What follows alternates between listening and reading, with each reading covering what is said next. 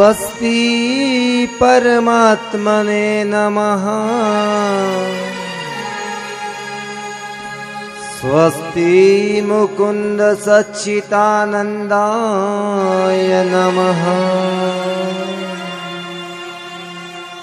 स्वस्ति श्री सद्गुरुदेवाय नमः स्वस्ति श्रीमात सरस्वते नमः। स्वस्ति श्रीप्राणपुरुषोत्तमाय नमः। गुरुर्ब्रह्मा गुरुरविष्णु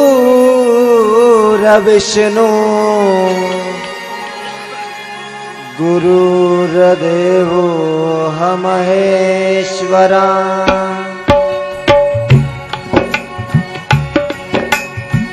गुरुरसाक्षात् परः ब्रह्मा। तस्मै श्रीगुरुवे नमः। ज्ञानमूलं गुरुरमूर्ति। पूजमूलं गुरुरपद। मन्त्रमूलं गुरुर्वाक्य। मोक्षमूलं गुरुरपद श्री सच्चिदानंद रूपाय। विश्वपत्यादिहेतवे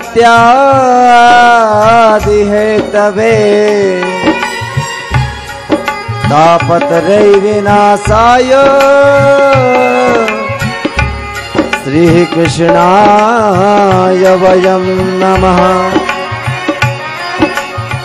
यं प्रव्रजन्तमनुपेतमप्रेतकृत्यम् दिहिपायनो विरहका। कर आजुहावा। उतरैति तन्मयतया तर्भो विनेन दोष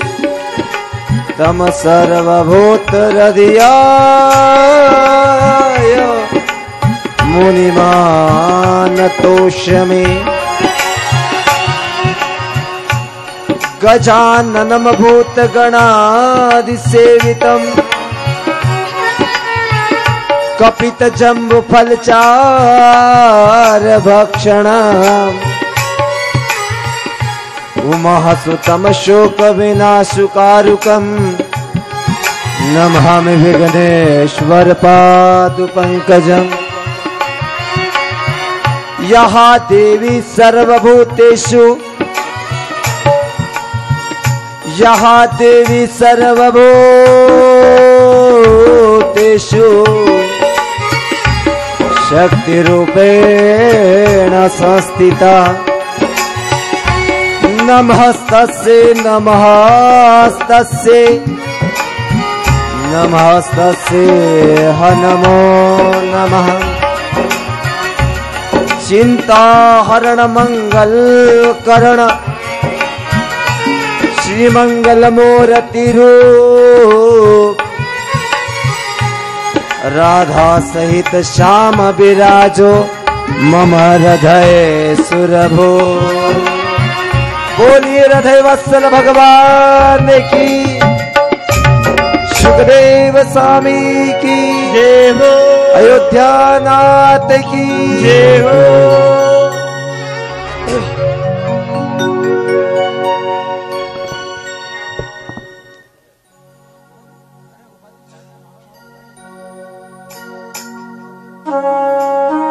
परम मंगलमयी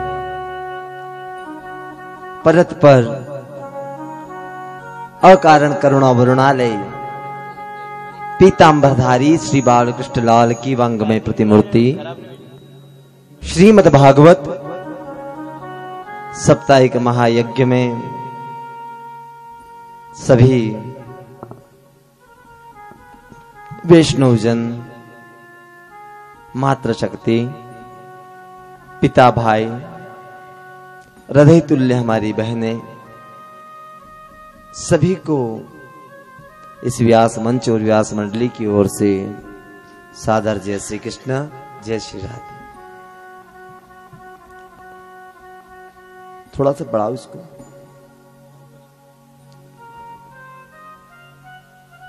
परमात्मनीय, परम विनंदित रुडान्दितधारी श्री बाल कृष्ण लाल की वांग में प्रतिमूर्ति श्रीमद भागवत के सष्टम दिवस में। आइए हम और आप अपने मंत्र हृदय से हरि की चरणों में लगाते हुए, मेरे गोविंद को बसते हुए आइए कथा में प्रवेश करते हैं। प्रेम से, श्रद्धा और भक्ति के भाव से आइए हम और आप मिलकर श्री हरि को अपना बनाते हुए गोविंद को अपना मानते हुए मानना बाद में पहले अपना बनाना है। गोविंद को अपना बनाते हुए आइए कथा में प्रवेश करते। गोविंद मेरो हे गोपाल मेरो हे गोविंद मेरो हे गोपाल मेरो हे गोविंद मेरो हे गोपाल मेरो हे गोविंद मेरो हे गोपाल मेरो हे श्री बाके बिहारी नंदलाल मेरो हे श्री बागे बिहारी नंदलाल मेरो हे श्री बाके बिहारी नंदलाल मेरो हे श्री बागे बिहारी नंदलाल मेरो हे बनवारी मेरो हे गिरधारी मेरो हे बनवारी मेरो हे गिरधारी मेरो दोनों हाथ उठा के ताली सेवा देते वक्त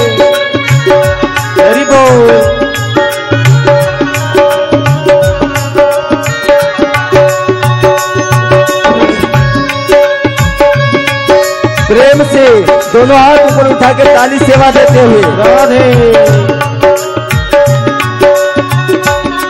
गोविंद मेरो हे गोपाल मेरो हे गिरधारी मेरो हे गिरधारी मेरो हे तो रास रचयो गणवारी मेरो हे ओ रास रचयो बनवारी मेरो हे। गिरधरी मेरो हे बनवारी मेरो हे। गिरधार मेरो हे।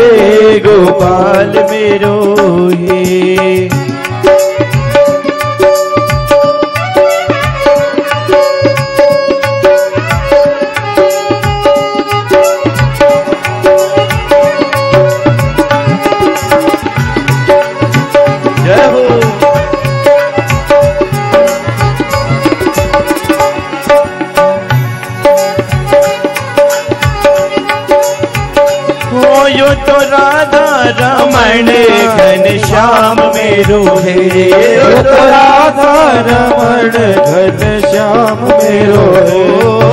यशोदा को लालो श्याम मेरो हे तो यशोदा रो लालो घन श्याम मेरो। हे गोविंद मेरो हे गोपाल मेरो हे गोविंद मेरो हे गोपाल मेरो हे गोविंद मेरो हे गोपाल मेरो हे गोविंद मेरो हे गोपाल मेरो हे गोविंद मेरो हे गोपाल मेरो हे गोविंद मेरो हे गोपाल मेरो हे बोले गोपाल कृष्णचंद्र भगवान की श्री अयोध्या नाथ की जय।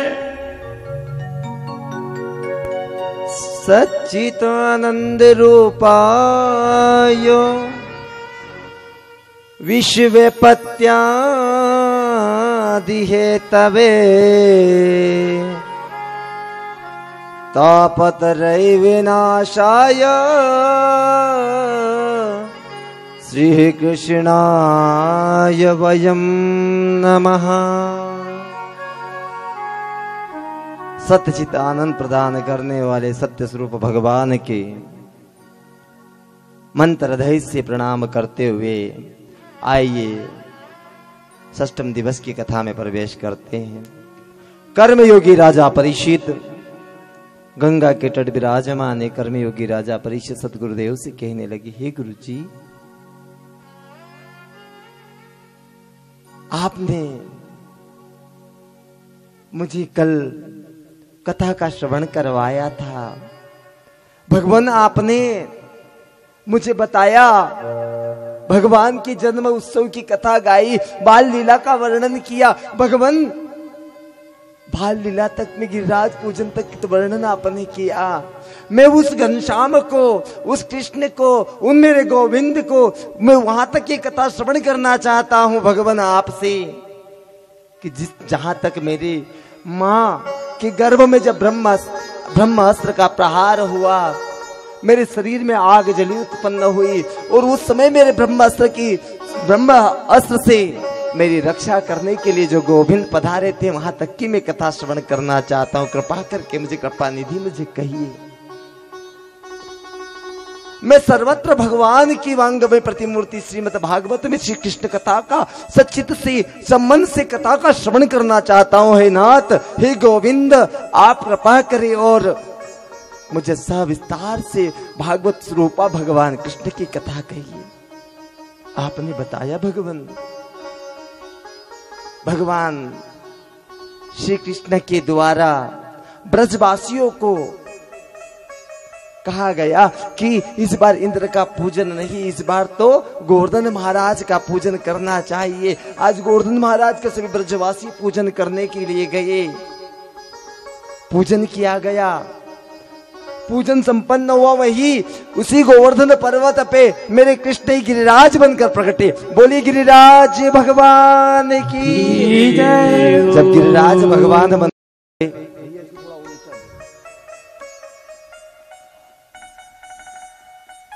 गिरिराज बनकर प्रकटे ना मेरे भगवान।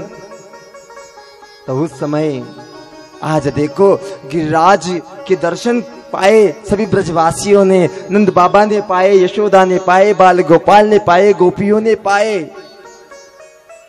दर्शन पा, पाने के बाद सभी ब्रजवासियों ने देखो आज गिरिराज भगवान को छप्पन भोगों से भोग लगाया। जब भगवान गिरिराज का भोग हुआ, गिरिराज भगवान, देखो, आज दर्शन देने के बाद आज अदृश्य हो जाते हैं।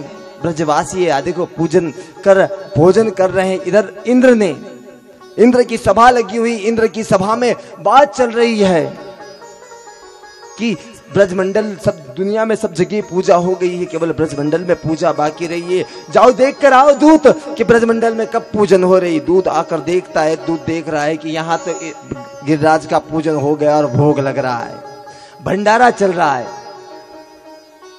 दूत ने जाकर देखो, इंद्र से कहा कि महाराज, इंद्र आपकी जय हो। लेकिन प्रजाओं में तो देखो, जो धराधाम पे जो लोग रहते हैं मनुष्य रहते हैं वो आपसे विद्रोह कर बैठे वो इस बार आपका पूजन नहीं कर रहे, इस बार तो गोवर्धन महाराज का पूजन किया है। इंद्र क्रोध में लाल हो गया तम तमा गया, कहने लगा कि इतनी मजाल इन मनुष्यों की, इन मानवों की इतनी मजाल, किन्ने मेरी पूजा से विमुख हो गए हैं? अब बताता हूँ मैं इनको। इनने मेरा अपमान किया है। मैं इनको ऐसा दंड दूँगा, ऐसा दंड दूँगा कि ब्रजमंडल के साथ साथ इन मनुष्य का भी पता नहीं लगेगा। इन मनुष्य को सभी को इतना दंड दूँगा, इतना दंड दूँगा, इतनी बरसात करूँगा, इतनी वेग से वायु चलाऊँगा कि ब्रजमंडल भी भर कर चला जाएगा और ब्रजमंडल का कण का भी पता नहीं लगने दूँगा। इंद्र क्रोध में लाल हो गया तम तमा गया। इंद्र तम तमा कर कहने लगा, हे वरुण, जरा अपने बादल भर के लेकर आओ और इतना बरसात करो ब्रजमंडल में, इतनी बरसात करो, इतनी बरसात करो, इतनी बरसात करो, ब्रजमंडल का कण कण बहकर चला जाए। हे पवन देव, इतनी तेज गति से, वेग से वायु लेकर जाओ। और इतनी तेज गति से, तुम्हारी जितनी तेज गति, इतनी तेज गति से वायु चलाओ कि पूरा ब्रजमंडल का कण कण उड़कर समुद्र में जाकर लुप्त हो जाए।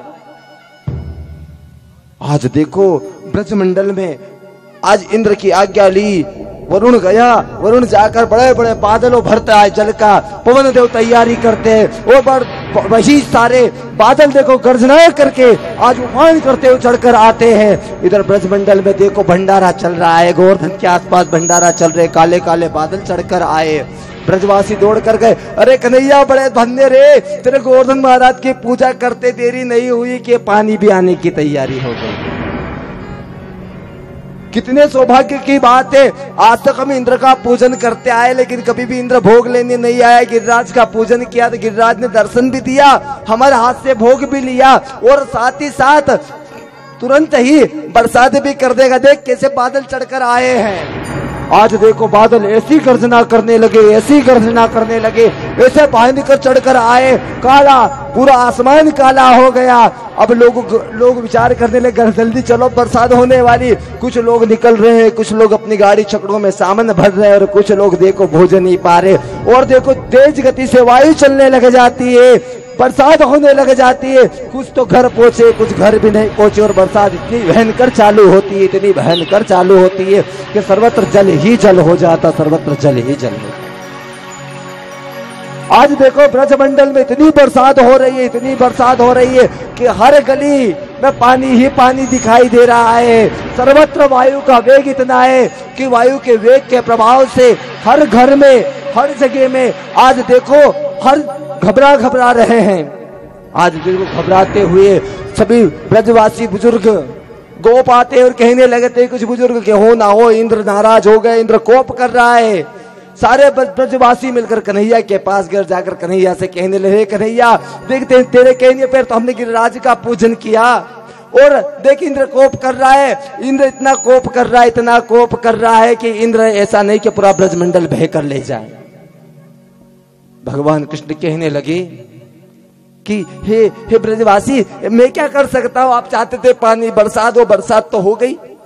अब ज़्यादा गिरे या कम गिरे, इसमें मेरी कोई गारंटी नहीं। मैंने कहा था कि भगवान प्रकटेंगे, तुम्हें दर्शन देंगे आपके हाथों से भोग लेंगे और तुरंत बरसात कर देंगे। मैंने यहाँ तक करवा दिया।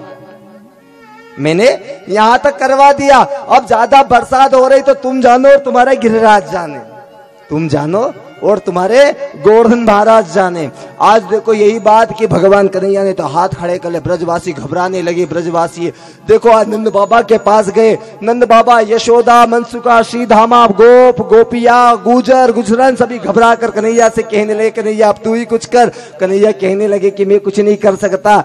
जिसने, जिसकी आपने पूजन की है और उस पूजन करने वाले के करने वाला ही आपको संकट से दूर कर सकता है। आप उन्हीं के पास चले जाए आपका संकट वही तार तार सकते ब्रजवासी देखो, हाथ पकड़ पकड़ कर देखो, उसी पर गिरते हुए पानी में देखो। आज गोकुल से गोवर्धन महाराज के पर्वत के सम्मुख पहुँचते, पर्वत पे जाकर प्रणाम करते और प्रार्थना करते, गिरिराज धरण, हम आए शरण, गिरिराज धरण, हम आए जड़ गिरिराज धरण, प्रभु तुम्हारी शरण, गिरिराज धरण, प्रभु तुम्हारी जड़े तुम्हारी शरण प्रभु, तुम्हारी शरण प्रभु, तुम्हारी शरण प्रभु, तुम्हारी शरण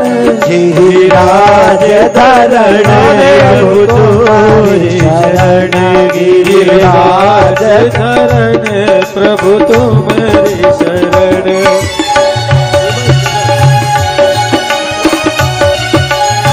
प्रेम से गिरिराज जी से शरण मांगिए।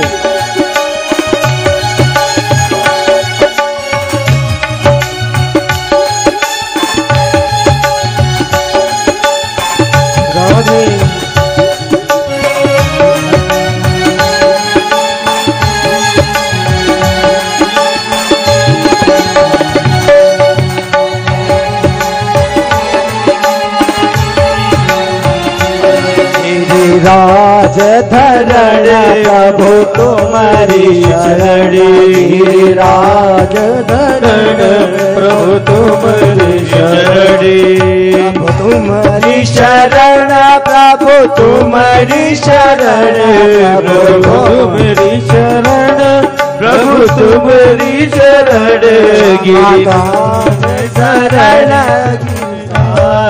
शरण गिरिराज धरण। प्रभु आए शरण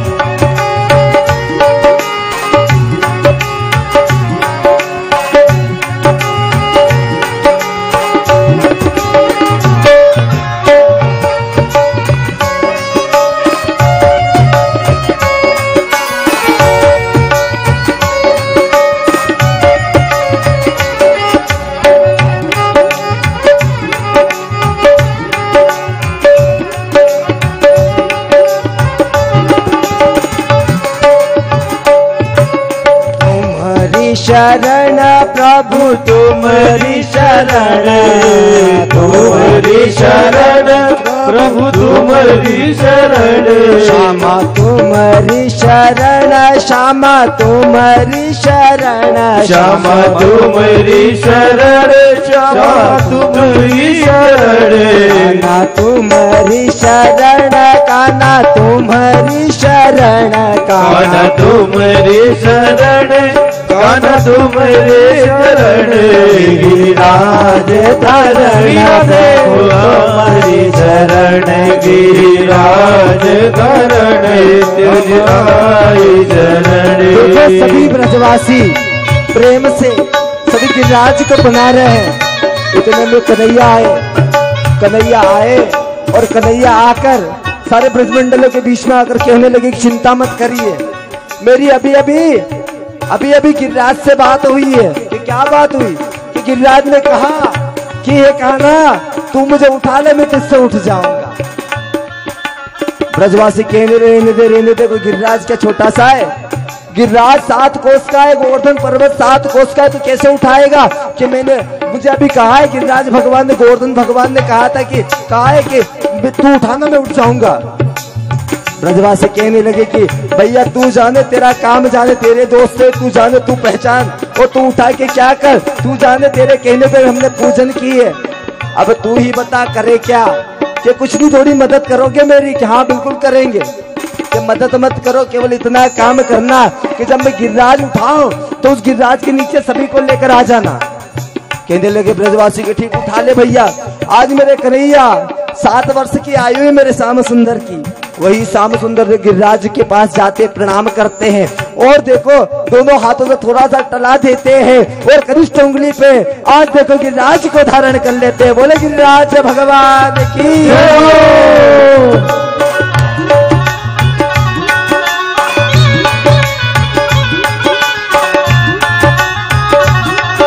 गिरिराज धरण प्रभु तुम्हारी शरण, गिरिराज धरण प्रभु तुम्हारी शरण।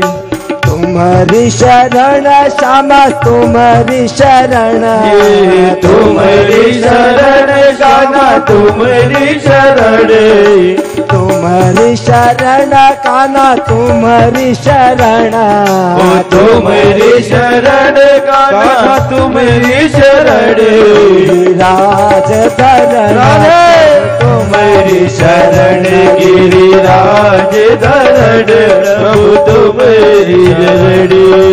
राज धरण प्रभु तुम्हारी शरण गिरिराज धरण प्रभु तुम्हारी शरण। गिरिराज धरण प्रभु तुम्हारी धरण गिरिराज धरण प्रभु तुम्हारी शरण ओ प्रभु तुम्हारी शरण प्रभु तुम्हारी शरण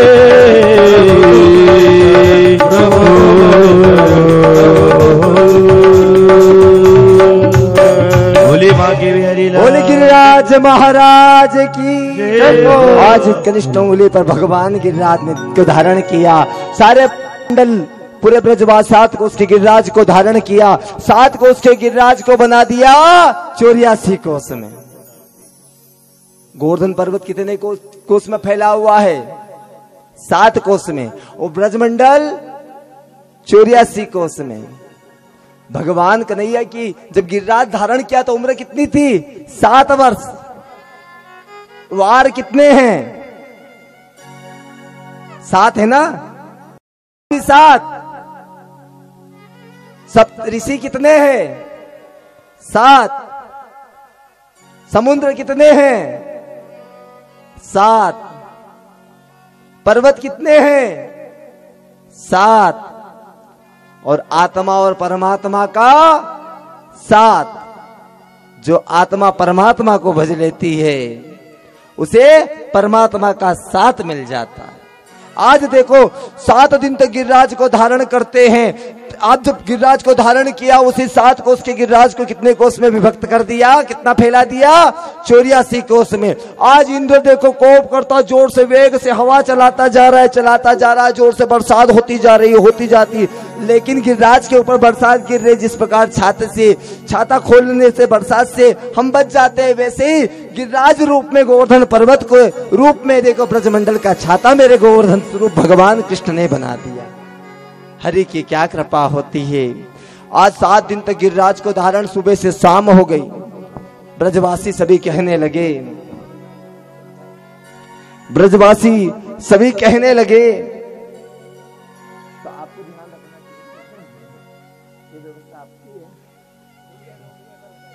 बोली राघवेंद्र सरकार की। हेलो सात दिन तक गिरिराज को धारण किया। जब सात दिन तक गिरिराज धारण रहा तो ब्रजवासियों ने सुबह से शाम तक कन्हैया को देखा ना तो सभी कहने लगे कि थोड़ी थोड़ी कन्हैया की मदद कर देनी चाहिए। आज देखो कन्हैया की मदद करने के लिए। आज किसी ने अपना छाता खोलकर, आज उसी छाते की सहयोग किया गिरिराज पर। किसने लाठी से किसी, किया, किसने छड़ी से किया, किसी ने हाथ से किया। भगवान कहने लगे कि सबका सहयोग मुझे मिल रहा है। संध्या हुई। जब संध्या हुई ना, संध्या के समय एक गोप कहने लगा एक नवा, तू सुबह से उठाकर खड़ा रे। एक काम कर, अब तो आराम कर ले, अब मैं संभाल लूँगा। कन्हैया कहने लगे कि, तुम संभाल लोगे पक्के में? क्या हाँ हम संभाल लेंगे? तो हमारे सामने जन्म हुआ, हमारे सामने बड़ा हुआ, घुटनों के बराबर आ नहीं रहा है, और ऊपर से तू संभाल ले। तो इतना मोटा ताज़ा तगड़ा शरीर है, क्या मैं नहीं संभाल पाऊँगा? क्या? मैं नहीं संभाल पाऊ, मैं नहीं संभाल पाऊँगा। वही गुजर भैया, देखो, आज अपने छाता लेते हैं, छाता नीचे रखते हैं, छड़ी नीचे रखते हैं, डंडा नीचे रखते हैं, और कन्हैया के पास जाते हैं और कहने लगते हैं, तू छोड़, मैं संभाल लूँगा। जैसे ही महाराज ने, उन्हीं दादा ने लिया हाथ में वही गिरदार लेने कहने लगे, कन्हैया, सो जाना बोला। कन्हैया ने थोड़ा सा हाथ नीचे किया कि सबके, किसी का छाता टूटा, किसी की छड़ी टूटी, किसी का डंडा टूटा तो वो गुजर कहने लगा, भैया ये कन्हवा हमसे नहीं संभलता, तेरा गिरिराज जाने और तू जाने। उन्हीं गुजर भैया को क्या आ गया था? घमंड आ गया था। अहंकार आ गया था।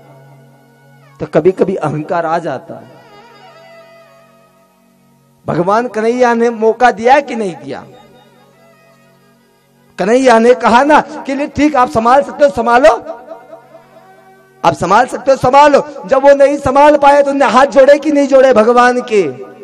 क्योंकि जितना सरलता में आनंद है, जितना सरलता में आनंद है, इतना और किसी में, किसी जीवन में कोई चीज़ में आनंद नहीं है। जो सरलता रहेगी जीवन में, वही मैं पिछली बार कथा में कहा था सरल अर्थ बताए थे स, र, ल, तीन शब्द है। स से सीता, र से राम और ल से लक्ष्मण। राम, लक्ष्मण अगर बनकर रहना है, राम, लक्ष्मण, सीता बनकर रहना है तो हमें सरल बनना पड़ेगा।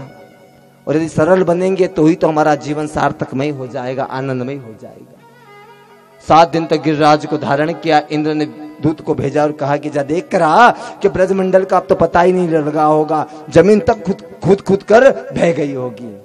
दूध आकर देखा, दूध देख रहा है कि ब्रजमंडल तो वैसा के वैसा बसा हुआ है। और छाता करके चौरियासी कोष के गिरिराज को धारण कर रखे हैं मेरे भगवान श्री कृष्ण। जो सात कोस की गिरिराज की परिक्रमा कर लेता है, जो सात कोस का जो गिरिराज है अच्छा वृंदावन कौन कौन गए? गोकुल कौन कौन गए? तो गोकुल गए होंगे तो वहाँ गोवर्धन पर्वत है। और गोवर्धन पर्वत की जो परिक्रमा कर लेता है उसको आ, उसकी आत्मा को परमात्मा से कोई संसार की कोई ताकत दूर नहीं कर सकती। परमात्मा से कोई ताकत दूर नहीं कर सकती।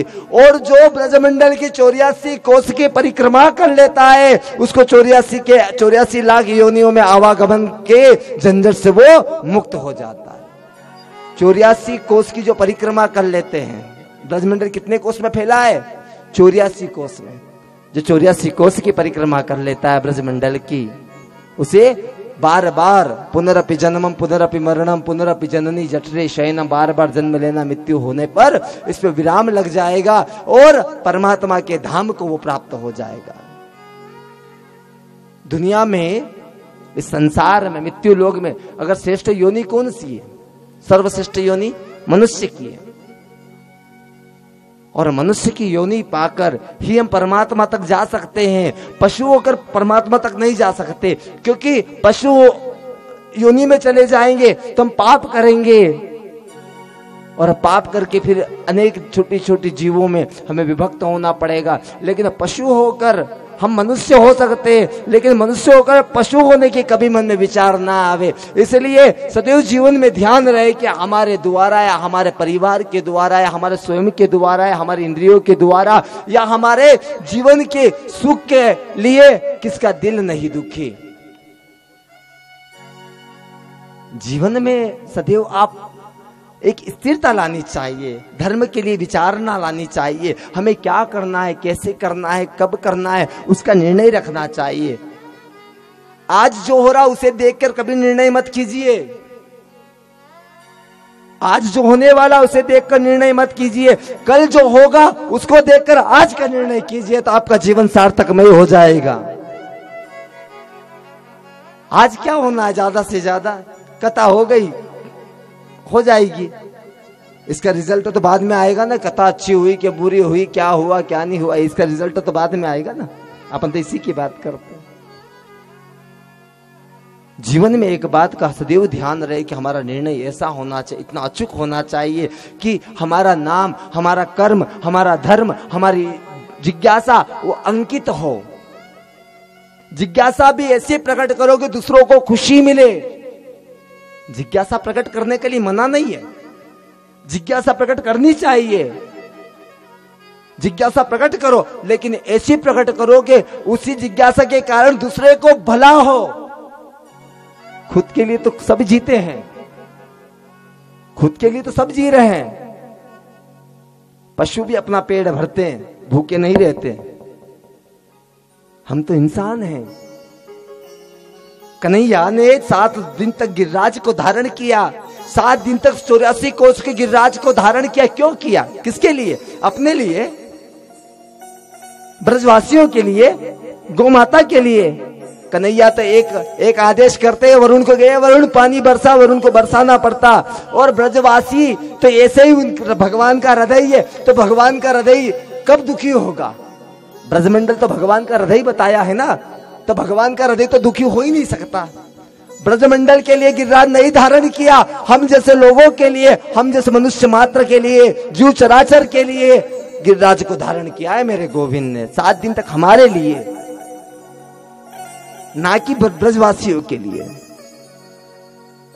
इंद्र को पता लगा, इंद्र आया, इंद्र आकर कहने लगा, भगवान त्रिलोकी नाथ जगदीश्वर, मुझे क्षमा कर दो।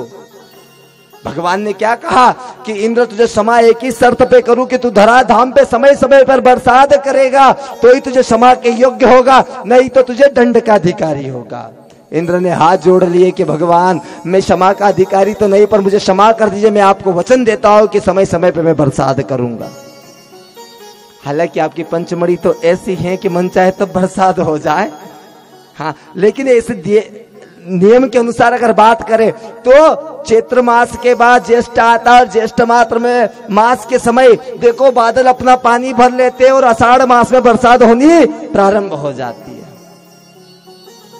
अब बताइए, गिरिराज किसके लिए धारण किया? ब्रजवासियों के लिए कि हमारे लिए? आपके लिए, हमारे लिए, हमारे परिवार के लिए, हमारे समाज के लिए, इस संसारिक भौतिक सुविधा के लिए संस्कार संसारिक प्रकृति के लिए? अब बताइए, संकट हम हम झेलते हैं कि भगवान ने झेले? संकट किसने झेले? मेहनत किसने करी? भगवान ने की ना? फिर भी हम भगवान से कहते हैं, भगवान ने हमारे लिए किया क्या? भगवान ने हमारे लिए किया क्या? अब बताइए हमें कि भगवान ने जो किया, वो क्या हम कर सकते हैं? कर सकते? नहीं कर सकते। हम बिल्कुल नहीं कर सकते। जब सात दिन बाद इंद्र ने क्षमा मांगी, गिरिराज को पुनः सात कोष में करके स्थापित कर दिया।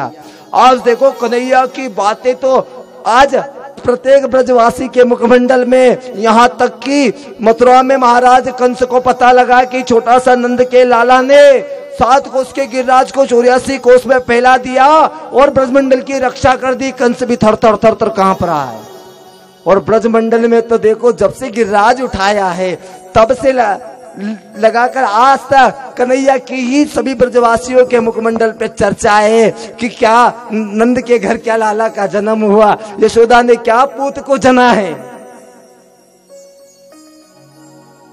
देखिए एक बात कहूँ। वो माँ और वो पिता कब प्रसन्न होते हैं सबसे ज़्यादा? सबसे ज़्यादा खुशी कब होती पिताजी और माताजी को? बेटे बेटी का जन्म होता है तब? नहीं। बेटे बेटी का जन्म तो होता है, तब चलो ठीक है, परिवार वाले खुशियाँ मनाएँगे। माँ तो कहेगी कि ऐसे बेटे बेटी को जन्म देने से तो नहीं देना अच्छा क्योंकि इतनी प्रसव पीड़ा होती है। सबसे ज़्यादा माता पिता को खुशी कब होती है कि जब बेटा पिता के पास जावे और कहे कि पिताजी, आज के बाद आपको काम नहीं करना है, आज के बाद पूरा कारोबार मैं संभालूँगा। आप आराम करो तीर्थ यात्रा पे जाओ। उस दिन पिता का सीना खुल जाएगा और पिता अपने बेटे को छाती से लगाकर मंत्र हृदय से प्रसन्न हो जाएँगे। कब होते पिता सबसे ज़्यादा खुश? जब बेटा जाकर कहे पिताजी को, पिताजी, अब आपको काम धंधे करने की ज़रूरत नहीं, अब घर परिवार मैं संभाल लूँगा। और बेटी का जन्म होने पर सबसे ज़्यादा माता की माता को कब खुशी होती है? माता पिता को खुशी कब होती है? जब बेटी हमारे घर से मायके से ससुराल जाए और ससुराल से सुख समाचार लाए कि आपकी बेटी तो लक्ष्मी हमारे घर को पूरे एक एक सुई में पुरो दिया, एक माला में पुरा दिया पुरा दिया, ऐसी आपकी बेटी महालक्ष्मी है। किसके लिए हैं? ये आपके लिए, हमारे लिए, अपने लिए। आज देखो, ब्रजवासी सारी बाला है सारी गोपिया, सारे गोप बूढ़ी बूढ़ी गोपिया भी कन्हैया को देखो प्राप्त करना चाहती है। बूढ़ी बूढ़ी गोप, मुँह में दांत नहीं है, जिब्बा लड़खड़ा रही है, वो भी कन्हैया को पाना चाहती है। पाने पाने में अंतर है साहब। पाने का अभिप्राय किसी गलत संज्ञा को नहीं है, पाने का अभिप्राय है। माँ भी तो चाहती है कि मेरे घर बेटा जैसा मेरे जैसा कन्हैया जैसा बेटा आवे। जो बूढ़ी गोपिया हैं, गुजरन है, वो कन्हैया को पोते के रूप में पाना चाहती है। जो जवान गोपिया है, वो कन्हैया को पुत्र रूप में पाना चाहती है। जो युवती है, वो कन्हैया को पति रूप में वर्ण करना चाहती है। और गोपी का अर्थ क्या है? कोई नारी? और गोपी और कृष्ण का जो प्रेम है संसारिक प्रेम नहीं है, गोपी का अर्थ होता है आत्मा और कृष्ण है परमात्मा। आत्मा और परमात्मा का जो प्रेम है, वही गोपी कृष्ण का प्रेम है। आत्मा तो पल पल यही चाहती है पल पल आत्मा तो यही चाहती है कि मुझे कृष्ण प्राप्त हो, मुझे गोविंद प्राप्त हो, मुझे राम प्राप्त हो, मुझे श्याम प्राप्त हो, मुझे राधा प्राप्त हो, लेकिन हमारी विषय वासना हमें उसी उसी की ओर से हमें दूर करती है। दूर करने वाला दूसरा कोई नहीं, विषय है। और जो विषय है ना, वही वासना के कारक है, लोभ के कारण, कारक है, अहंकार के कारक है, और नर्क भेजने का पूर्ण हमारे जीवन में सहयोगी है। नर्क भेजने का पूर्ण सहयोगी कौन है? यही कारक है। आज हरि की क्या कृपा होती है? आज कन्हैया देखो, दूसरे दिन गिरिराज को रखने के दूसरे दिन निकले ना तो ब्रजवासी जो हम उम्र गोपिया हैं, ब्रजबालाएँ हैं। कन्हैया को देखकर देखो, घूंघट लेकर लज्जा कर रही है। जैसे कि पत्नी अपने पति के सामने लज्जा करती है, शर्माती है। ऐसे देखो, ब्रजबालाएँ छोटी छोटी कन्याएँ छोटी छोटी गोपियाँ कन्हैया के सामने देखकर लज्जा कर रही है, घूंघट ले रही, भाव कर रही है कि यही श्याम सुंदर हमारे मंत्र हृदय में बैठ गए। ओ मेनू सावरा सलोना पसंद आ गया मोहे सावरा सलोना पसंद आ गया। मुझे सावरा सलोना पसंद आ गया। मोहे सावरा सलोना पसंद आ गया। पसंद आ गया रे मेरे मन को भा गया। पसंद आ गया रे मेरे मन को भा गया। पसंद आ गया रे मेरे मन को भा गया। पसंद आ गया रे मेरे मन को भा गया। मेनू सावरा चलो ना पसंद आ गया। मेरे सावरा चलो ना पसंद आ गया।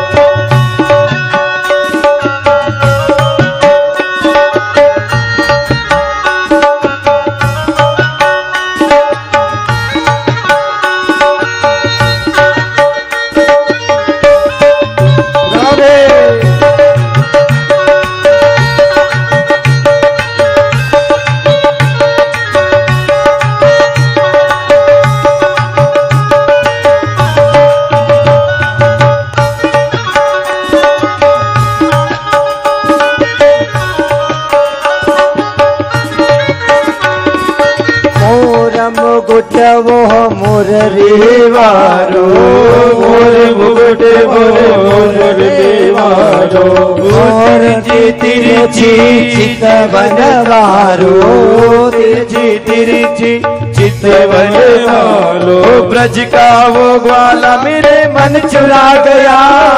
ब्रज का वो ग्वाला मेरा मन चुरा गया। मेनू सावरा, सलोना, पसंद आ गया। मेरू सावरा, सलोना, पसंद आ गया।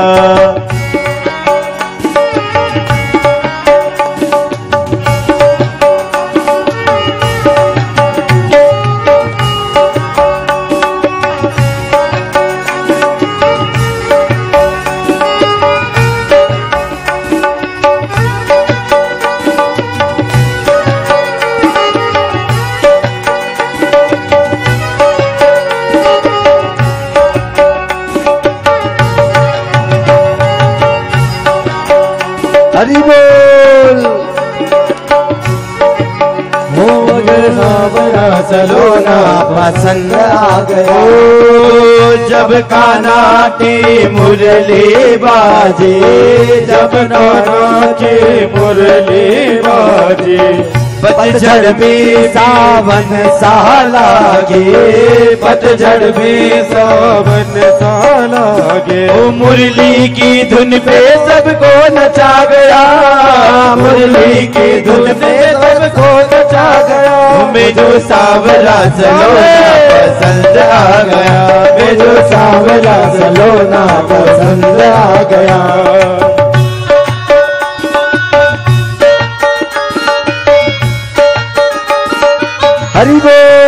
श्याम सुंदर सरकार की।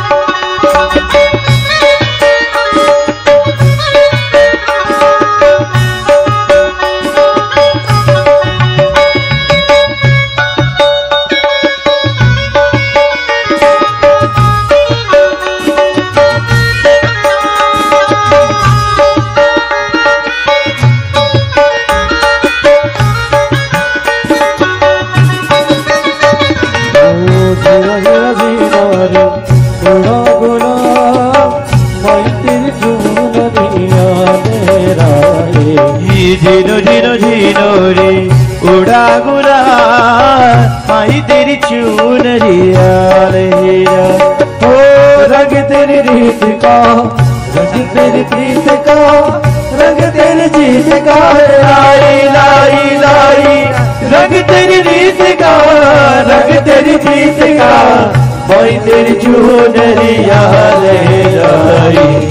जब जब मुझे मेरे उठा सवार, माई तेरी चोर रे यार मुझे सांवरा सलोना पसंद आ गया। मुझे सांवरा सलोना पसंद आ गया। मुझे सांवरा सलोना पसंद आ गया। मुझे सांवरा सलोना पसंद आ गया। मुझे सांवरा सलोना पसंद आ मुझे बोली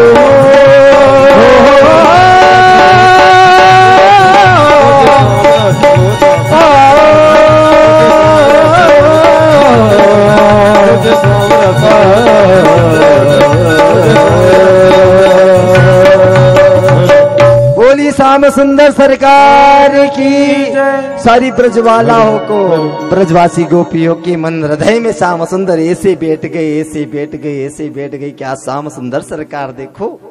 आज जिसे निकल के गलियों में जाते तो ब्रजबालाएँ घूंघट लेकर देखो, रास्ता दे देती है। जैसे कि पचास वर्ष के, सौ वर्ष के जब वो बूढ़े गुजर नहीं जा रहे, ऐसे बूढ़ी बूढ़ी गुजरने भी देखो रास्ता दे रही है। ब्रजवासी सारी गोपियों के मन हृदय में देखो, कन्हैया को ही प्राप्त करने का भाव है। हरि की क्या कृपा हुई? आज ब्रजवासी सारी गोपिया विचार करने लगी कि हम कन्हैया को प्राप्त कैसे करें? आज ब्रजवासी सारी गोपियाँ देखो, इकट्ठी होती है, संत महात्मा से परामर्श लेती है, और यमुना यमुना तट जाती है, वृंदावन में एक रेती बड़ा बड़ा आसन जगह देखती है, वही कात्यायनी माता का स्थान, कात्यायनी माता की प्रतिष्ठा कर देती है, एक मूर्ति माता कात्यायनी की बिठा देती है। अजस्ट पूजा जगदम्बिका कात्यायनी की प्रतिष्ठा करती है, कात्यायनी की पूजा करती है। जो कात्यायनी माता जो वृंदावन में एक विशेष बात है साहब, जो वृंदावन में धाम है, जो सात कोष की गिरिराज की अगर आपने, आप लोगों ने अगर परिक्रमा कर ली तो वही आत्मा और परमात्मा का मिलन का साधक बन जाएगी। और वृंदावन में एक और विशेष बात है कि जो कात्यायनी माता की जो प्रतिमा है ना, वो किसी आप और हमारे द्वारा स्थापित नहीं है, वो गोपियों के द्वारा स्थापित है। और जिस बेटी का, जिस भाई का विवाह नहीं होता है, मात्र कात्यायनी के दर्शन कर उनसे प्रार्थना कर लेता है तो उसका विवाह शीघ्र हो जाता है।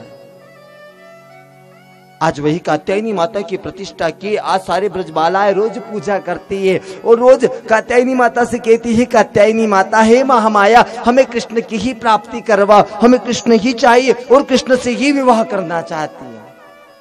हरि की क्या कृपा हुई?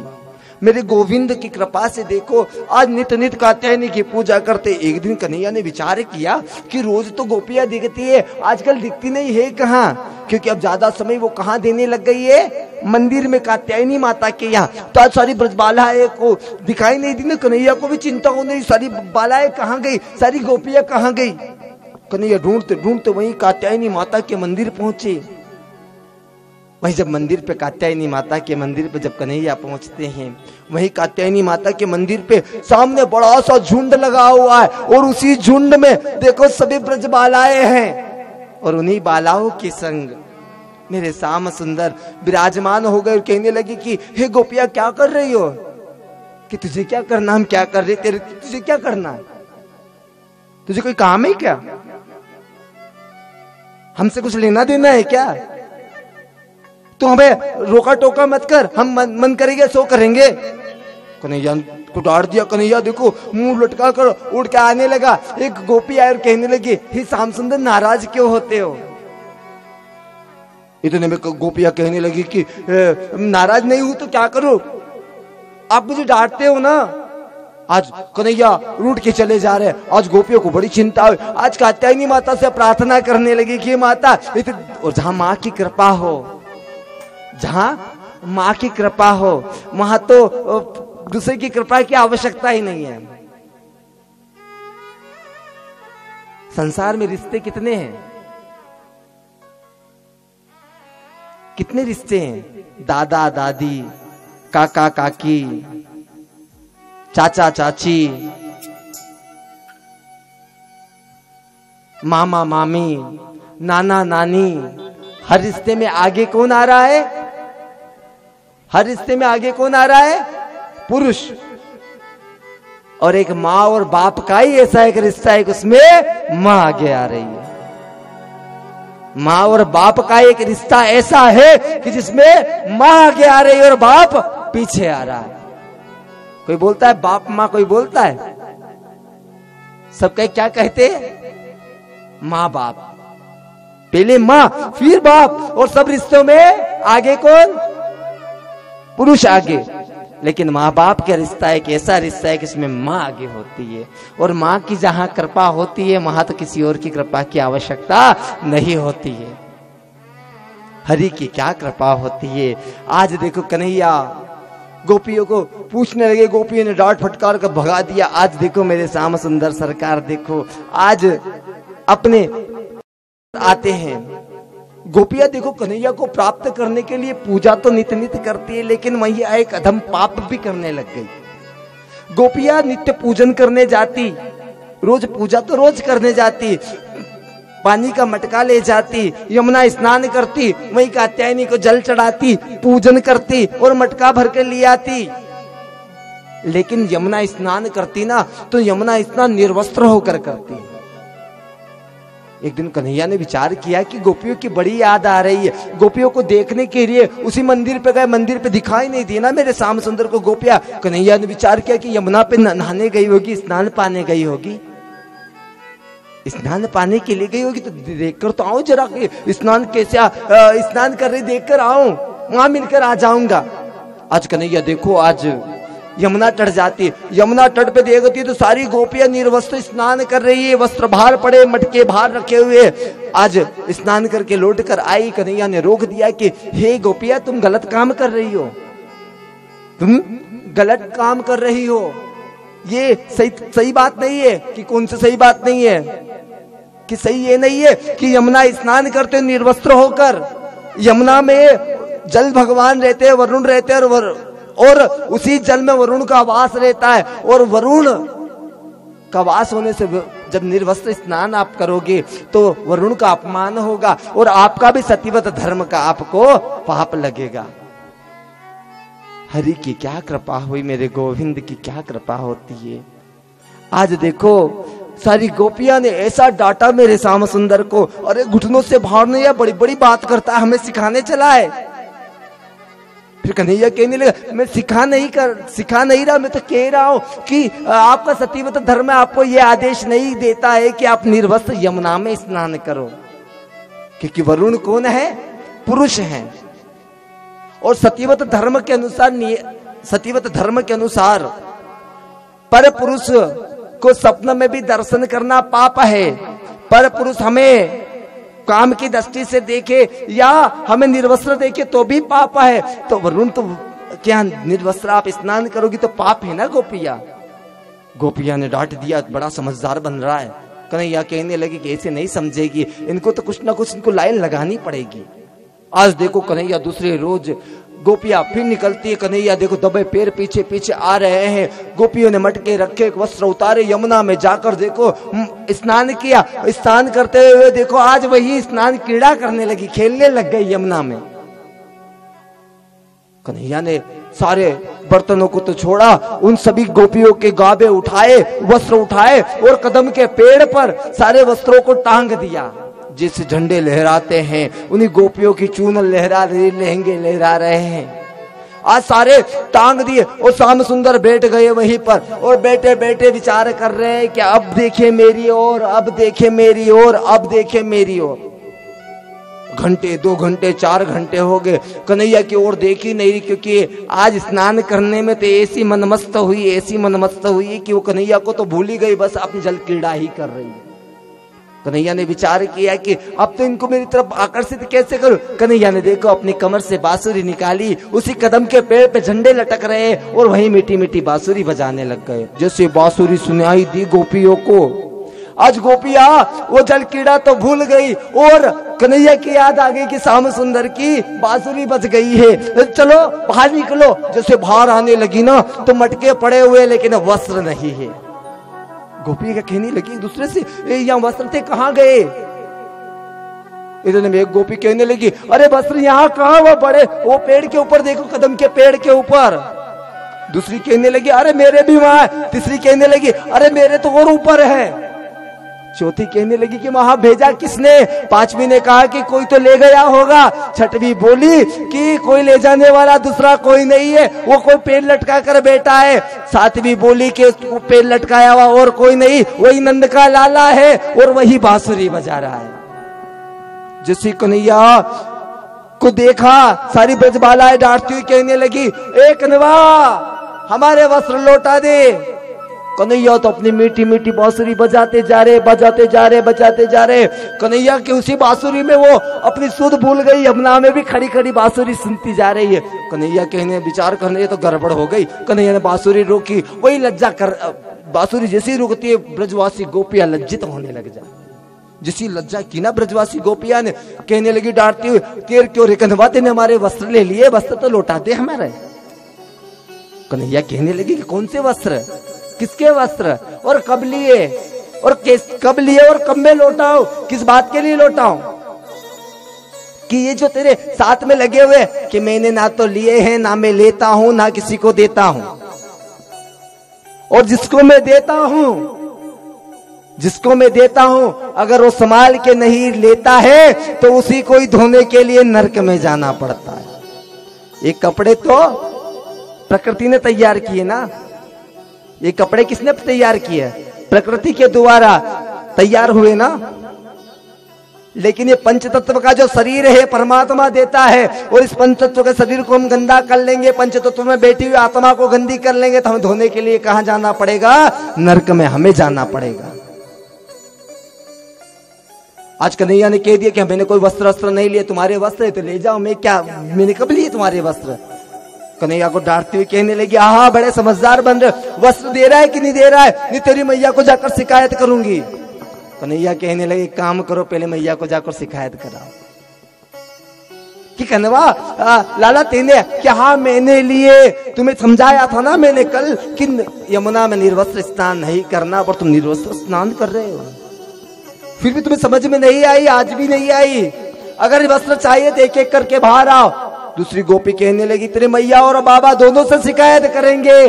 कन्हैया मुस्कुरा कर कहने लगी कि, वस्त्र बाद में लेना, पहले जाओ नगर में और जाकर शिकायत करके आ जाओ। एक गोपी उठाकर कहने लगी, मैया बाबा से काम नहीं चल रहा, नहीं डर रहा है ना तू? तेरे मामा कंस को शिकायत करेंगे और तेरे मामा कंस तुझे इतना दंड देंगे, इतना दंड देंगे कि तुझे दंडित कर देंगे। कन्हैया कहने लगे कि काम करो, गोकुल मत जाओ, पहले मथुरा हुआ और मथुरा होकर आना, फिर मेरे से वस्त्र ले लेना।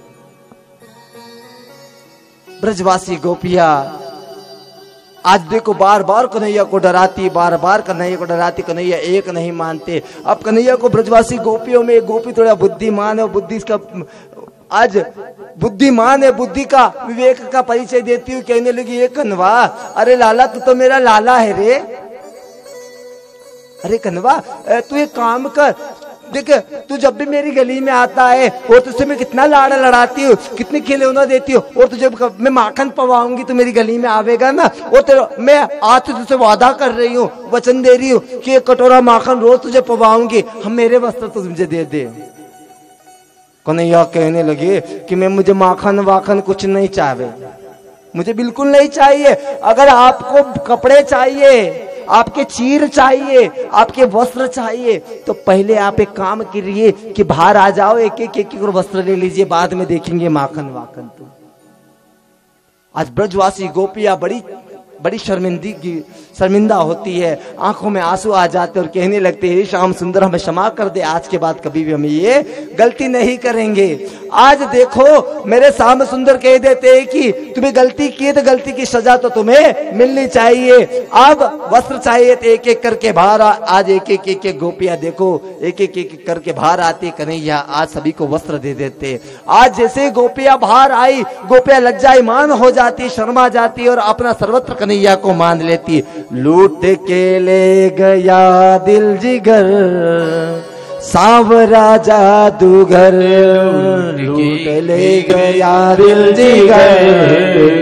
सावरा जादूगर ले गया दिल जिगर। सांवरा जादूगर ओ सावरा मेरा सावरा।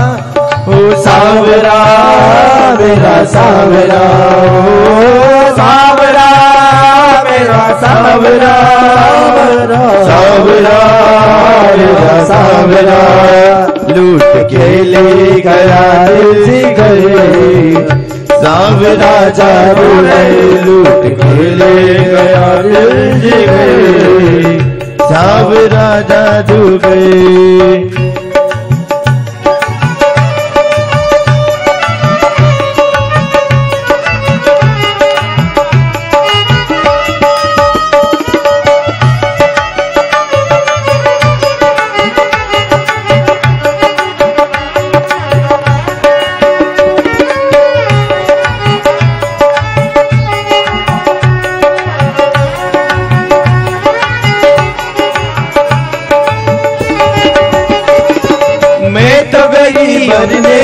यमुना से पानी मैं तो गई यमुना से भरने को पानी। मैं तो गई यमुना को भरने को पानी मैं तो गई भरने को भरने को पानी।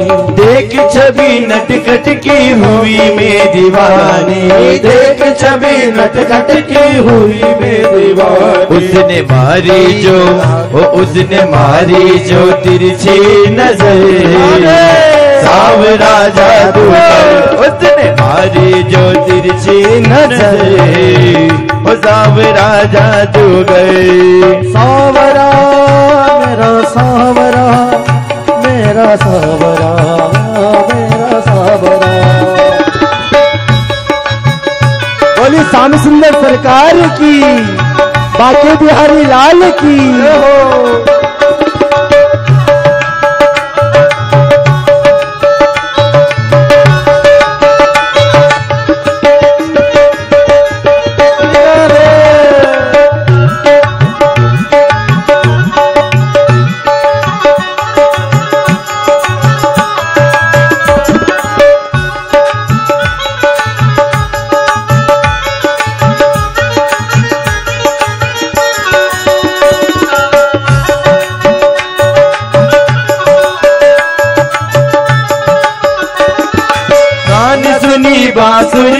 सुध बुध में तान सुनी बांसुरी की सुध बुध में तान सुनी बांसुरी सुध बुध में तान सुनी बांसुरी की सुध बुध भूल गई लोक लाज बस तेरी में भूल गई लोक लाज बस तेरी में छोड़ के तुझको जाओगी दे छोड़ के तुझको जाऊँगी नहीं।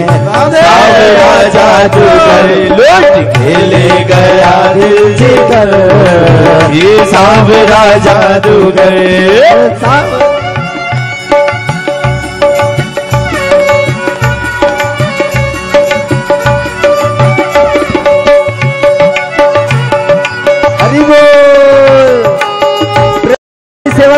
शान सुंदर से रंग में रंगते हुए।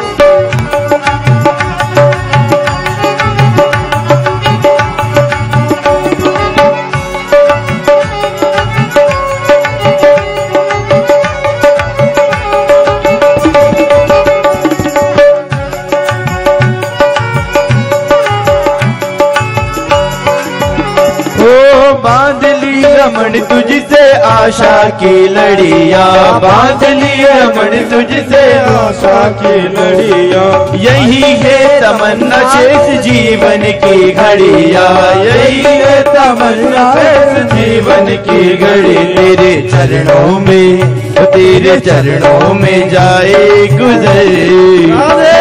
जो जादूगर लूट के ले गया दिल से गए साम राजा जुगल गया तुझी राजा जुगल ओ सांब राजा जुगल सांब राजा जुगल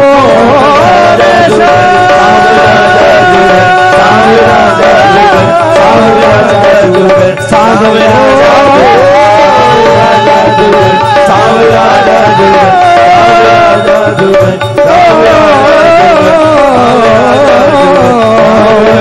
जुगल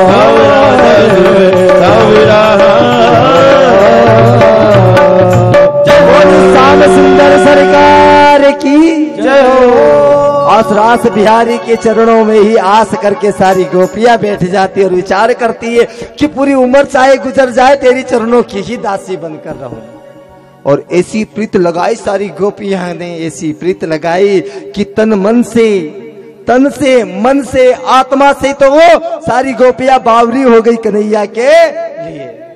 आज मेरे ब्रजमंडल में बड़ा आनंद है। कन्हैया नित नित देखो गोचारण करने जाते, नित नित आते। ब्रज बालाए नित नित भगवान के दर्शन पाती।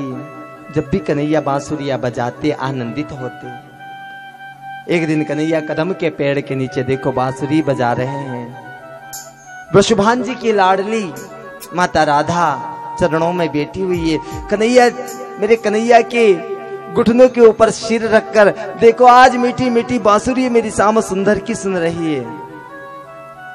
आज देखो वही बांसुरी की सुनकर सारे ब्रजमंडल की बालाएँ सारी गोपिया। आज उसी कदम के पेड़ के समीप जा, चली जाती है। राधा रानी तो भगवान के चरणों में भगवान कन्हैया के घुटनों पे सिर रखकर बैठी सारी गोपियाँ देखो, ये आज भगवान के सम्मुख बैठी बैठी सभी बांसुरी को श्रवण कर रही है। सभी सुन रही है। जब कन्हैया बांसुरी बजाते बजाते जैसे ही कन्हैया की आँखें खुली ना तो देखती है, कन्हैया सामने देखते हैं कि सारे ब्रजमंडल की सारी गोपियाँ, सारी बालाएँ और राधा समीप है।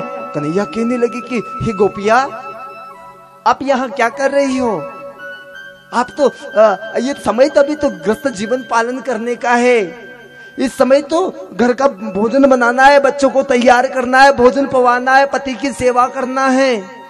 ग्रस्त जीवन का कार्य करना है। गाय का दोहन करना है ये काम रहता है और तुम इस समय यहाँ क्या कर रही हो? कन्हैया को वही वही गोपियाँ डांटती हुई कहने लगती है हमने हम हमने कितनी बार शाम सुंदर तुझे कह दिया रे? कि तू बंसी मत बजाया कर। जब तेरी बांसुरी, तू तो नहीं बुला रहा है, लेकिन तेरी बांसुरी में ऐसी चाहत है। इतनी विवेकता है, इतनी शहरता है, और इतने अपनापन है कि हमारे पैर तेरी बांसुरी की आवाज़ को सुनकर तेरी बांसुरी जब बसती है ना, कन्हैया, हमारे पैर रुकते नहीं। हम सारे सुध बुध भूल जाती हैं बावरी सी हो जाती है पागल सी हो जाती है और हम तेरी बांसुरी के जहाँ बसती हम हमारे खींचे चली आती हैं। कन्हैया कैसे हम ग्रस्त जीवन का काम करें रे? जब तेरी बांसुरी बजती है जब मैं हम भोजन बनाती है तो घर में जो चूल्हा है उसमें आग जलाते हैं ना तो आग जलाते हैं तो वही लकड़ी सूखी लकड़ियों में से पानी आ, आ जाता है और चूल्हा बुझ जाता है रे। तो चूल्हे में से जब धुआँ आता के धुएँ से बुझे हुए चूल्हे पे से तो भोजन नहीं बन सकता रे। कि ठीक है, सूखी हुई लकड़ी पानी दे रही, पति की सेवा क्यों नहीं करते? पति की सेवा करनी चाहिए। एक गोपी उठाकर कहने लगे, कौन से पति की सेवा करे? कौन से पति की सेवा करे? ये पति तो हाड़ मास के हैं। ये पति तो सब हाड़ मास के हैं। और ये प्रभु, आप तो जगत के पति हैं और जगदीश्वर है। और यदि उन पति तो यहीं यहीं तक साथ देंगे, पर आप तो हमें जीवन, जन्म, जन्मांतर तक इस लोग में तो क्या सर्वत्र जितने भी लोग हैं, वहाँ तक साथ देंगे और आपके चरणों की हमें दासी बना लेंगे। भगवान कन्हैया, देखो, गोपियों को अनेक तरीके से समझाने का प्रयास करते हैं। गोपिया, देखो, आज कन्हैया की बात एक नहीं सुनती है और कन्हैया को कहने लगते बड़ा समझदार बना चला है। हम क्या तेरे पास छोड़ी आए? आज के बाद तो बांसुरी मत बजाना। आज के बाद तो बांसुरी मत बजाना, तेरे पास ही नहीं आएँगे। आज सारी गोपियाँ देखो, नाराज़ सी हो जाती है। आज नाराज़ होकर मुँह फुलाकर बैठ जाती है। राधा रानी देखो, कन्हैया की ओर देखती और कहने लगती शाम सुंदर तक हे शाम सुंदर, आप इतना क्यों इन गोपियों को तड़पाते हो? किन गोपियों को ऐसा कहते हो? इतने में एक गोपी ने सुन लिया। गोपी आकर कहने लगी, राधा, आप भी बड़े बड़ी हमारी वाली मत बनो। हमें पता है कि तुमसे श्याम सुंदर वो ज़्यादा प्रेम करते, हमसे तो फिर भी कम करते हैं। जानते हो, माताओं में सबसे बड़ा अगर वात्सल्य, अगर कहा प्रेम है तो माओ के हृदय में रहता है। और माओ के हृदय में क्या फूट फूट कर भरी है? ईर्षा अगर सगी बहन भी अच्छी साड़ी पहन ले, अच्छे गहने पहन ले तो उससे भी ईर्षा कर बैठती है। आज देखो राधा तो सपोर्ट कर रही है। राधा मेरी सामनी मैं राधे को दास।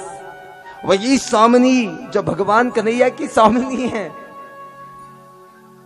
आज वही राधा ने जब गोपियों की बड़ाई करने लगी कि ऐसा मत करा करो आप। इतने में गोपी ने डांट दिया हो, बड़े समझदार बन रहे हो। हम जानते हैं, तू मुँह पे क्या राधा तू मुँह पे ब्रसमान जी की तो लाडली है, होगी तू ब्रसमान जी की लाडली लेकिन हमारे सामने तेरा ये चरित्र नहीं चलेगा। तू होगी होगी तो तू हमें क्या कहती है? हम जानते हैं कि तेरे से कन्हैया अधिक ज़्यादा प्रेम करते हमसे तो कम प्रेम करते आज कन्हैया और राधा रानी देखो, मन ही मन आज देखो विचार करते हैं कि इन गोपियों को कैसे समझाऊं? इन गोपियों को कैसे कहूँ कि मुझसे इतना प्रेम मत करो, जितना प्रेम मुझसे तुम करते हो, इतना प्रेम भग तुम अपने ग्रस्त जीवन से करो, ग्रस्त आश्रम से करो, अपने पति से प्रेम करो। गोपी उठा कर कहने लगी कि, हे कनवा आज के बाद तुम बांसुरी चाहे कितनी भी बजाना, आज के बाद हम आएँगे ही नहीं। सभी सारी ब्रज बालाए सारी गोपियाँ, देखो लौट कर अपने घर चली जाती है। अब देखो कन्हैया को रात्रि में अपने घर आ गए। राधा रानी भी वृषभान जी की लाडली वृषभाना चली गई। प्रातः कन्हैया फिर आज उसी कदम के पेड़ के यहाँ पहुँचे। वही राधा रानी आ गई। राधा रानी देखो, कन्हैया के चरणों में बैठ गई। राधा रानी के पास में कन्हैया ने बांसुरी रख दी। राधा कहने लगी, हे श्याम सुंदर क्या आज हमें आपकी बांसुरी नहीं सुनाओगे? हे श्याम सुंदर हम तो आपकी बांसुरी को श्रवण करने तो आई हूँ। आपके जो चित्र हृदय है, उसी को तो पाने आई हूँ। और बांसुरी ही सुनना चाहती हूँ। हे केशव, मुझे बांसुरी सुना दीजिए। देखो, मेरे श्याम सुंदर दुनिया की राधा रानी की कभी बात नहीं टाली है। मैं कल कह चुका हूँ। राधा जो है ना, भगवान की आत्मा है। और कृष्ण पंच तत्व का शरीर है। आज देखो राधा रानी क्योंकि आत्मा करती है आत्मा सो परमात्मा आत्मा ही परमात्मा है। अब आत्मा कह रही है कि मैं बांसुरी सुनना चाहती हूँ। आज जैसे आत्मा रूपी राधा ने कहा आज कन्हैया ने वही रखी हुई मा, माता राधिका ने बांसुरी ली लेकर देखो आज श्याम सुंदर के हाथ में दे दी। श्याम सुंदर ने दोनों हाथों से बांसुरी पकड़ी अपने ओठों पे लगाई और बांसुरी बजाना प्रारंभ कर हे श्याम तेरी बंसी पागल कर जाती है। शाम तेरी बंसी पागल कर जाती है। मुस्कान तेरी मीठी पागल कर जाती है। मुस्कान तेरी मीठी पागल कर जाती है। शाम तेरी बंसी पागल कर जाती है। शाम तेरी बंसी पागल कर जाते है।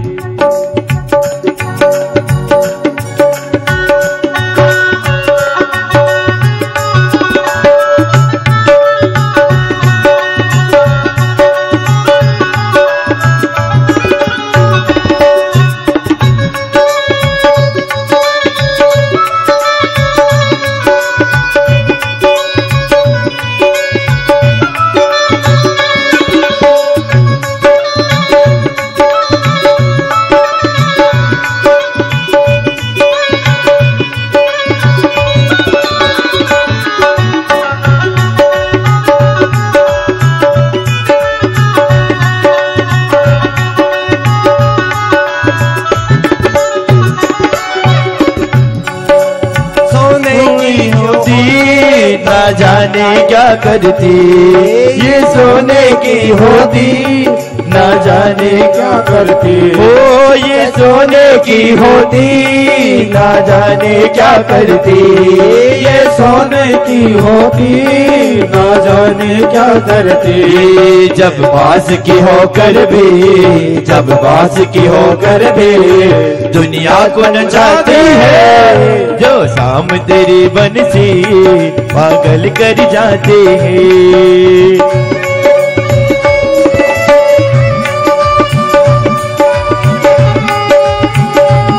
बोले बांसुरी वाले की।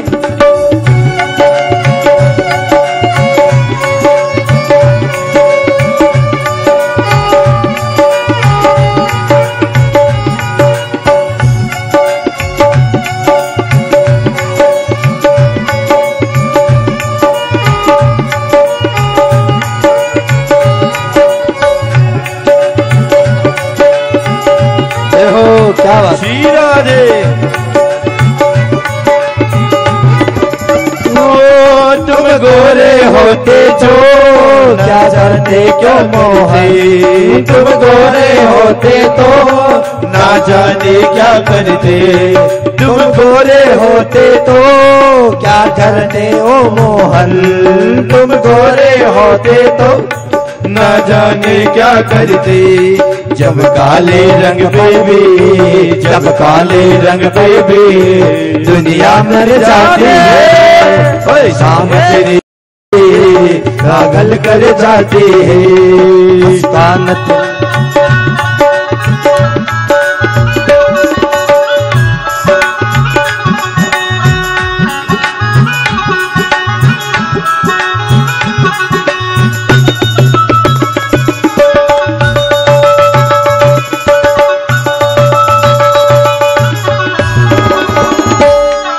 बोले बाके बिहारी लाल की।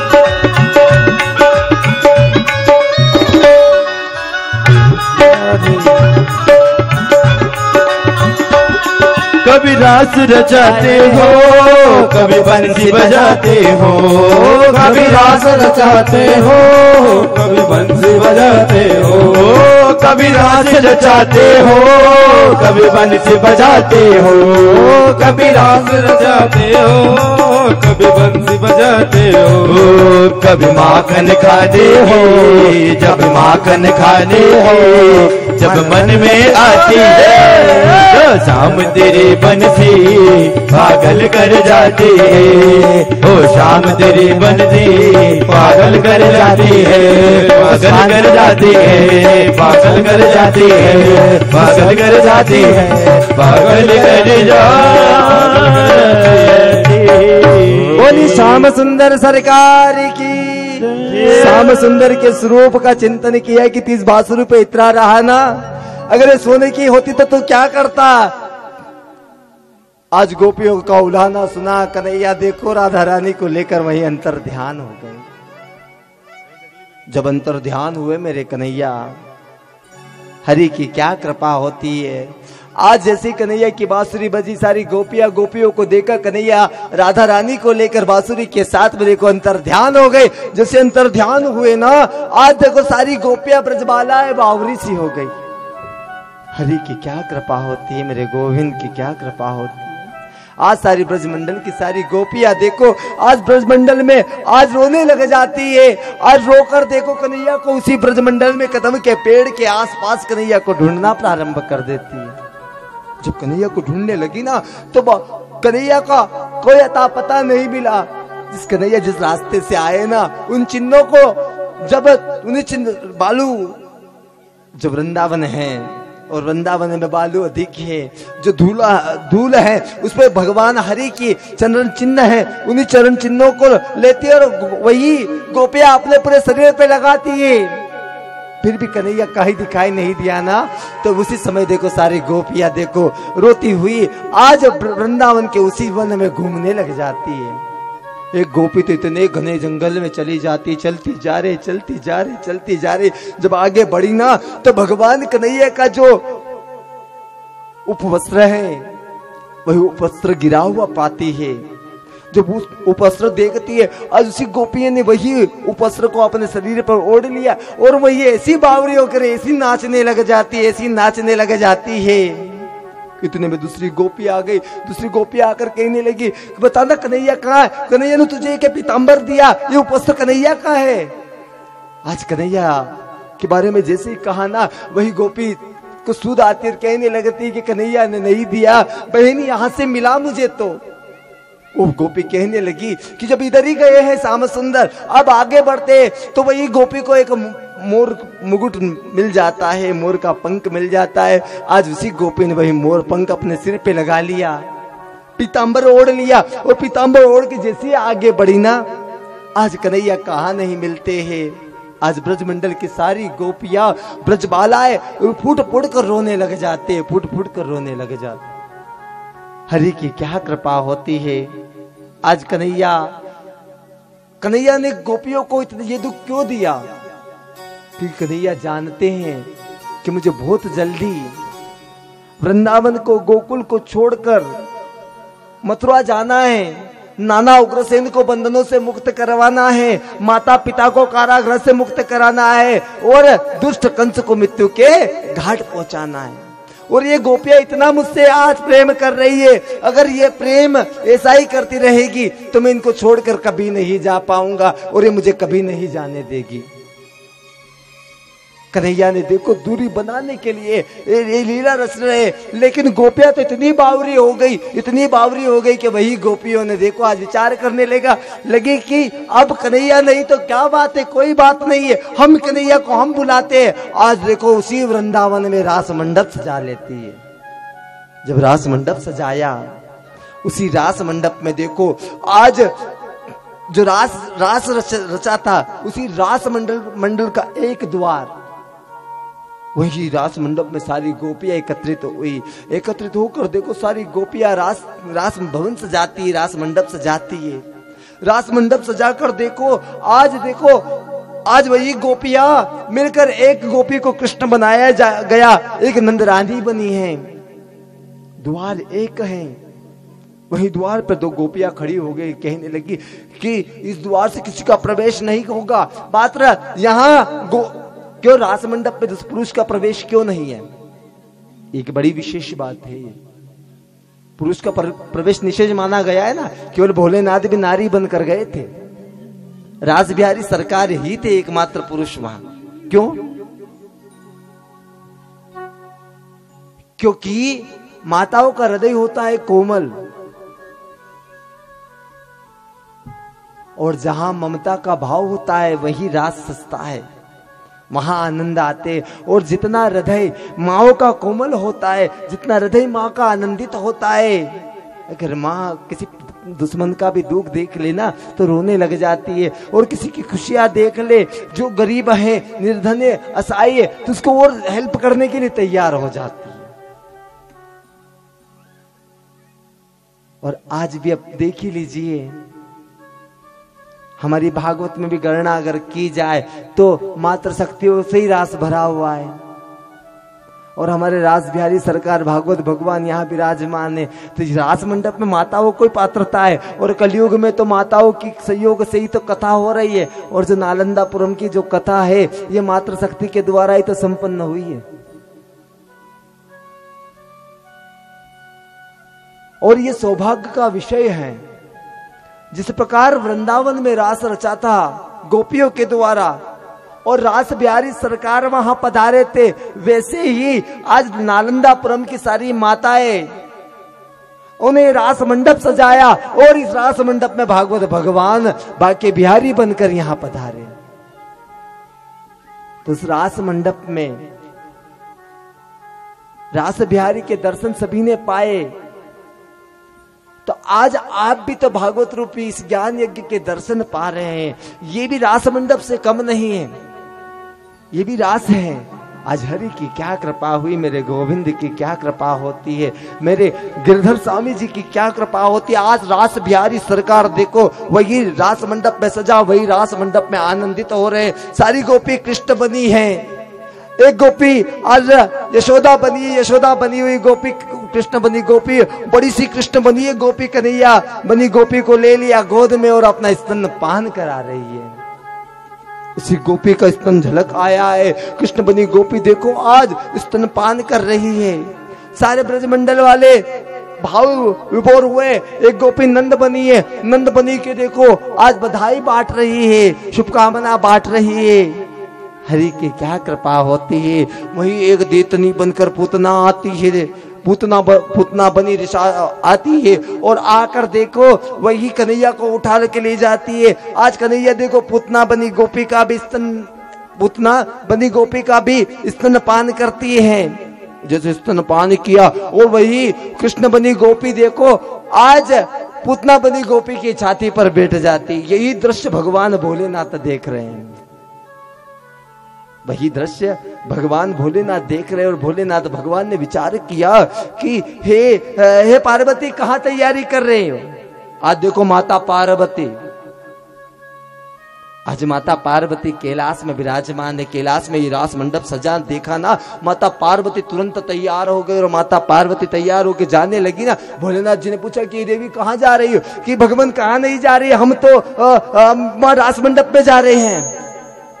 हम रास मंडप में जाए। भोलेनाथ जी कहने लगे कि राज बिहारी सरकार में आप अकेली जा रहे हो, मैं भी संग चलूँगा।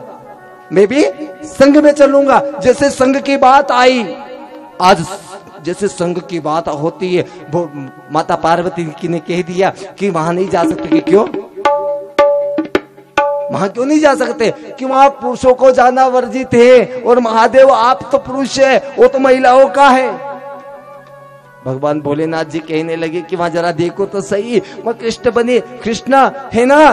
माता पार्वती कहने लगी कि वहाँ कृष्ण नहीं, गोपी है, वो कृष्ण बनी है। भगवान शाम सदा शिव कृष्ण बनी गोपी को कृष्ण कृष्ण बनी गोपी है, लेकिन भगवान शाम सदा शिव पहचान ही नहीं पा रहे, ऐसा सुंदर रास मंडप है। जैसे ही कहा ना, इतने में देखो ब्रज, उन्हीं ब्रज बालाओं का रास मंडप है मेरे शाम सुंदर सरकार राधा के साथ प्रकट गए जैसे रास लीला में देखा भगवान कन्हैया और राधा को, इतने में भगवान भोलेनाथ कहने लगे कि पार्वती, अब बता पुरुष को जाना वर्जित है तो कन्हैया क्या कह रहे माता पार्वती कहने लगी भोलेनाथ जी की कि वो तो उनके लिए तो रात सजाई उनको तो जाना ही रहेगा कि वो तो राधा के संग नाचेंगे, आप किसके साथ नाचोगे? मेरे संग चल रहे ना। मैं संग चलू ना? आज देखो, माता पार्वती को कह दिया, माता पार्वती कहने लगी, ठीक है, चलना है तो चलिए। आज माता पार्वती को लेकर देखो, आज कैलाशपति भगवान भोलेनाथ रास बिहारी सरकार देखो, आज पदगमन करते हैं, आज रास मंडप में। एक दिन वो भोले भंडारी बनकर आए ब्रज नारी, ब्रज में आ गए हैं। बिरज में आ गई। एक दिन वो भोले भंडारी बनकर सुंदर नारी बिरज में आ गई। बिरज में आ गई। पार्वती दे मना के हारे पार्वती त्रिपुरा के हारे रामा ने त्रिपुरा बिरज में आ गए बिरज में आ गए कि दिन वो बोले, भंडारी सुंदर बिन गजनारी बिरज में आ गए बिरज में आ गए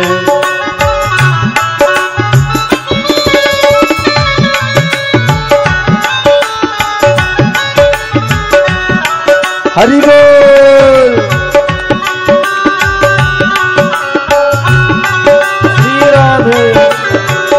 पार्वती से बोले मैं भी चलूँगा तेरे संग में तेरे संग में। ओ पार्वती से बोले मैं भी चलूँगा तेरे तेरे साथ हे राधा संग श्याम नाचे, मैं भी नाचूँगा तेरे संग में। तेरे संग में। राधा संग श्याम नाचे, मैं भी नाचूँगा तेरे साथ में। तेरे साथ में। राज रचेगा ब्रज में बारी, राज रचेगा ब्रज में बारी। हमें दिखा दो कारीगर में आ गई, ब्रज में आ गई।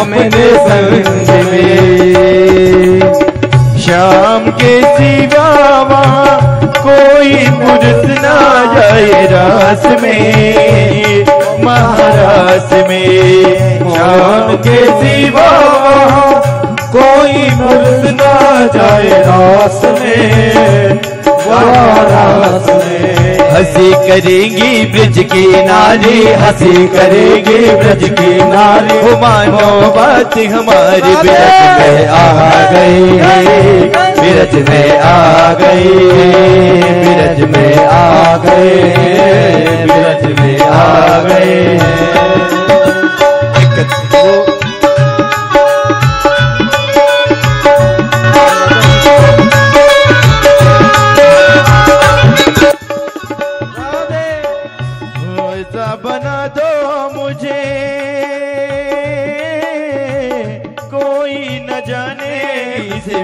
बात में इस राज को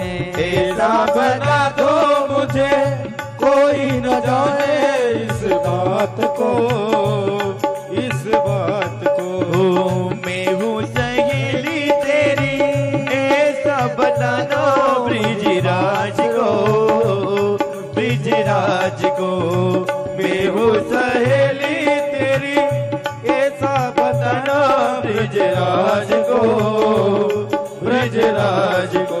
बहन की साड़ी निकेत वाली चाल चले मतवारी गरज में आ गई। बिरज में आ गई, बिरज में आ गई, बिरज में आ गई, बिरज में आ गई, बिरज में आ गई, बिरज में आ गई।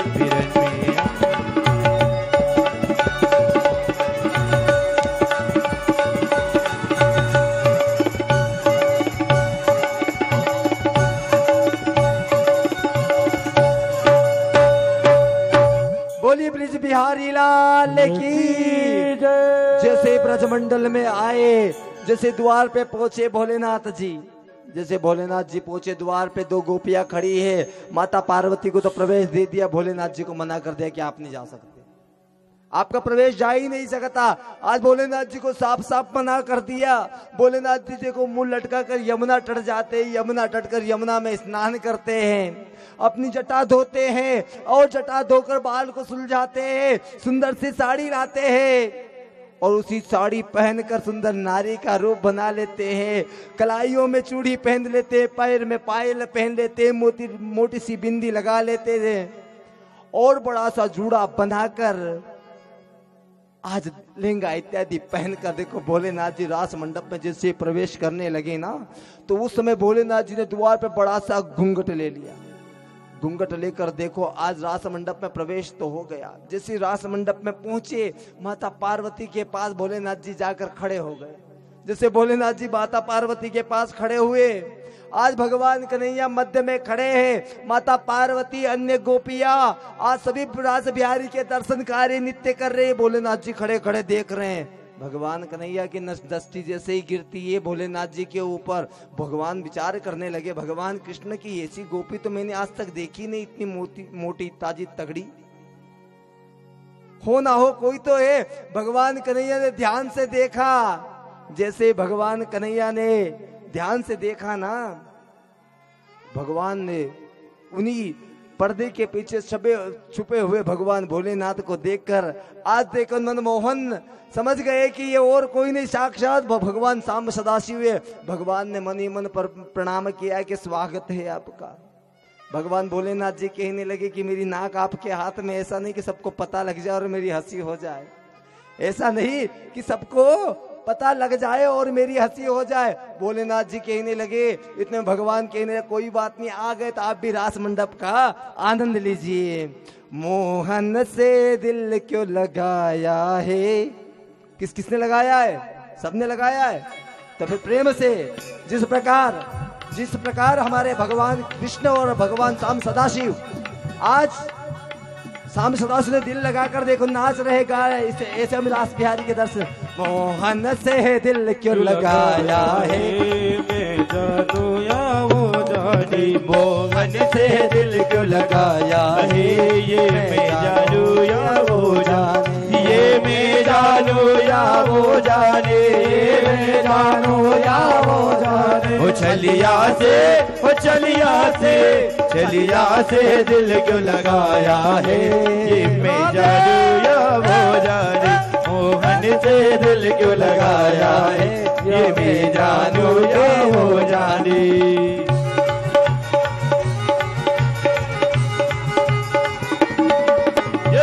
ये श्याम सुंदर सरकार की। दोनों हाथ उठा के ताली सेवा देते नृत्य करते हैं, भगवान की झांकी के दर्शन करते हैं। जय हो।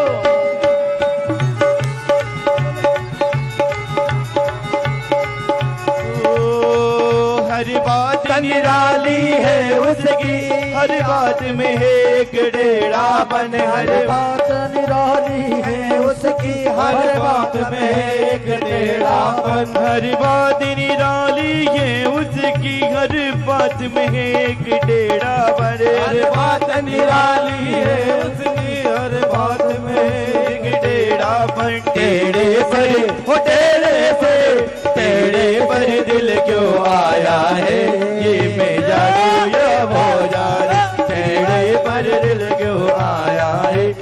मैं जानू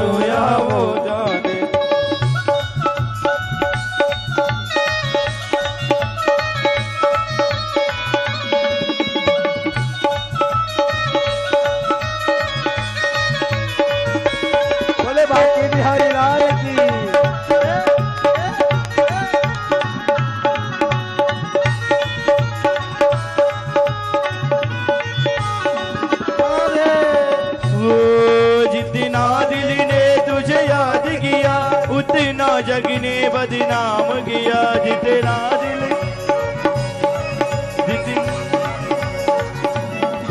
जितना दिल ने तुझे याद किया उतना जग ने बदनाम किया उतना जग ने बदनाम किया उतना जग ने बदनाम ओ बदनामी का ओ बदनामी का ओ बदनामी का फल क्या पाया है? जानू या वो जाना बदनामी का फल क्या पाया है? ये मैं जानू या वो जाने। बोले श्याम सुंदर सरकार की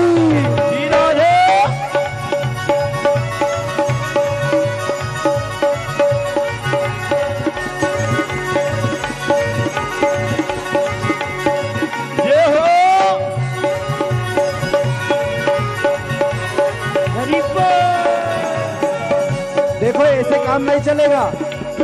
दोनों हाथ उठा के ताली सेवा देते हो उठा के। तेरे प्यार में आधा पागल हूँ, तेरे प्यार का मैं दीवाना हूँ। तेरे प्यार का मैं पागल हूँ, तेरे प्यार का मैं दीवाना हूँ। तेरे राम का आधा पागल हूँ, तेरे प्यार का मैं दीवाना हूँ। तेरे प्यार का आधा पागल हूँ, तेरे राम का दीवान का दीवान का दीवान का दीवान का बल का पाया है। ये गाडू या जाने जाने का बल का आया है। ये भी जानू या वो जाने दीवान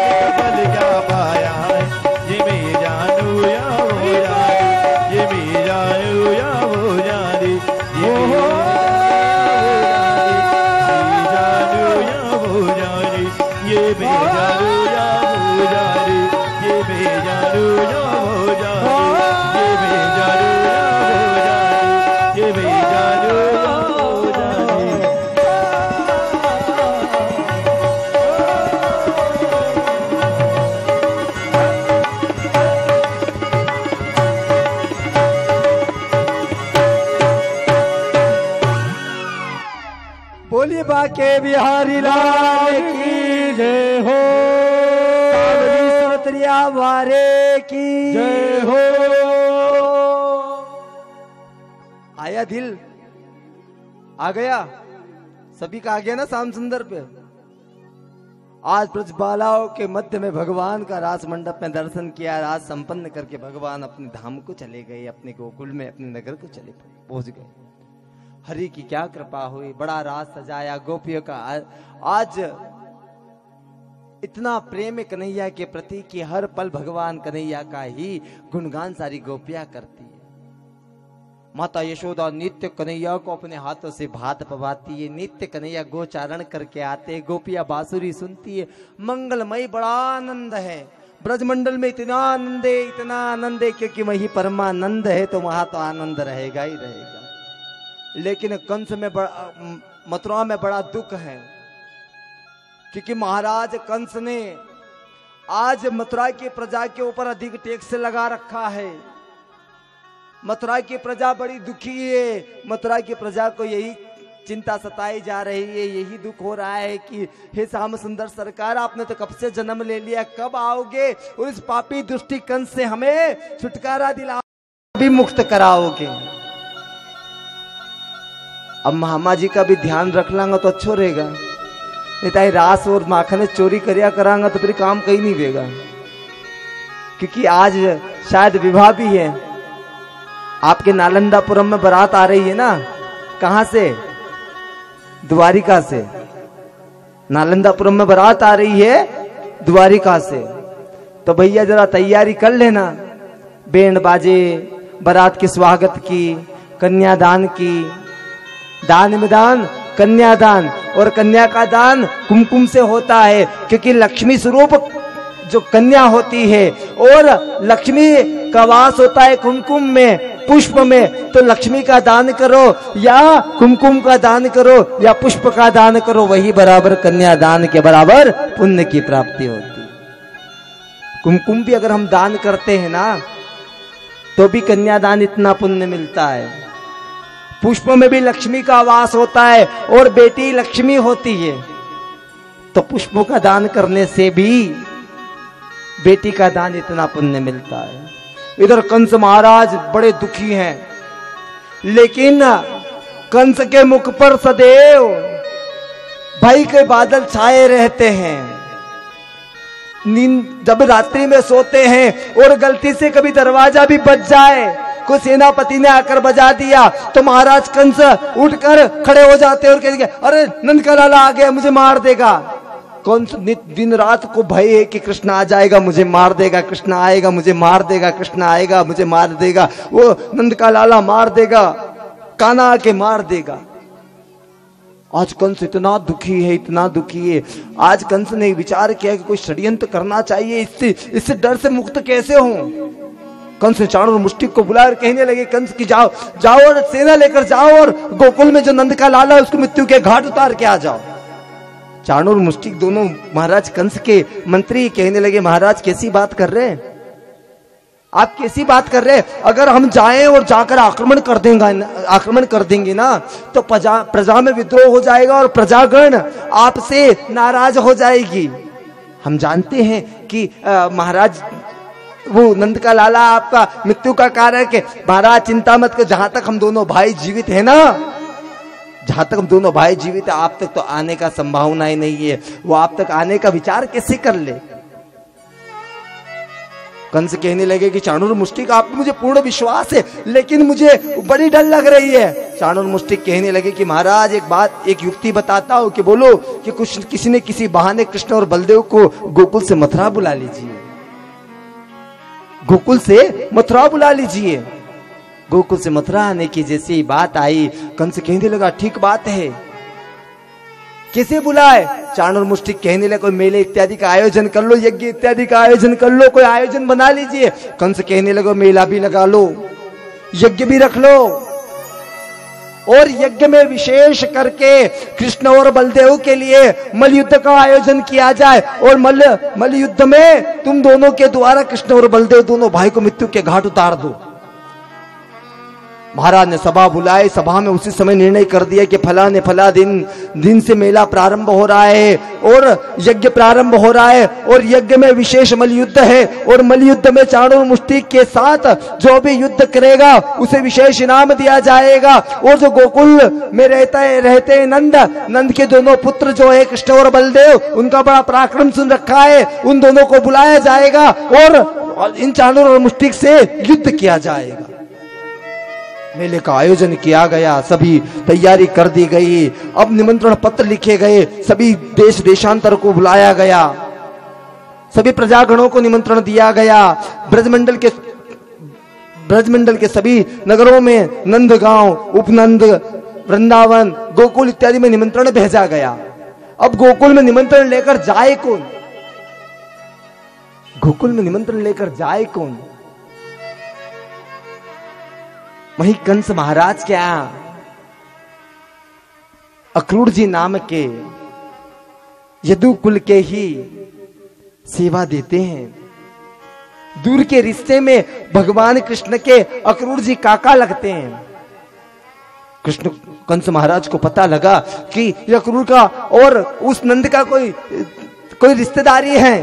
दोनों भाई भाई लगते हैं। तो हो ना हो, काका कोई काका कोई भतीजे को लेने भेजना चाहे, अक्रूर जी ने निमंत्रण पत्र, अक्रूर जी के द्वारा निमंत्रण पत्र तैयार करवाया गया और वही निमंत्रण पत्र लेकर कंस आए, कंस ने लिया हाथ में कंस कहने लगे, हे अक्रूर, यही निमंत्रण पत्र ले ले और निमंत्रण पत्र लेकर जा, आपको कल प्रातः गोकुल जाना है और गोकुल जाकर कृष्ण और बलदेव को बुला के लेकर आना है। अक्रूर जी कहने लगी, महाराज, ऐसी कौन सी बात हो गई कि अक्रूर जी बात कुछ नहीं हुई, बात ऐसी हुई है कि मेले का आयोजन है, मेले में हमने मलयुद्ध रखा है और हमने सुना है कि उसने पुतना को मार दी, सटक भंजन को मार दिया तरणावत को मार दिया, वकासुर अघासुर को मार दिया। ऐसे महाप्रतापियों को, महा बड़ी शक्तिशालियों को मार दे, हम उसका पराक्रम देखना चाहते हम भी तो देखें कि नंद के लाला में कितनी शक्ति है, उस कृष्ण और बलदेव में कितनी ताकत है, कितना पावरफुल है, हम देखो तो सही जरा। आज देखो अक्रूर जी महाराज, कहने लगी कि महाराज कंस कैसी बात कर रहे हैं? आप चक्रवर्ती सम्राट महाराज आप में हज़ार हज़ार हाथियों का बल महाराज आप छोटे से बल बालक की क्या तुलना कर रहे हो? महाराज वो तो छोटा सा बालक है वो तो लोग ऐसे ही बात कर रहे मैं वो मेरे, मेरे जो लाला है ना मेरे भाई के जो बेटे है ना वो तो इतना का पराक्रम ये झूठी बात है। कौन कंस महाराज ने डांट दिया? डांटते हुए कहने लगे कैसी बात कर रहा है? मेरा आदेश है अक्रूर जाओ और जाकर कृष्ण और बलदेव को लेकर आओ। अब अक्रूर जी महाराज को आदेश मिल गया। राज आदेश है। अक्रूर जी महाराज ने वही निमंत्रण पत्र ले लिया। निमंत्रण पत्र लेकर देखो अक्रूर जी महाराज निकलते हैं मथुरा से प्रातः। जब अक्रूर जी महाराज प्रातः मथुरा से निकले ना, गोकुल लेने के लिए मथुरा और गोकुल की ज़्यादा दूरी नहीं है। पास ही है। लेकिन प्रातः सूर्य उदय होने के समय अक्रूर जी निकले। जब सात घोड़े का रथ तैयार किया गया। सारथी के रूप में स्वयं अक्रूर बैठे और रख हाँकते हुए जा रहे। अक्रूर जी थोड़ा चलते रुक जाते विचार करते हैं कि पापी दुष्टि कंस ना जाने मेरे भतीजों के साथ क्या करेगा। मेरे कान्हा के साथ क्या करेगा? मेरे बलदेव के साथ क्या करेगा? थोड़े आगे जाते विचार रथ रोक लेते, फिर विचार आता है अक्रूर जी को। आगे जाके फिर रथ रोका, विचार कर रहे अक्रूर जी। ये पापी कंस ना जाने मेरे कन्हैया को मारने का षड्यंत्र तो नहीं कर रहा है। हो ना हो, मल युद्ध में मारने का षड्यंत्र है। थोड़े आगे गए, कन्हैया के बारे में विचार आया। ना जाने मेरा कन्हैया, मेरे भाई का बेटा कैसा होगा। मैंने तो बड़ा नाम सुना है। ना जाने वो गोरा होगा कि काला, श्याम वर्ण का होगा कि पीत वर्ण का। उसके बाल कैसे होंगे? आज देखो, अक्रूर जी ने आज तक अक्रूर जी ने आज तक जितना भी सुना है ना, कन्हैया और बलदेव के बारे में, वही बातों का चिंतन करते जा रहे, उसी बात का चिंतन करते जा रहे। हरि की क्या कृपा हुई? अब प्रातः से निकले, सुबह से निकले, संध्या हो गई, अंधेरा हो रहा है, जब जाके अक्रूर जी का रथ गोकुल पहुँचा। गोकुल और मथुरा की दूरी ज़्यादा नहीं है मथुरा से निकले सुबह से शाम हो गई। रास्ते में विचार कर रहे कंस बुरा है हो नहीं कि मेरे कन्हैया के साथ गलत करे। और कन्हैया की छवि मंत्र हृदय में सजा रहे हैं। जब अक्रूर जी का रथ यमुना पार करके जैसे गोकुल पहुँचा ना, गोकुल में सात घोड़े जोते हुए रथ को देखा, ब्रजबालाए, गो, गोपिया! सभी दौड़कर रथ के समीप आए और रथ के समीप आकर देखने लगे, कहने लगी, महाराज, कैसे? हाँ ये रथ कितना सुंदर है। अक्रूर जी आज पहली बार जब से गए हैं ना कंस महाराज क्या नौकरी करने के लिए, उसके बाद कन्हैया का जन्म हो गया और कन्हैया भी आज सात वर्ष छोड़ के नौ वर्ष, दस वर्ष की आयु हो गई, ग्यारह वर्ष में तो शांतपनी महाराज के आश्रम में पहुँच गए थे। कन्हैया का जन्म हो गया नंद उत्सव मन गया, इतनी लीला हो गई तो भी आज तक भतीजे के दर्शन नहीं कर पाए। क्योंकि अक्रूर जी कहाँ सर्विस करते हैं, कहाँ ड्यूटी करते हैं, कहाँ नौकरी करते हैं, कंस के यहाँ। और जो कंस के यहाँ ड्यूटी करते हैं, कंस महाराज ने निर्देश कर रखा है कि छुट्टी किसी को नहीं मिलेगी। और आज आज जो नौकरी कर रहे हैं, उनसे पूछो तो सही छुट्टी मिलती कैसे? छुट्टी के लिए चार महीने पहले एप्लीकेशन लगाओगे, छुट्टी को शुक्रता भी मिल जाएगी, लेकिन एन टाइम पे कोई काम आ गया तो उस पर ऑर्डर लग जाएगा कि नहीं तुम्हें उपस्थिति रहना है। तो कंस के यहाँ तो निर्देश है, आज कन्हैया इतने बड़े हो गए, जब जाकर भी छुट्टी नहीं दी और आज जाकर जा, गए ना? तो पूछा कि हाँ कन्हैया। अच्छा अच्छा आप कन्हैया से मिलने के लिए आए। आप कौन? कि मैं उनका काका। कौन? क्या क्रूर। आज देखो ब्रज बालाए गोप, गोपिया अक्रूर जी के रथ के साथ साथ देखो नंद भवन में पहुँचते हैं। अक्रूर जी के यहाँ जैसे नंद भवन में पहुँचे ना, अक्रूर जी? आज नंद भवन में बड़ा सा आँगन है। आँगन में चार पाए लगी हुई है। आँगन में नंद बाबा बैठे हैं। नंद बाबा ने जैसे रथ को आया देखा, खड़े हो गए। रथ को मैं अक्रूर जी को देखा, मंत्र से प्रसन्न हो गए। कहने लगे, आओ भाई, बड़े समय के बाद आए हो। अक्रूर जी को अक्रूर जी के पास नंद बाबा गए और दौड़ दौड़ के जाकर गले लगा लिया। आज अक्रूर जी वहाँ से आए ना पूछ कर यहाँ तक तो ब्रज बालाओं और गोपों के मुँह से मात्र कृष्ण का ही चिंतन, कृष्ण की ही बातें, कृष्ण की ही प्रशंसा और कृष्ण को ही अपनापन स्वीकार करने के भाव। सभी कहते कि कन्हैया ने हमारे, कन्हैया ने ऐसा करा, कन्हैया हमारा ऐसा है, कन्हैया की घुंघरालू बाल है। कन्हैया जब मुरली बजाते हैं ना तो हमें शुद्ध बुद्ध भूल जाते हैं।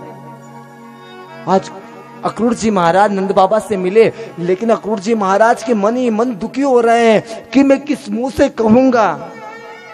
किस मुँह से कहूँगा नंद बाबा को और यशोदा को? और नंद और यशोदा को तो ठीक है कह दूँगा इन ब्रजबालाओं के सा, सामने कैसे कन्हैया को लेकर जाऊँगा? गोपो के साथ सामने कैसे कन्हैया को लेकर जाऊँगा? बाल गोपालों के साथ ब्रजवासियों के सामने किसी कन्हैया को लेकर जाऊँगा? आज पता है, अक्रूर जी आए ना, उस दिन, जिस दिन लेने आए, उस दिन भगवान कन्हैया गोचारण करने के लिए गए, पर गो माता भी आज चरी नहीं, भोजन ही नहीं करा, घास ही नहीं खाई, माता गो ने। गो माता देखो, ऐसे कन्हैया को खड़ी खड़ी निहारती जा रही है। बछड़े देखो गो माता के इर्द गिर्द घूम रहे, लेकिन गो माता का स्तनपान नहीं कर नहीं कर रहे, दूध नहीं पी रहे।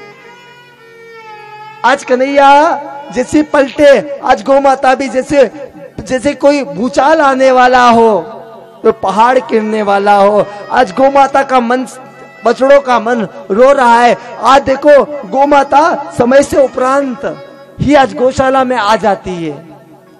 भगवान कन्हैया भी आते हैं। जैसे आँगन में आए, कन्हैया और बलदेव भैया दोनों भाई आए, आकर जैसे आँगन में अक्रूर जी और नंद बाबा को देखा ना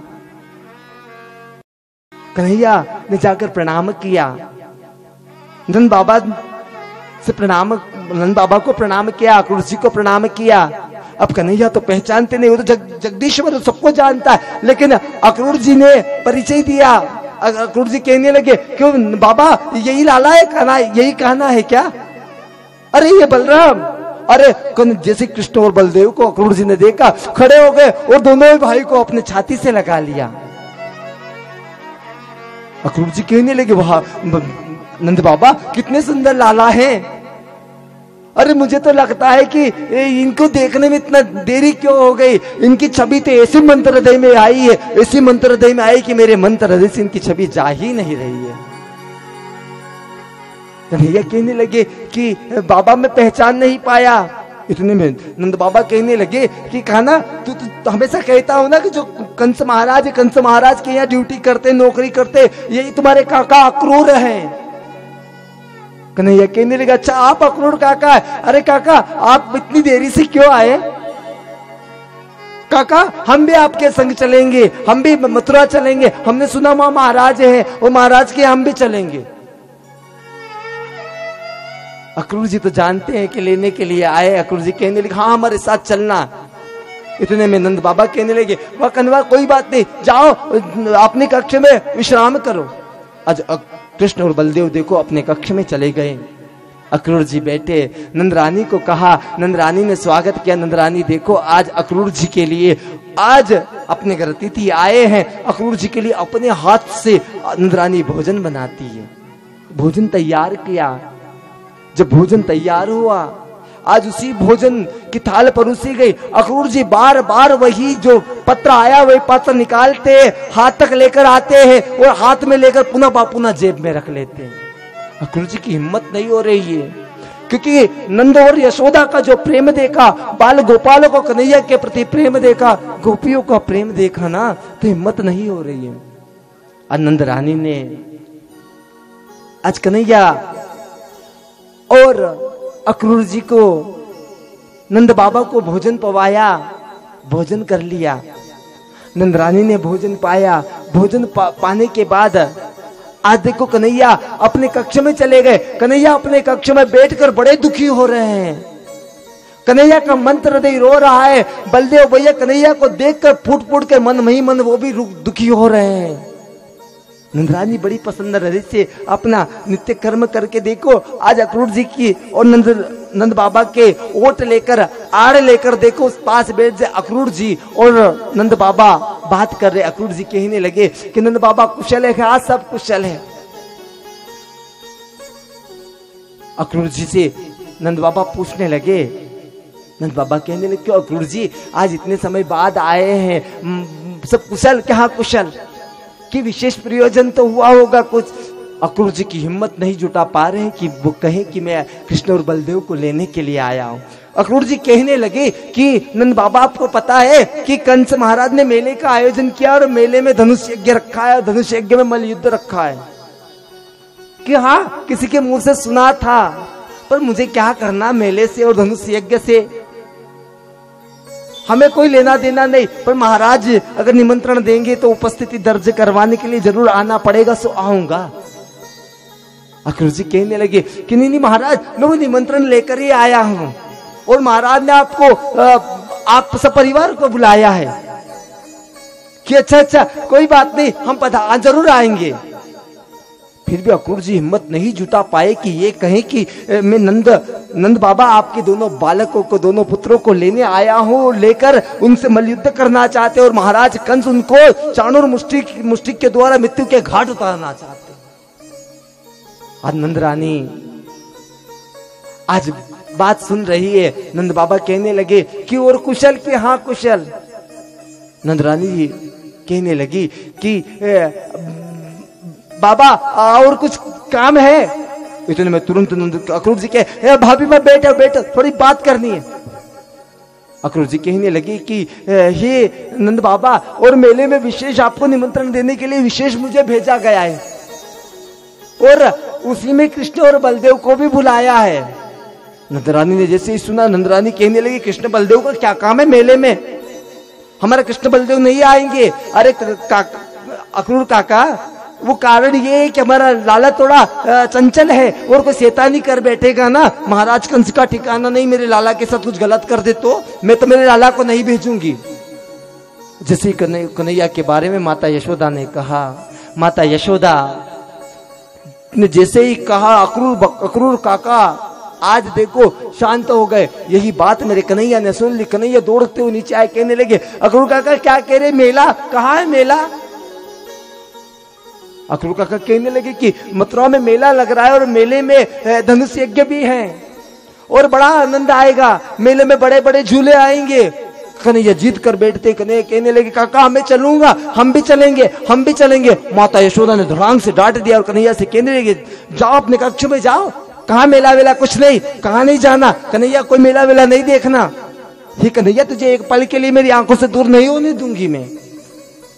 और मेला देखना कहा मेला देखना? कौन से खिलौने चाहिए तुझे?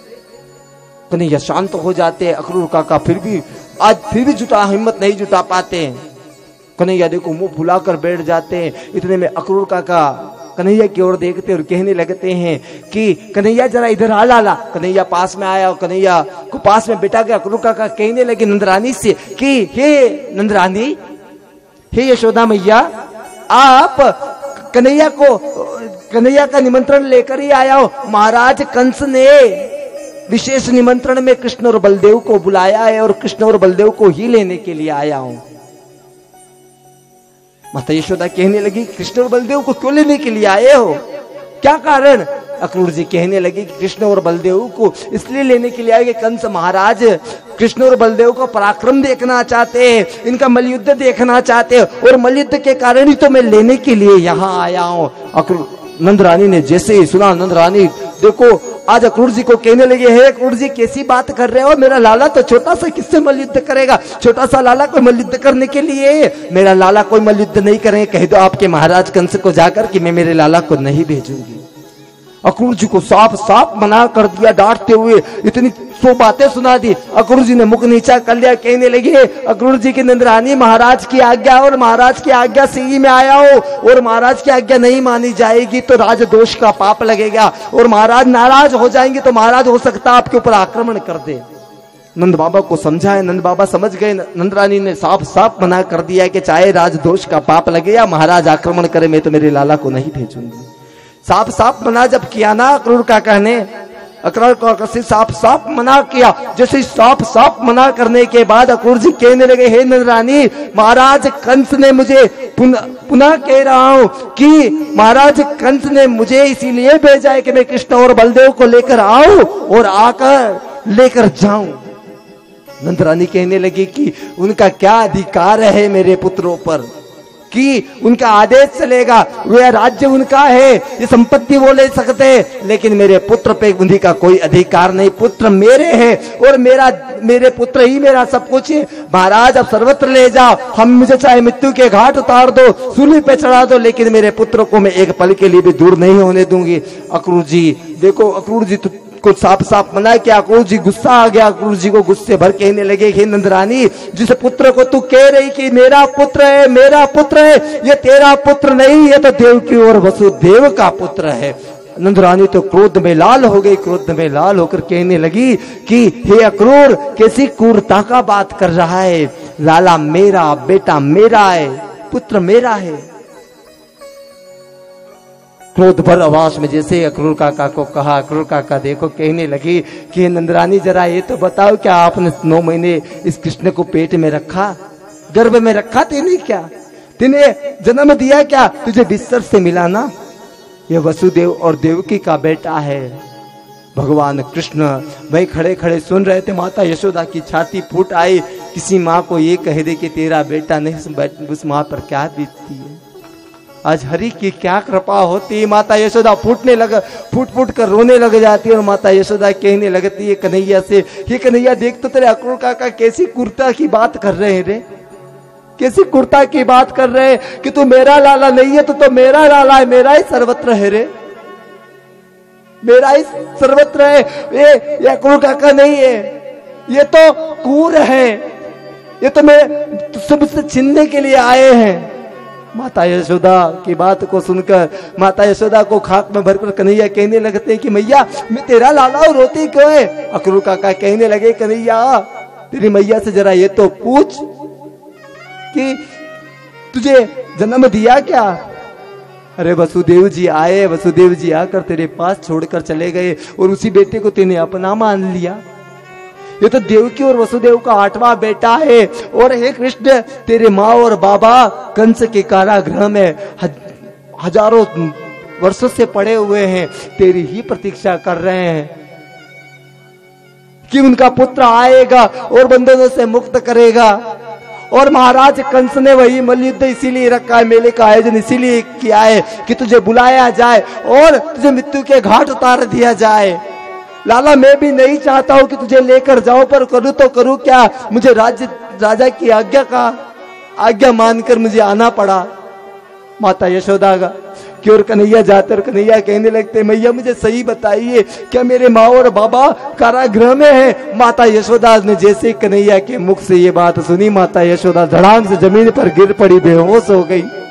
कन्हैया ने माँ का ऐसा वात्सल्य प्रेम देखा, कन्हैया देखो, आज माता यशोदा को छात माता यशोदा को उठाकर अपने कक्ष में ले गए कक्ष में लेकर देखो माता यशोदा, थोड़ी देर के बाद सावधान हुई, माता यशोदा रोती हुई कहने लगी, कन्हैया, कैसी बात कर रहा है तू कि मेरे, तेरे माँ बाप हो नहीं, मैं तेरी माँ बाप हूँ?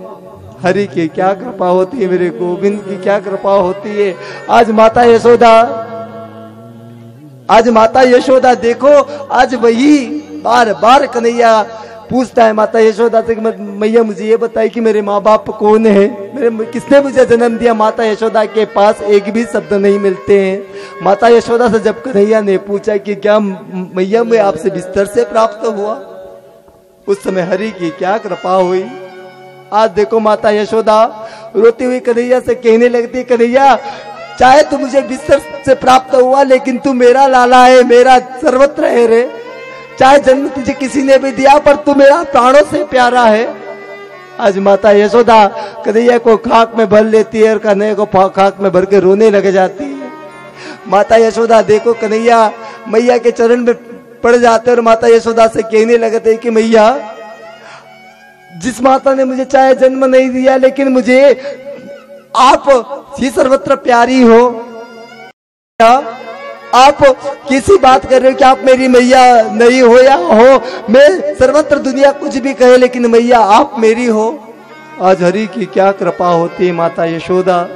देखो कन्हैया को खाक में भर के फूट फूट के रोने लग जाती है माता यशोदा। इतनी रोती है, इतनी रोती है कि आँखें पूरी रक्त वर्ण हो जाती है, आँखों से आंसुओं की धारा बह रही है। कन्हैया भी रो रो के अपना बुरा हाल कर लेते।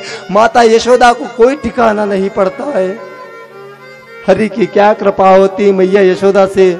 कन्हैया कहने लगे कि मैया, मैं, मुझे मेरे माता पिता को बंधन से मुक्त करने के लिए जाने की आज्ञा दीजिए। जैसे जाने की आज्ञा की बात की ना, माता यशोदा धड़ाक से ज़मीन पर गिर पड़ी और कहने लगी, कन्हैया से कन्हैया तो अभी चला जाएगा क्या? कन्हैया कहने लगी कि मैया, अभी तो नहीं जाऊँगा, लेकिन मुझे मेरे जो जन्म देने वाले माता पिता है, उनको मुझे बंधनों से मुक्त करना है, मुझे उनको बंधनों से मुक्त करने के लिए जाना तो पड़ेगा। माता यशोदा कन्हैया से वही प्रश्न कर बैठती, क्यों रे कन्हैया, तुझे जन्म देने वाले माता पिता मिल गए तो क्या तू मुझे जाकर भूल जाएगा रे?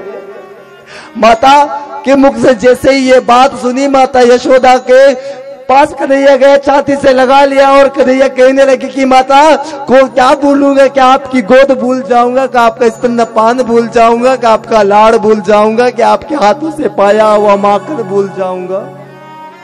आज कन्हैया रो रो के बुरा हाल कर लेते हैं। कन्हैया से मैया कहने लगी कि, कन्हैया, तेरे जन्म देने वाले माता पिता मिल गए तो तू वहाँ जाकर तू मुझे तो भूल ही जाएगा। कन्हैया फिर कहने लगे कि, मैया, मैं आपको कभी नहीं भूलूँगा। आज देखो कन्हैया, माता पल पल बेहोश होती है और पल पल सावधान होती है। माता रो रो के बुरा हाल कर लेती है। मैया से कन्हैया कहने लगे, मैया, मुझे जाने की आज्ञा दीजिए। आज कन्हैया से मैया कहने लगी, कन्हैया, जा, तू तेरे जन्म देने वाले माता पिता को बंधन से मुक्त कर दे। चला जा। लेकिन तू जाएगा तो मैं किसके सहारे जीऊँगी? इतना ही कहकर मैया फिर बेहोश हो जाती है। आज मैया देखो, थोड़ी देर के बाद सावधान हुई। आज मैया देखो प्राते, आज कन्हैया और मैया पूरी रात नहीं सोए। मैया प्राते उठी, उठ कर देखो कन्हैया को, सुंदर यमुना से जल लेकर आई और कन्हैया को स्नान करवाया। नया पीताम्बर लाकर कन्हैया को आज पीताम्बर पहनाने लगी। जब कन्हैया को पीताम्बर पहनाने लगी ना, उस समय कन्हैया कहने लगे, भैया, आज तो आप मुझे पीताम्बर पहना रहे हो। वहाँ जाने के बाद मैं नित पीताम्बर तो पहनूँगा, पर मुझे पहनाने वाली माँ कौन होगी? माँ कौन होगी? आज कन्हैया ने पीताम्बर पहना। पीताम्बर पहनकर वही कन्हैया देखो, आज आज मैया के समीप गए और मैया के समीप जाकर कहने लगी कि मैया, मेरा जूड़ा बना दो। आज मैया देखो कि कन्हैया क्या जूड़ा बना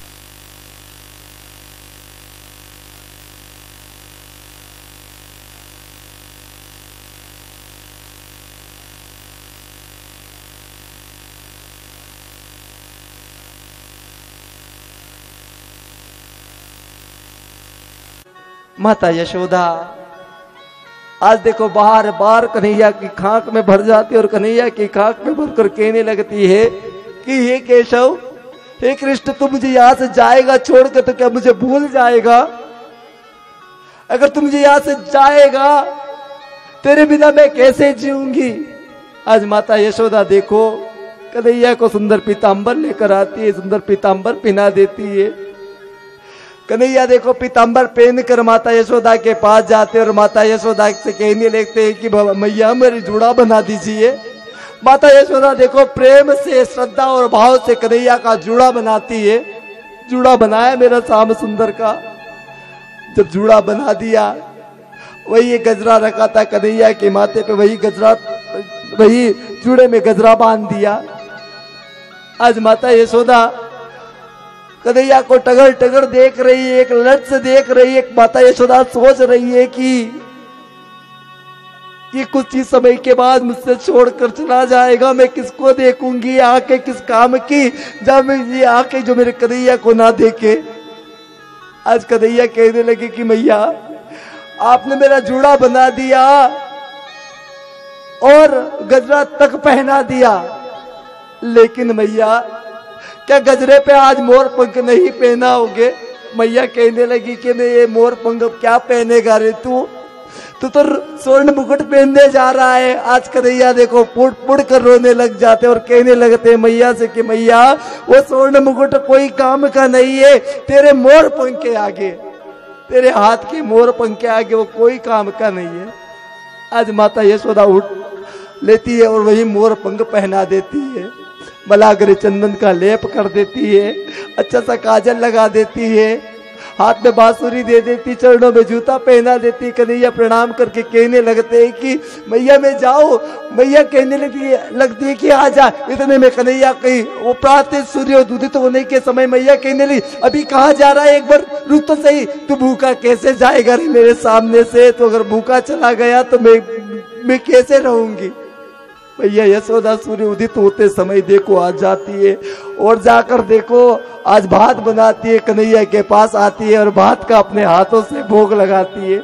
जब ग्रास भर भर के माता यशोदा भात का भोग लगा रही है ना, कन्हैया भात आते जा रहे हो, कन्हैया की आँखों से आँसू नहीं रुक रही है, क्योंकि माँ दुनिया का हर दुख सहन कर लेती है। बेटे का दुख कभी सहन नहीं होता है। बेटे का दुख सहन नहीं होता है। अगर पति बीमार पड़ा रहेगा तो माता एक पल के लिए भूल जाएगी। लेकिन अगर बेटे को थोड़ा कुछ हो जाए तो माता फूट फूट कर रो उठती है। माँ महीनों तक बिस्तर में पड़ी रहेगी। माँ महीनों तक बिस्तर में पड़ी रहेगी। लेकिन वही माँ अपने बेटे को कहेगी, बेटा, इलाज के तो बेटा उठा के ये जवाब दे देगा कि मैया अभी नहीं बनता, मुझसे शाम को जाऊँगा। लेकिन बेटा, एक पल के लिए अगर बीमार पड़ जावे, एक घंटे के लिए उसे ज्वार आ जाए, बुखार आ जाए तो मैया तुरंत जाएगी और कहेगी कि बाद में सारे काम करना, पहले डॉक्टर के पास चल, मेरे साथ मैं तेरा इलाज कराती हूँ। माँ ऐसी होती है। आज देखो वही माता यशोदा अपने हाथ से भोग लगाती है। कन्हैया भोग पाते, रोते जाते। कन्हैया से मैया यशोदा कहने लगी कि मैया मैं जा रहा हूँ। मैया कहने लगी, तू जा तो रहा है, पर वापिस कब आएगा रे? कन्हैया कहने लगी कि, मैया, मैं जल्दी आ जाऊँगा। आज कन्हैया देखो, मैया से आज्ञा लेकर मैया का हाथ पकड़ के द्वार पे आते हैं। यही बात पूरे ब्रज मंडल में फैल गई। आज ब्रज मंडल की सारी गोपियाँ, गोप, गो बचड़े सभी के आँखों में आँसू है। जड़ चीज़ से पानी बरस रहा है। चेतन चीज़ स्तर हो गई, पत्थर भी रो रहे गौ माता भी रो रही है। और सभी ब्रजबालाएँ गोपिया सभी वही दरवाजे पे खड़ी हो गई और कन्हैया से कह रही कि कहा जा रहे हो? कहा जा रहे हो? ना जाओ रे संवरिया, कैसे जियोगी मैं? राजा बोले सबरिया कैसे जियोगी मैं राजा बोले कन्हैया कैसे जियोगी मैं संवरिया कैसे जियोगी मैं।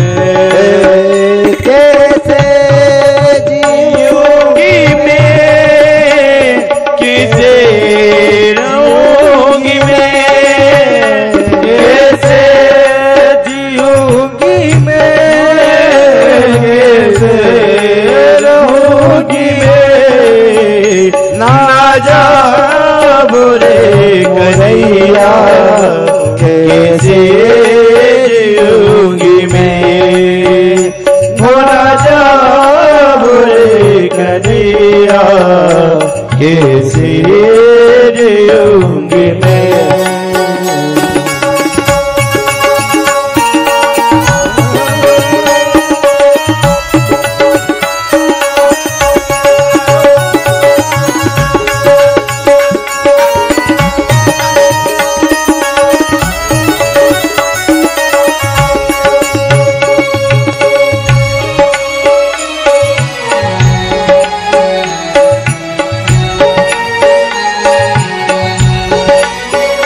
गोपिया देखो भगवान से कह रही है।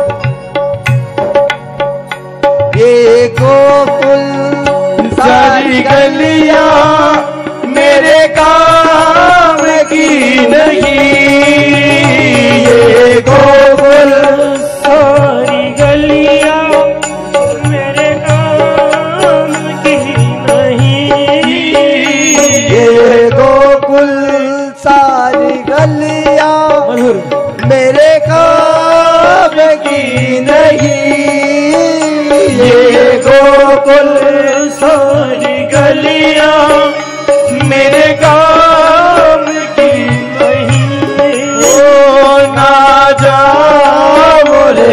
मुरारी कैसे योगी में नारा मुरारी।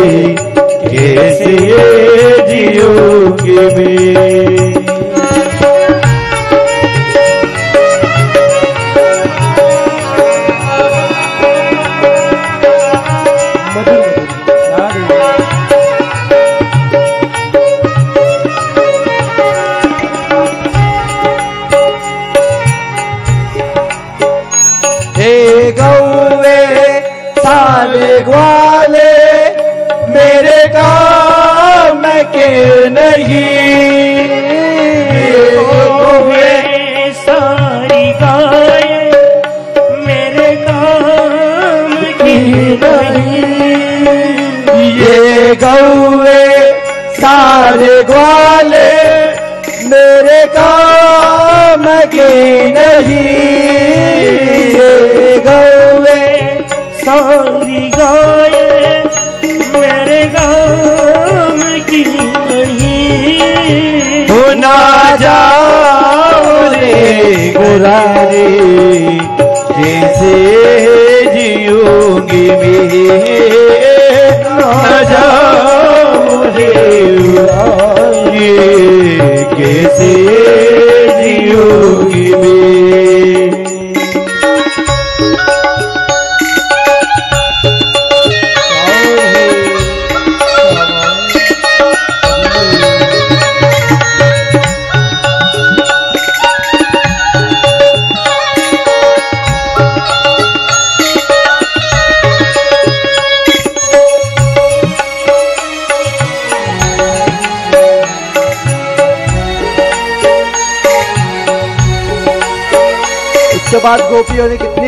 कह दी भगवान को।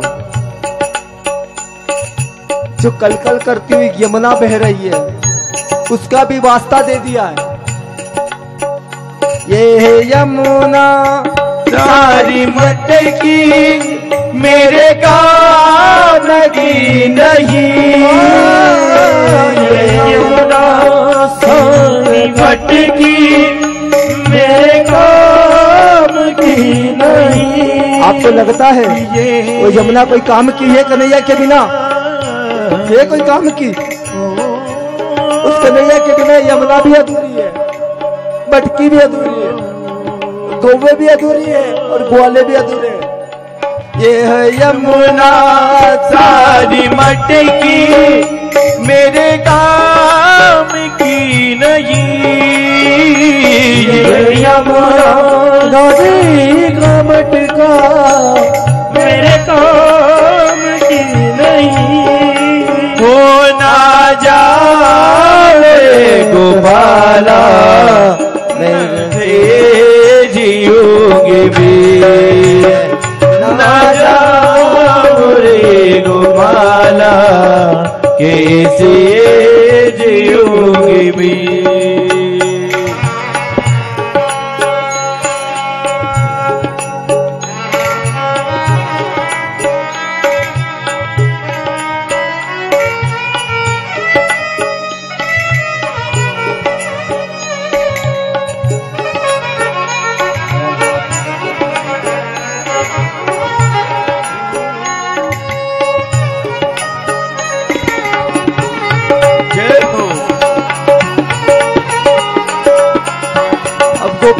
क्या कहा? वही गोपिया कह रही है, भगवान से, हे भगवान, हे केशव, यमुना, गो, और ये गोकुल हमारे कोई काम का नहीं।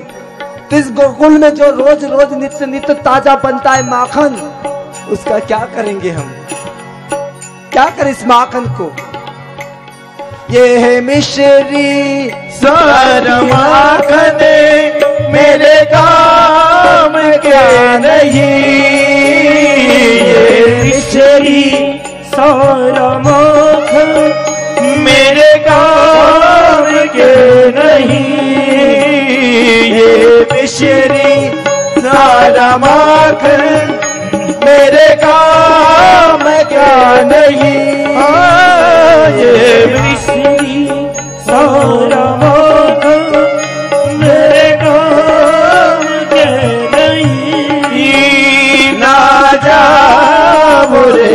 कन्हैया। क्या जा मोरे कन्हैया।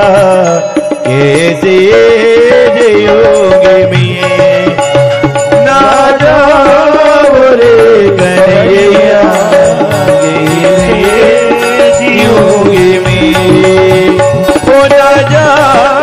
मैं कन्हैया। कैसे जियोगी मैं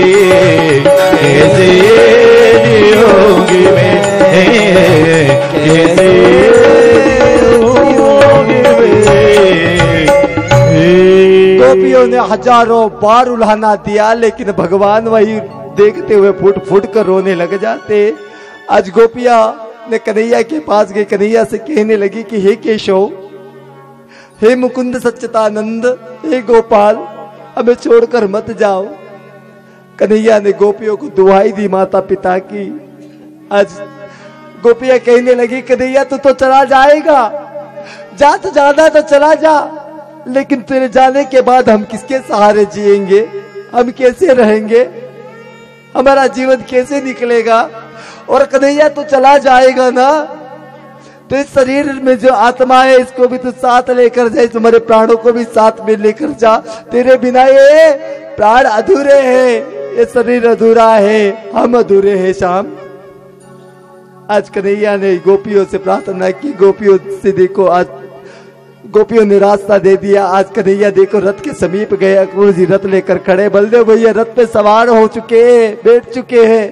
कन्हैया रथ के ऊपर जैसे ही पैर धरने लगे, आज एक गोपी आई जाकर चरणों में गिर पड़ी और कहने लगी, कन्हैया से कन्हैया तो हमें छोड़कर मत जा तेरे बिना हम नहीं जी पाएँगे। कन्हैया ने उसी गोपी को उठाया, गोपी को समझाया, इतने में कन्हैया को याद आ गई वसुभान जी की लाडली माता राधा रानी। पूरे ब्रजमंडल है, ब्रजमंडल के प्रत्येक गोप, गोपी, गुजर गुजर, ग्वाले, माता यशोदा नंद सब है, लेकिन बस वृषभान जी की लाडली माता राधा रानी नहीं है। माता राधा रानी आज यमुना तट प्रतीक्षा कर रही है। कन्हैया जैसे ही राधा रानी की याद आई, राधा रानी के बारे में पूछा, गोपी ने बताया, यमुना प्रतीक्षा कर रही, भगवान कन्हैया जाते हैं। राधा रानी देखो, यमुना की ओर मुख करके बैठी हुई है। कन्हैया जाकर कहने लगते, राधा, मैं जा रहा हूँ। गोकुल से मथुरा। राधा, मैं जा रहा हूँ गोकुल से मथुरा। राधा, सुनना। अरे, श्यामा, सुनना। राधा रानी देखो, सुनकर अनसुना कर रही है। राधा रानी का मन फूट फूट कर रो रहा है, लेकिन आँखों से एक बूंद भी आँसू नहीं निकल रहे। राधा रानी, कन्हैया, फिर कहा कि, राधा, मैं जाओ इतने में राधा रानी ने देखो, पलट कर जवाब दिया और कहने लगी, राधा रानी, कि आपको जाना है तो आप जाओ, लेकिन आपके जाने के बाद मैं कैसे रहूँगी? मैं मैं कैसे रहूँगी? आपकी याद आएगी तो मैं क्या करूँगी? ए साव सुंदर, आप जाइए, लेकिन आपकी याद आएगी तो मैं क्या करूँगा? आज राधा रानी देखो, राधा रानी के शब्द को सुनकर राधा रानी की आँखों में तो आँसू नहीं है, मेरे वृषभान जी की लाडली की आँख में तो आँसू नहीं है, लेकिन कन्हैया फूट फूट कर रोने लग जाते और कन्हैया रोते हुए कहने लगते कि राधा, मुझे जानना ज़रूरी है क्योंकि माता पिता का आग्रह में उन्हें बंधनों से मुक्त करना है। उन्हें बंधनों से मुक्त करना है। और उस पापी दुष्ट कंस को, उसके आतंक से, उसके पाप से, इस धराधाम को मुक्त कराना है। राधा रानी कहने लगी कि, भगवान, आप जाइए, लेकिन मैं, आपकी याद आएगी तो क्या करूँगी? उस समय देखो वही राधा रानी के हाथ में भगवान श्याम सुंदर बांसुरी दे देते हैं और कहते हैं कि, जब तू बांसुरी बजाएगी राधा, मैं वही उसी समय इसी बांसुरी की आवाज़ सुन के तेरे सम्मुख आ जाऊँगा। ऐसे संतों का मानना है, भागवत में नहीं लिखा हुआ है, पर संतों का मानना है कि वही यमुना तट पर जब राधा रानी से मिलने के लिए श्याम सुंदर गए तो भगवान ने राधा रानी से वही गंधर्व विवाह किया था, सूर्य और यमुना की साक्षी में।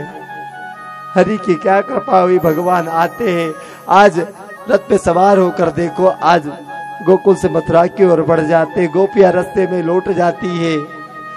रास्ते पे सो जाती है। आज कन्हैया जैसे तैसे समझा कर रास्ता लेते, आगे बढ़ते। आज ब्रजमंडल में तो दुख के बादल छाए हुए सभी लोग रो रहे पर रथ पर जो कन्हैया को लेकर जा रहे अक्रूर जी भी फुट फुट के रो रहे विचार कर रहे कि मैं कितना बड़ा पापी हूँ कि एक माँ को बेटे से अलग कर दिया। ग्वालों को अपने मित्र से अलग कर दिया, गोपी को अपने प्रीतम से अलग कर दिया, गोपाल को, गाय को अपने ग्वाले से अलग कर दिया। आज देखो, आज वही अक्रूर जी ने विचार आया कि थोड़ा पाप कम कर लू, यमुना में स्नान करके थोड़े तो पाप कम हो जाएँगे। अक्रूर जी देखो, वही यमुना स्नान करते हैं, तीन डुबकी लगाते हैं। पहली डुब, डुबकी में भगवान कृष्ण के दर्शन, यमुना में भी होते, रथ में भी होते, दूसरी में फिर होते, तीसरी में चतुर्भुज रूप में भगवान ठाकुर जी आज दर्शन दे देते अक्रूर जी समझ जाते हैं कि ये कोई साधारण बालक नहीं तो साक्षात हरि है। यही ब्रजमंडल में बात फैल गई कि कन्हैया के साथ षड्यंत्र कर रहे हैं कंस। आज उसी षड्यंत्र को देखकर बाल गोपाल ब्रजवासियों सीधे रास्ते ही दौड़े चले गए। कन्हैया से पहले मथुरा बाल गोपाल पहुँच गए। ब्रजवासी गोप चले गए, गुजर चले गए, बाल गोपाल चले गए, नंद बाबा चले गए। इधर देखो, भगवान कृष्ण के स्वागत में पूरा पूरा ही हमारा मथुरा खड़े हाथ में पुष्प लेकर भगवान का स्वागत करें। स्वागतम कृष्णा, शरणागतम कृष्णा। स्वागतम कृष्णा, शरणागतम कृष्ण।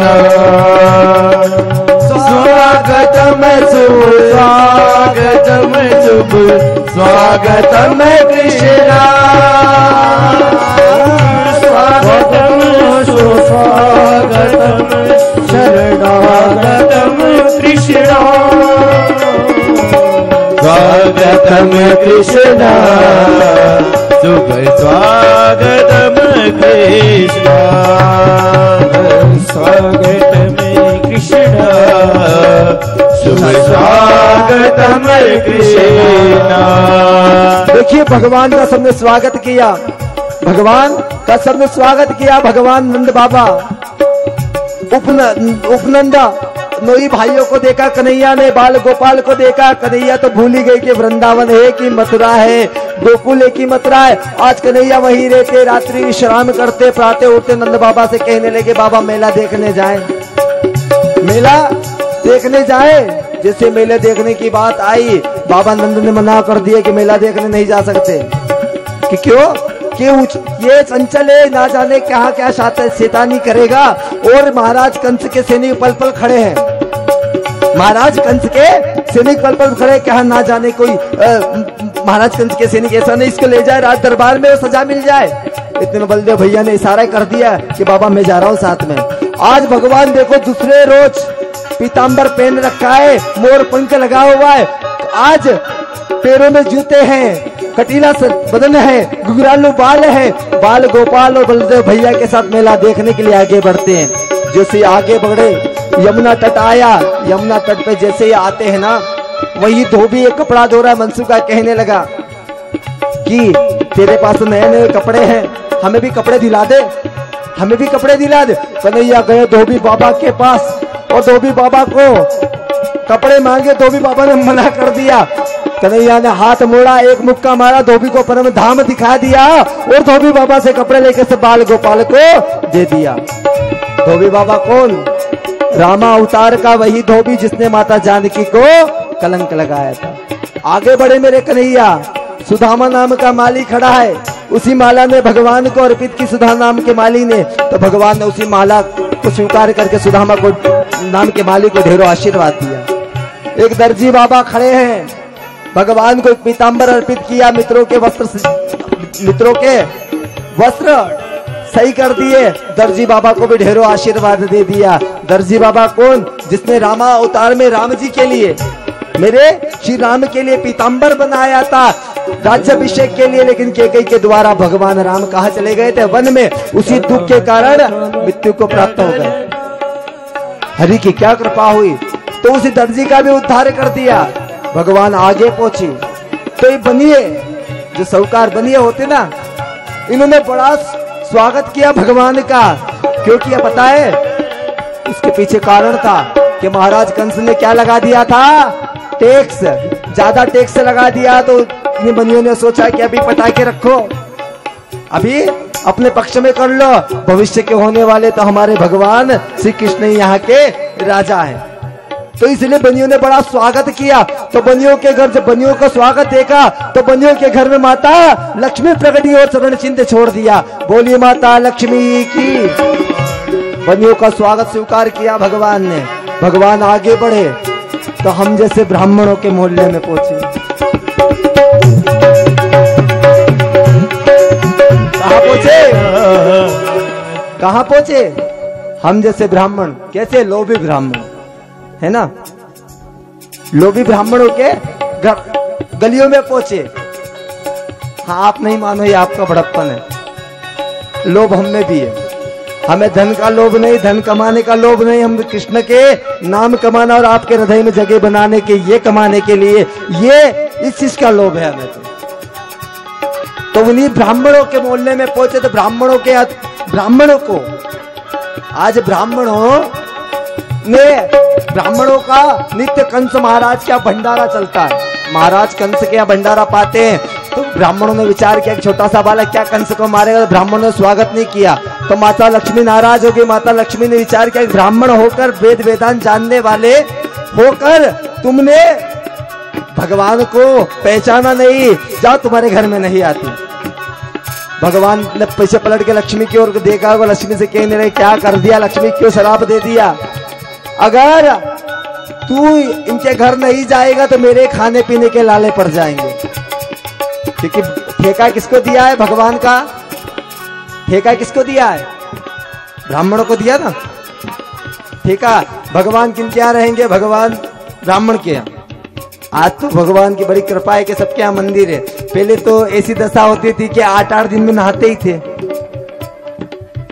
आज भी देहात में जाकर देखो जरा।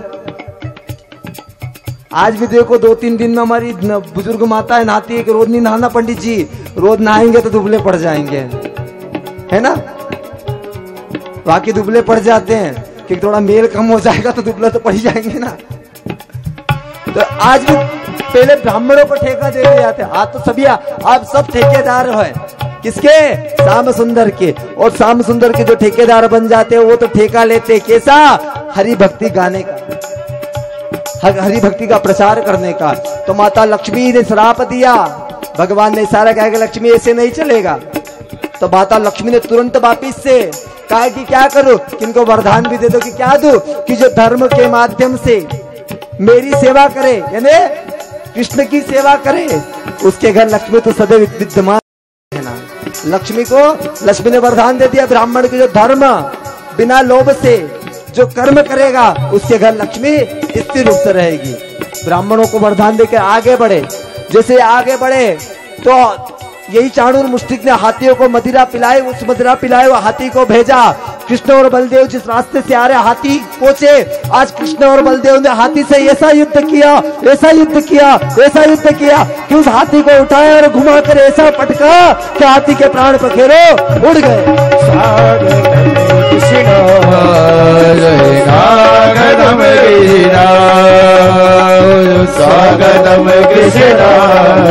कृष्ण जैसे दशा देखी जैसे दशा देखी हाथी मारने वाली। सब समझ गए कि इसका स्वागत कर लेना चाहिए यही स्वागत का पात्र है यही कंस को मारने वाला है। आज आगे पहुँचे हाथी मार के, वही शिव धनुष रखाए हैं। दधीची महाराज की अस्थि से बना हुआ, उसी धनुष के पास पहुँचे। और भगवान कन्हैया, जैसे द्वार पे पहुँचे, दोनों द्वार पालों को एक एक मुक्का मारा, कृष्ण और बलदेव दोनों द्वार पालों का उद्धार करके धनुष उठाया, उठाकर प्रशंसा चढ़ाने लगे। राम जी ने भी प्रशंसा चढ़ाई है धनुष तोड़ा, और श्याम जी ने भी प्रशंसा चढ़ाकर धनुष तोड़ा, जैसे धनुष टूटा, आज ऐसी आकाशवाणी हुई ऐसे आज देखो, ऐसी आवाज़ निकली पृथ्वी आकाश, एक होने लग गया, और वही कंस को सूचना मिली कि धनुष टूट गया, आज कंस घबरा के लाल हो गया धनुष तोड़ के भगवान आगे पहुँचे। आज मलभूमि में देखो, महाराज कंस का सात मंजिलो आसन लगा हुआ है। सात मंजिले जब आसन लगा हुआ देखा, वही चाणूर मुस्टिक भगवान कन्हैया को आकर देख रहे हैं। मल्लाह नाम नव निर्गण। मल, मल्ला नाम नव निर्गण। मल, आज देखो दोनों मल आज भगवान को चुनौती देने लगी, आओ कृष्ण और बलदेव, मुझसे युद्ध करो।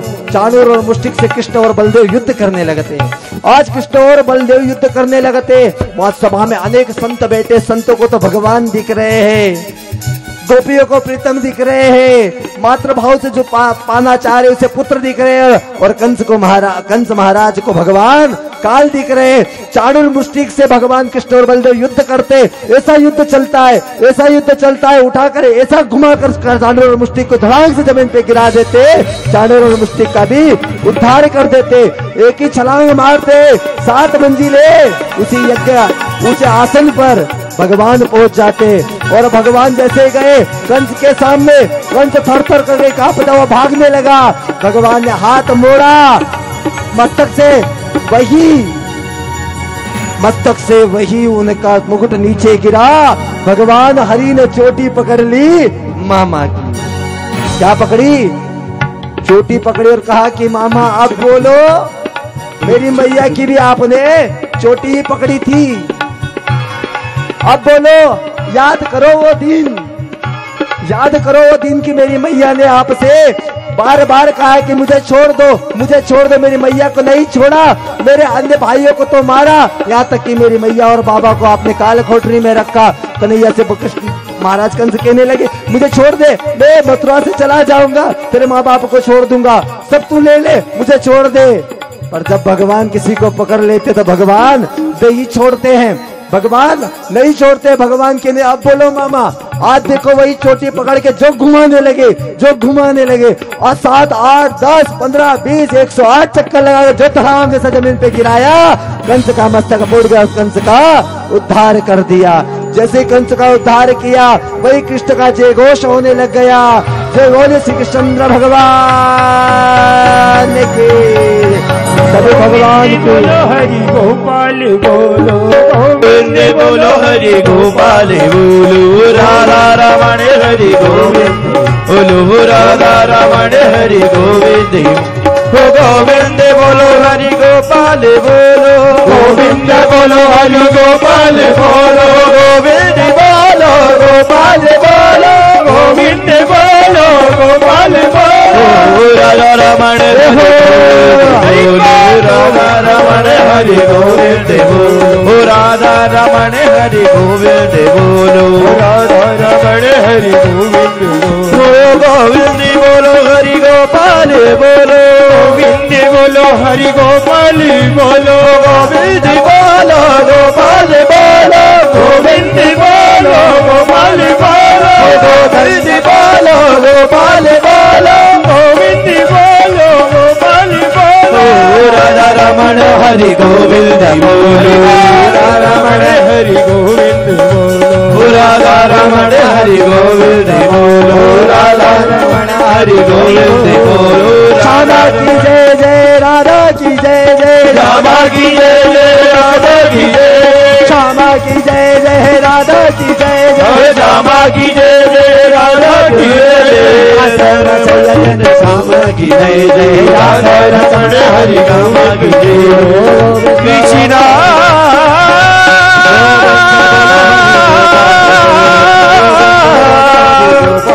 कृष्णा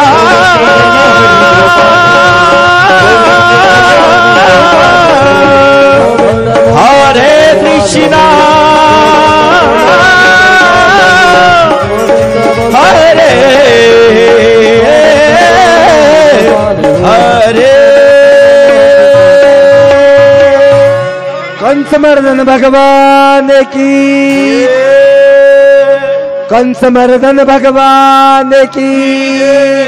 तारणहार की। जय जय श्री राधे जय जय श्री राधे जय जय श्री राधे भगवान कन्हैया का बड़ा जय घोष किया गया। भगवान कन्हैया कंस को मार कर देखो, नाना उग्रसेन को बंधनों से मुक्त किया, देव की वसुदेव को मुक्त किया, नाना उग्रसेन को राज्य दे दिया। भगवान कन्हैया, देखो आज मथुरा में रुक गए गोकुलवासी एक एक करके सभी लोग गोकुलवासी। आज ब्रजमंडल गोकुल चले गए। आज गोकुल में कृष्ण के बिना आज बड़े गोकुल में दुख के बादल फैले हुए हैं। माता यशोदा, देखो, रोज अटारी पे बैठ जाती है और कृष्ण का इंतज़ार कर रही है कन्हैया ना जाने कब आ जाएगा, कन्हैया ना जाने कब आ जाएगा। हरि की क्या कृपा होती है। ब्रज बालाए गोपिया नित्य जल्दी से उड़ती है, अपने नित्य घर का काम कर लेती है। सूरज निकले थोड़ी धूप निकले, उससे पहले तो जाके गोकुल गोकुल के रस्ते मथुरा की और दर्शन करने के लिए मथुरा के रस्ते आकर गोकुल में आकर बैठ जाती है कि कन्हैया ना जाने कब आ जाएगा और उसके दर्शन के हम दुखित हो जाएँगे। एक एक करके ब्रजवासी आए ना, नंदरानी पूछने लगी आकर कन्हैया से, नंद बाबा से नंदरानी पूछ कि कन्हैया कैसा है? उसके बाबा और मैया मिले तो क्या उसने मुझ- मुझे याद किया कि नहीं किया? मेरे बारे में पूछा कि नहीं पूछा? नंदराज नंद बाबा कहने लगे कि, हे यशोदा, तेरे बारे में बहुत पूछ रहा था। आज माता यशोदा फूट फूट कर रोने लग जाती है। आज गोपियों के झुंड बना हुआ गोकुल के, गोकुल में मथुरा के रास्ते एक मथुरा से एक गोप आया। गोप से पूछने लगी कन्हैया कब आएगा? आज नहीं गोपियों को, वही गोप कहने लगा, कन्हैया तो कन्हैया को तो उनके माता पिता मिल गए वो तो राज्य रहे वो तो राज्य में रहते। गोपिया फूट फूट कर रोने लग गई। आज गोपिया देखो, आज कन्हैया को बुलाने के लिए कि, सुनी है गोकुल नगरिया। आजा आजा सवरिया सुन तुझी है गोकुल नगरिया। आजा आजा सावरिया सुनी है गोकुल नगरिया। आजा आजा सावरिया सुनी है गोकुल नगरिया। आजा आजा सावरिया आजा सावरिया आजा सावरिया। आजा सावरिया आजा सावरिया। आजा सावरिया मोरे आजा सावरिया। आजा सावरिया मैं आजा सावरिया। सुनी है गोकुल है सुनी है गोकुल नगरिया तो आजा सावरिया। सुनी है गोकुल नगरिया। आजो आजा सावरिया।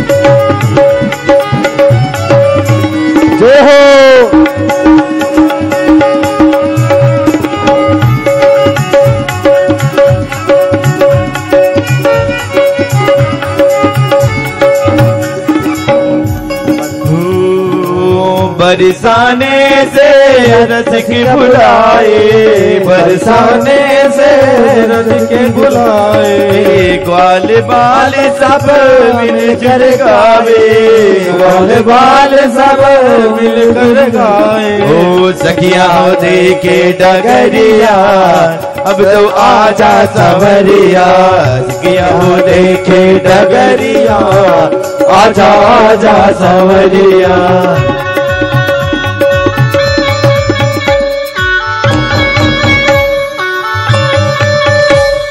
श्याम सुंदर सरकार की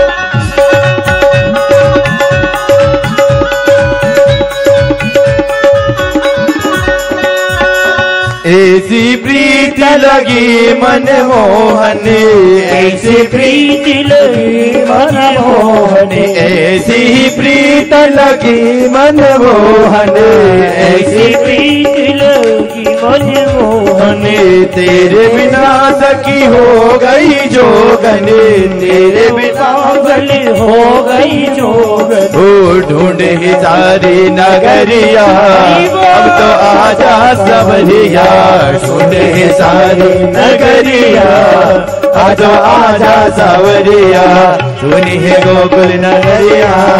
तो आजा, सावरिया। सुनी है गोकुल नगरिया। तो आजा, सावरिया। ओ तो आजा, सावरिया। अब आजा सा- अब आजा, सावरिया। अब आजा, सावरिया।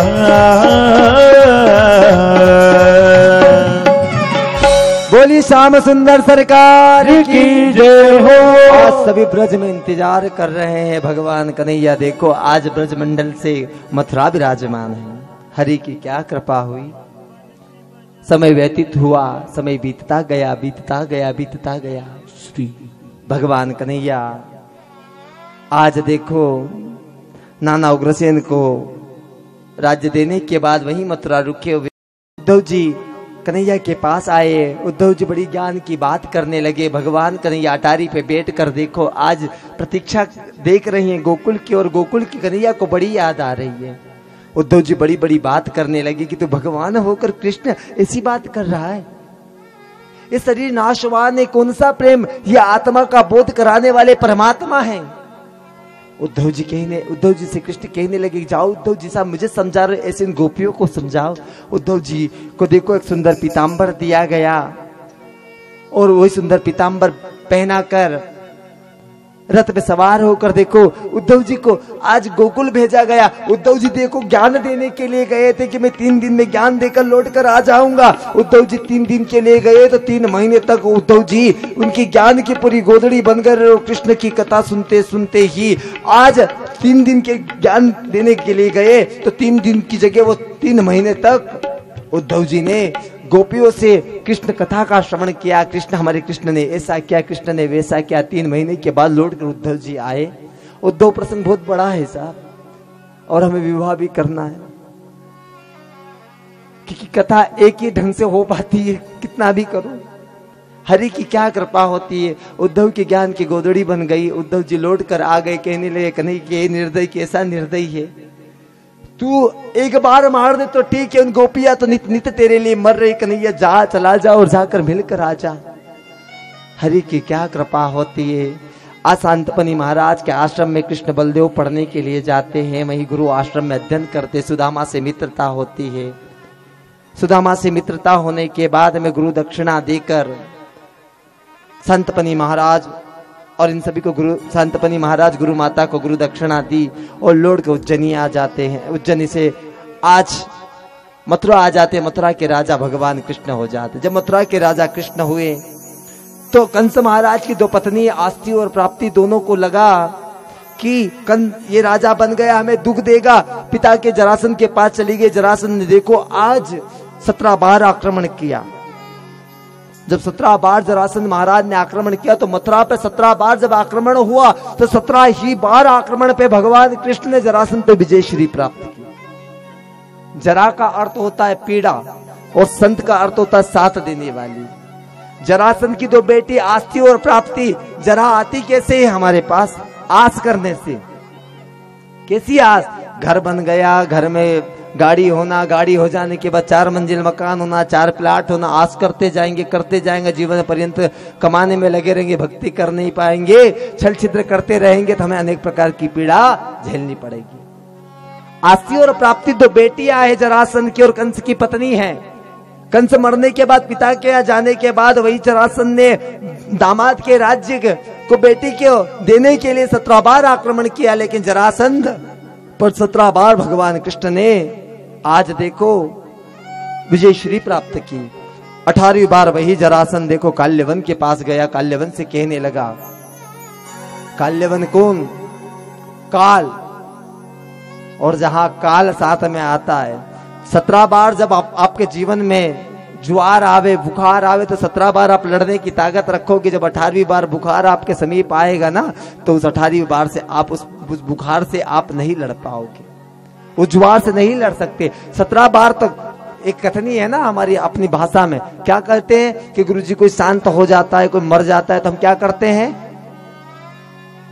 पहले छह पिंड देते हैं। कितने पिंड देते छह। ऐसा विधान है, लेकिन आज तो हमारी संस्कृति बड़ी लुप्त हो गई है, हिंदू संस्कृति बड़ी लुप्त हो गई है।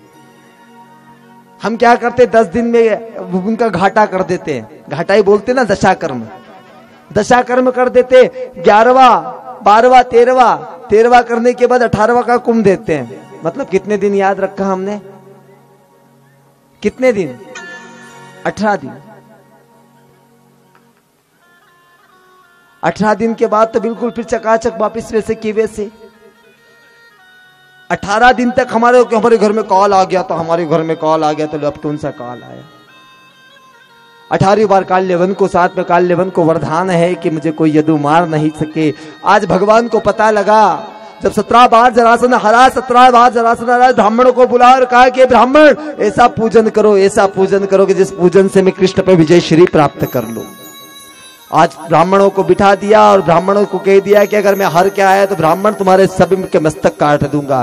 काल्यवन साथ में काल्यवन जरासन ब्राह्मणों को बिठाकर फिर मथुरा पे आक्रमण किया। तो भगवान कन्हैया को पता लगा तो भगवान कन्हैया ने देखो, आज पहले ही समुद्र में आज द्वारिका का निर्माण कर दिया और द्वारिका में आज मथुरा वासियों को माता पिता को, पहले और कुछ सेना को छोड़ दिया और कुछ सेना को रख लिया। मथुरा में। बोलिए द्वारिका देश भगवान की जैसे द्वारिका बनाई द्वारिका में छोड़ दिया इधर जरासंध महाराज काल्यवंश से लेकर युद्ध करने के लिए आए। अब जरासंध के सामने जैसे आए आज भगवान कन्हैया और बलदेव भैया युद्ध करने जा रहे हैं। मथुरा के अधिपति महाराज कृष्ण और बलदेव युद्ध कर रहे हैं।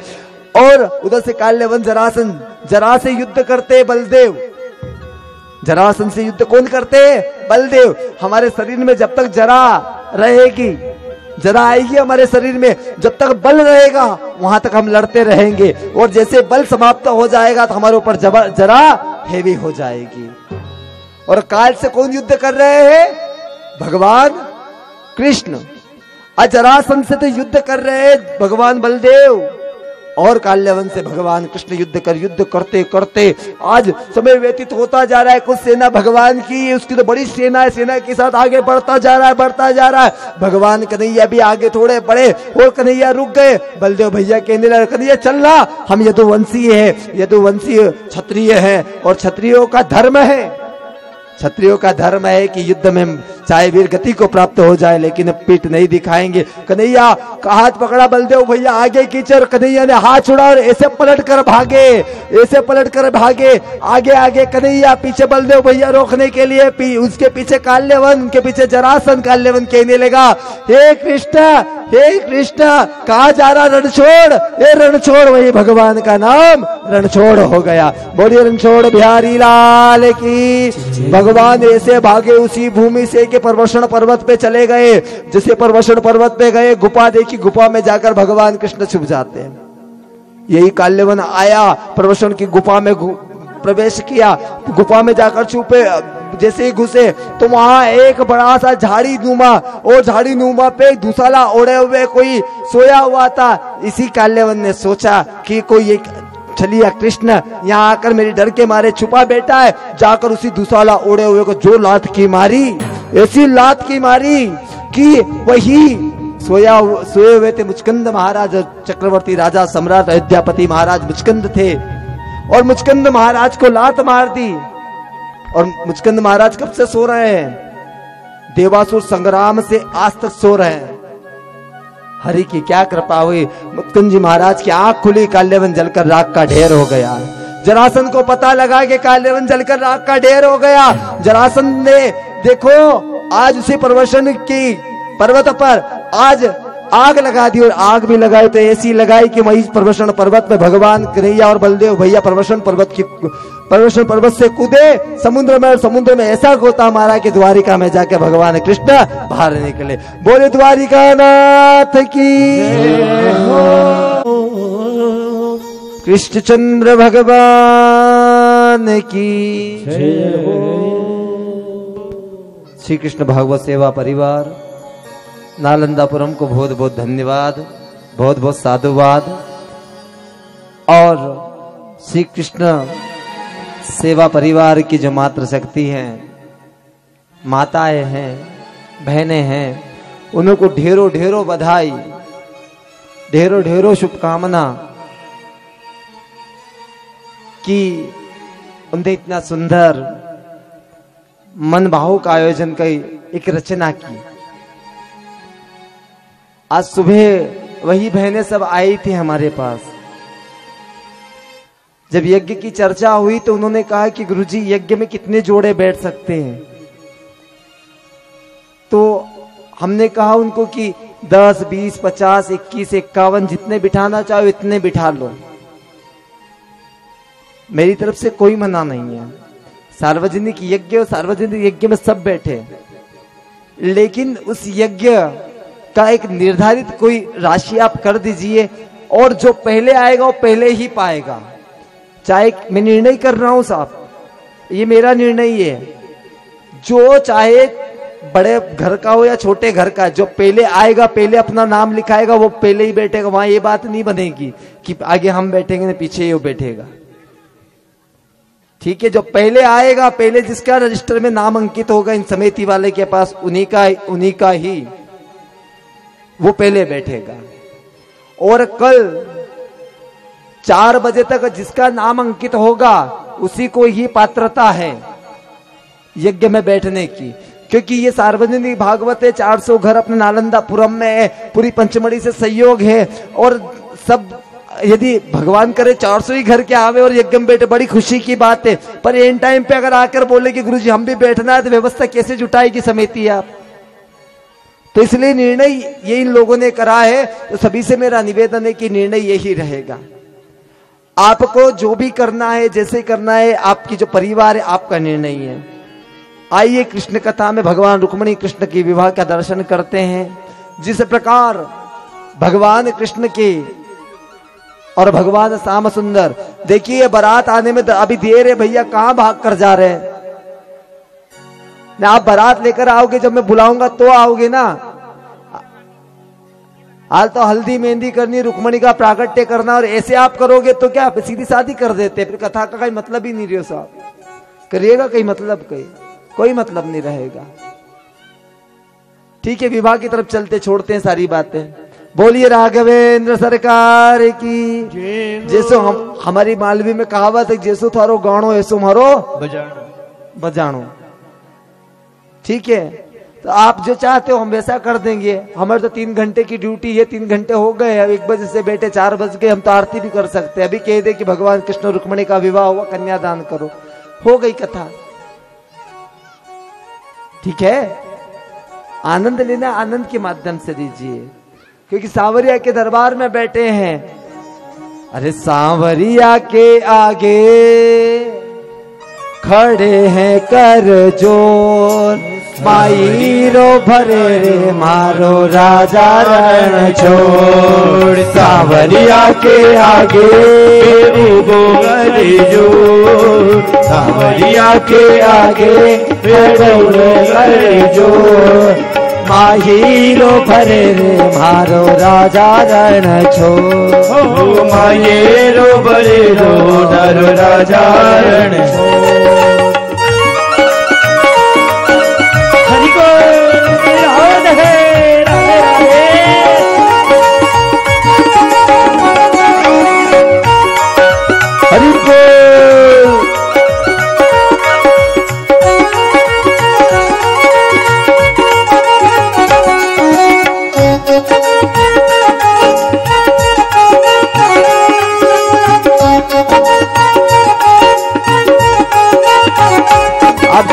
हो। आप आप जानते हो, यही भजन क्यों गाया मैंने? क्योंकि आप, मैंने अभी सुबह कहा था एक बात, याद है? कि आपके घर बारात आ रही है। कहाँ से? कहाँ से आ रही बारात? द्वारिका से कहाँ पर? नालंदापुरम में। और बारात आ रही है तो मायरा तो मायरा में कपड़े वपड़े कुछ नहीं, केवल मन का मायरा भरना है अपने को। धन नहीं चाहिए हमें। धन की आवश्यकता नहीं है हमारी पूरी मंडल को। और हमारे परिवार नालंदा परिवार को भी धन की आवश्यकता नहीं। सुबह कह रहे थे गुरु जी बहुत पैसा है, चिंता की किसी से मांगने की ज़रूरत नहीं बहुत चंदा पड़ा है हमारे पास। बहुत है। आपका। तो मेरा यही कहना है कि मन से माहिरा भरो, नाचते, गाते हुए, भगवान की ताली सेवा देते हुए। सांवरिया के आगे। सावरिया के आगे खड़ो है करे जो माई रो बड़े लो, मारो राजा रण छो मारो माई रो बड़े लो, मारो राजा रण छो हरी, हरि बोल।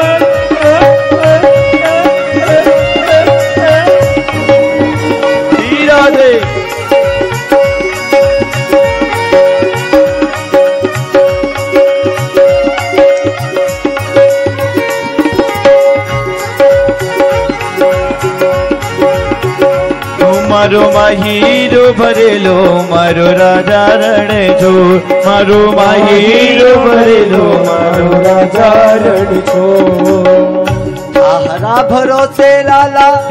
नानी ने पढ़ाई। सारे भरोसे सौरा नानी ने पढ़ाई। सारे भरोसे सौरा कर रे बड़ाई सारे भरोसे सौरा कर रे बड़ाई माहेरा री बेला। ओ, ओ, ओ, ओ, ओ, ओ, ओ, ओ, માહિરાની બેલા તો અજા દો. માહિરાની બેલા તો અજા દો. માહિરો ભરે રે મારો રાજા રણ છોડ. મારો માહિરો ભરેલો મારો રાજા રણ છોડ.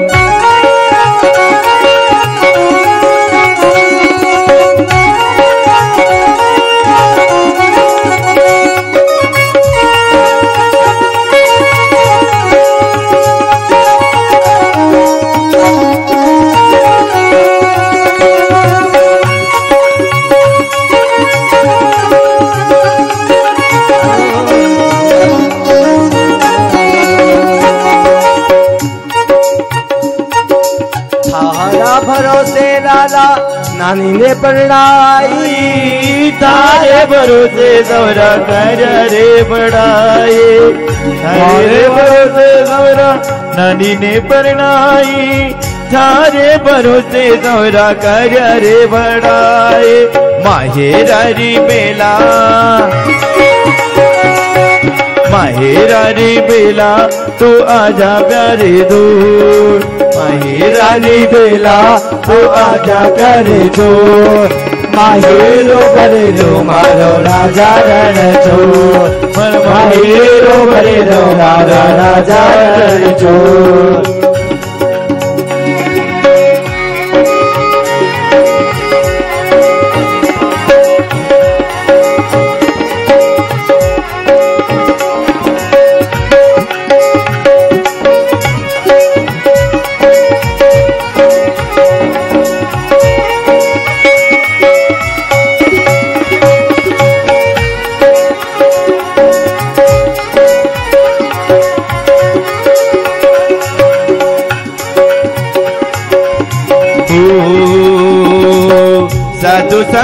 साथ मारे पास न रजाई साधु संग साथ मारे।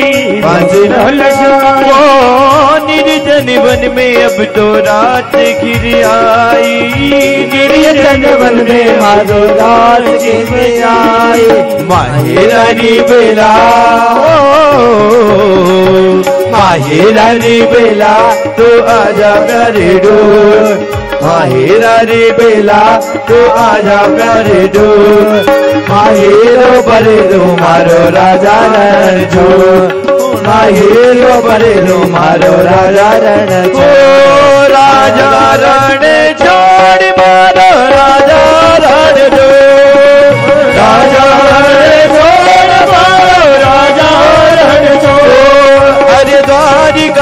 द्वारिकारो नाथ मारो राजा रण छोड़ रात मारो राजा रण चोर अरे द्वारिकारो नाथ मारो राजा रण छोड़ द्वारिकारो नाथ मारो राजा रण छोड़ ओ मारो राजा रण छोड़ ओ मारो राजा रण। छोड़ बोलिए द्वारिका नाथ की आइए रुक्मणी और कृष्ण भगवान की कथा में प्रवेश करते हैं क्योंकि रुक्मणी रुक्मणी है कौन लक्ष्मी? लक्ष्मी कौन? लक्ष्मी के तुन रूप बताए संक्षिप्त में कहूँगा लक्ष्मी महालक्ष्मी अलक्ष्मी। लक्ष्मी किसे कहा गया? वो धन जो किसी काम का नहीं धरा के धरा रह जाए उसे कहते हैं लक्ष्मी। लक्ष्मी के बाद आई अलक्ष्मी। वो धन जो कि, जो पाप के माध्यम में हमारे घर में आवे और पाप के पाप के माध्यम माध्यम से हमारे घर से चला जाए, उसे कहते हैं अलक्ष्मी। जो पाप के माध्यम से आया, पाप में ही चला गया। जो धर्म से आवे और पहली आई लक्ष्मी लक्ष्मी किसे कहा गया? वो धन कि जो हमारे काम में ही नहीं आए। इतने पैसे की माता पिता, दादा परदादा के हाथ के, पड़े के पड़े रह जाए ना तो हमने देखे ना, हमारे औलाद ने देखे बैंक में पड़े के पड़े रह जाए। उस पैसे को कहते हैं लक्ष्मी। लक्ष्मी के बाद आई अलक्ष्मी। वो धन जो हमारे घर में आवे, पाप के माध्यम में और पाप के माध्यम से चला जाए, उस पैसे को कहते अलक्ष्मी। महालक्ष्मी किसे कहा? वो धन जो धर्म के माध्यम से हमारे घर में आवे, परिवार के पालन, दान, धर्म, भगवत गीता, यज्ञ हवन पूजा, बहन बेटी इत्यादि को दान में लगे उस धन को कहते हैं महालक्ष्मी। विदर्भ देश गढ़ कुंदनपुर विदर्भ देश गढ़ कुंदनपुर जिनके राजा है महाबली भीष्म। पाँच पाँच सुर भूत पूत।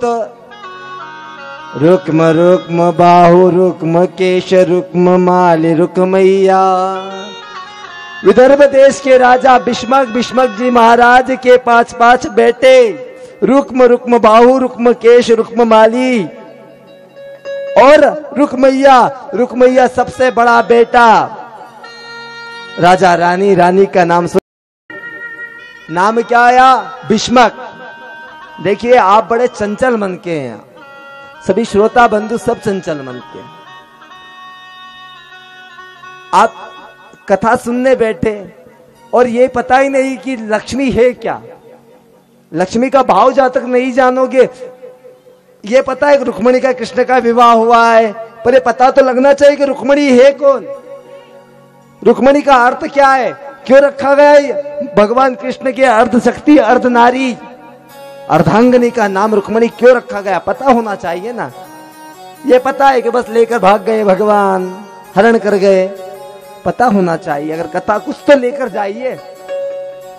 विदर्भ देश के राजा बिस्मक बिस्मक जी महाराज की पत्नी का नाम सुदमती सुदमती की माता के गर्भ से पाँच पाँच बेटे रुक्म रुक्म बाहु, रुक्म केश, रुक्म माली, रुक्मैया। रुक्मैया सबसे बलशाली, सबसे बड़ा। पाँच पाँच बेटे होते भी, बेटे होते हुए भी भीष्मक जी महाराज बड़े दुखी हैं। भीष्म का अर्थ होता है त्याग। भीष्म का अर्थ होता है त्याग। दो भीष्म हुए, एक तो भीष्म भीष्म पितामह, जो महाभारत में थे, जिन्होंने वचन दे दिया तो जीवन पर्यंत विवाह नहीं किया।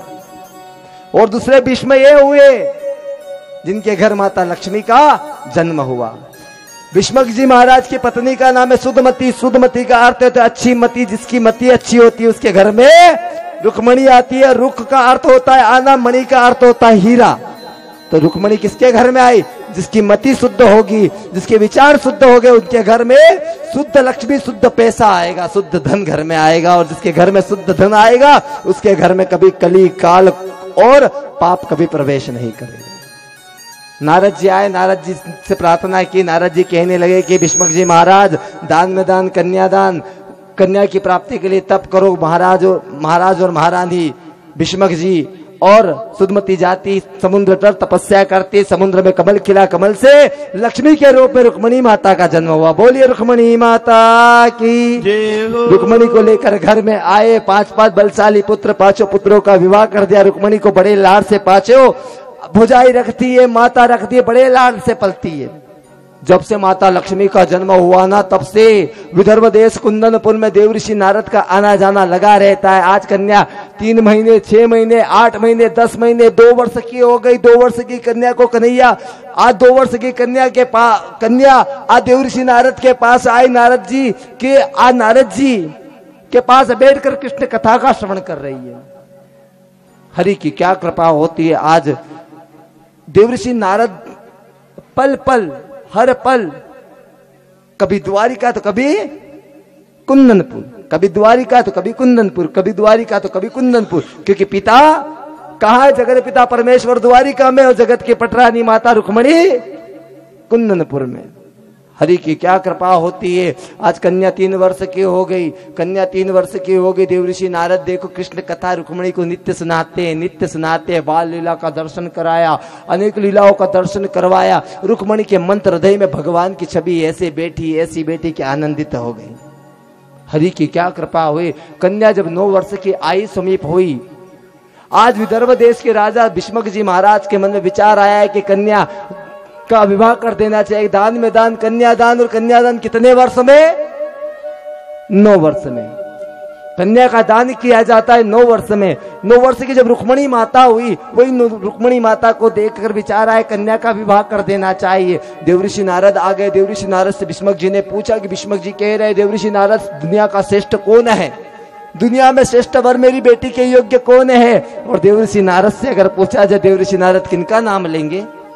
द्वारिकापति भगवान श्री कृष्ण के योग्य आपकी बेटी द्वारिकानाथ कृष्ण के अलावा आपकी बेटी के योग्य दूसरा कोई वर हो ही नहीं सकता और ना ही कोई है। सुजमती माता और और विस्पक जी महाराज के मन ही मन विचार हो गया कि मैं मेरी बेटी का विवाह द्वारिका के राजा भगवान कृष्ण के संग करूँगा। आज देखो हरि की क्या कृपा हुई। रुक्मणी माता, आज नौ वर्ष की विवाह का समय जब नज़दीक आने लगा यही बात देखो, आज माता पिता ने शाम को पाँचों ही भाइयों को बुलाया। अब जब भाई बड़े हो जावे, घर में बेटे करते धरते हो जावे तो माँ बाप की चलती है, नहीं चलती है।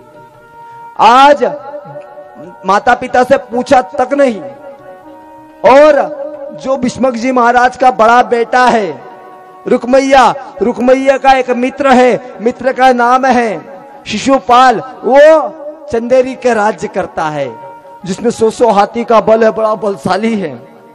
हरि की क्या कृपा हुई, वही भीष्मक जी के बेटे ने विचार किया कि मेरी मित्र भी है अच्छा बलवान भी अच्छा राज भी है तो मेरे बहन का विवाह वही करूँगा। बिना भाइयों से सलाह की माता पिता से सलाह तक नहीं की। और वही विदर्भ देश के राजा के पुत्र रुकमैया ने अपनी बहन का तिलक और लग्न पत्रिका बनवा कर बिना सलाह से ही लग्न पत्रिका और तिलक आज चंदेरी के राजकुमार शिशुपाल के यहाँ भेज दिया। जब चंदेरी के राजकुमार के यहाँ पंडित जी शिशुपाल की लग्न पत्रिका लेकर गए तो शिशुपाल की भाभा जे, भाभी माँ भाभी माँ को पता लगा कि लग्न पत्रिका आई है। भाभी माँ बड़ी प्रसन्न हुई। लेकिन जैसे ही पता लगा कि गढ़ चंदेरी के राजकुमार शिशुपाल के लिए लग्न पत्रिका कुंदनपुर के राजा भीष्मक जी की बेटी रुक्मणी के लिए रुक्मणी की आई है। शिशुपाल, वही बात सुनकर, वही बात सुनकर वही भाबज कहने लगी, भाभी कहने लगी कि ये विवाह करना ठीक नहीं है। रुक्मणी तो कृष्ण की प्रीतमा है और उससे विवाह करना आपके वश में नहीं भाभी ने अनेक बार रोका, लेकिन भाभी को उठाकर जवाब शिशुपालन ने दे दिया कि आप तो चाहते ही नहीं हो कि मेरा विवाह हो। और आज भी यही होता है। अगर भाभी माँ कह दे कि वो लड़की ठीक नहीं, कि परिवार ठीक नहीं है तो वही देवर और उसकी सास क्या उठा के जवाब देगी कि आप तो चाहते ही नहीं हो कि हमारे बेटे के अच्छे घर में विवाह हो। हरि की क्या कृपा होती है? आज देखो भाभी को उलाहना दिया।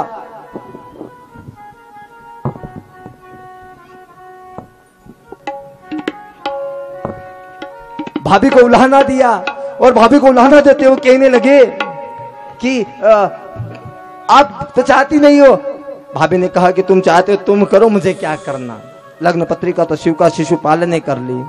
आज शिशुपाल देखो, आज अपने विवाह की तैयारी करने लगा बड़े बड़े पत्रिका छपवाने लगा, और शिशुपाल के जब पत्र भेजा, उसमें लिखा है, रुकमैया ने, कि मेरी एक लोती बहन बारात ऐसी आनी चाहिए, ऐसी आनी चाहिए कि दुनिया मेरी, मेरे यहाँ की बारात, मेरी बहन की बारात देखते रहे, इतिहास में उसका नाम अंकित हो जाए। दो ही बारात अलबेली गई है साहब। दो बारात अलबेली गई है। बड़ी मतवाली अलबेली बरात गई है। शिशुपाल को कह दिया, शिशुपाल को निवेदन कर दिया कि बड़ी विशेष तरीके से बारात आनी चाहिए। राजा, महाराजा, हाथी, घोड़े, रथ, सारथी, सभी से आ शिशुपाल, देखो, अपने विवाह की तैयारी में लग जाता। शिशुपाल विवाह की तैयारी कर रहा है। लग्न पत्रिका बनवा रहा है। और आज उसी पत्रिका बांट रहा है। राजा, महाराजा को निमंत्रण दे रहा है और निर्देश कर रहा है कि मेरी बारात जा रही कुंदनपुर। और कुंदनपुर जब बारात जावे शुभम इसको देख यार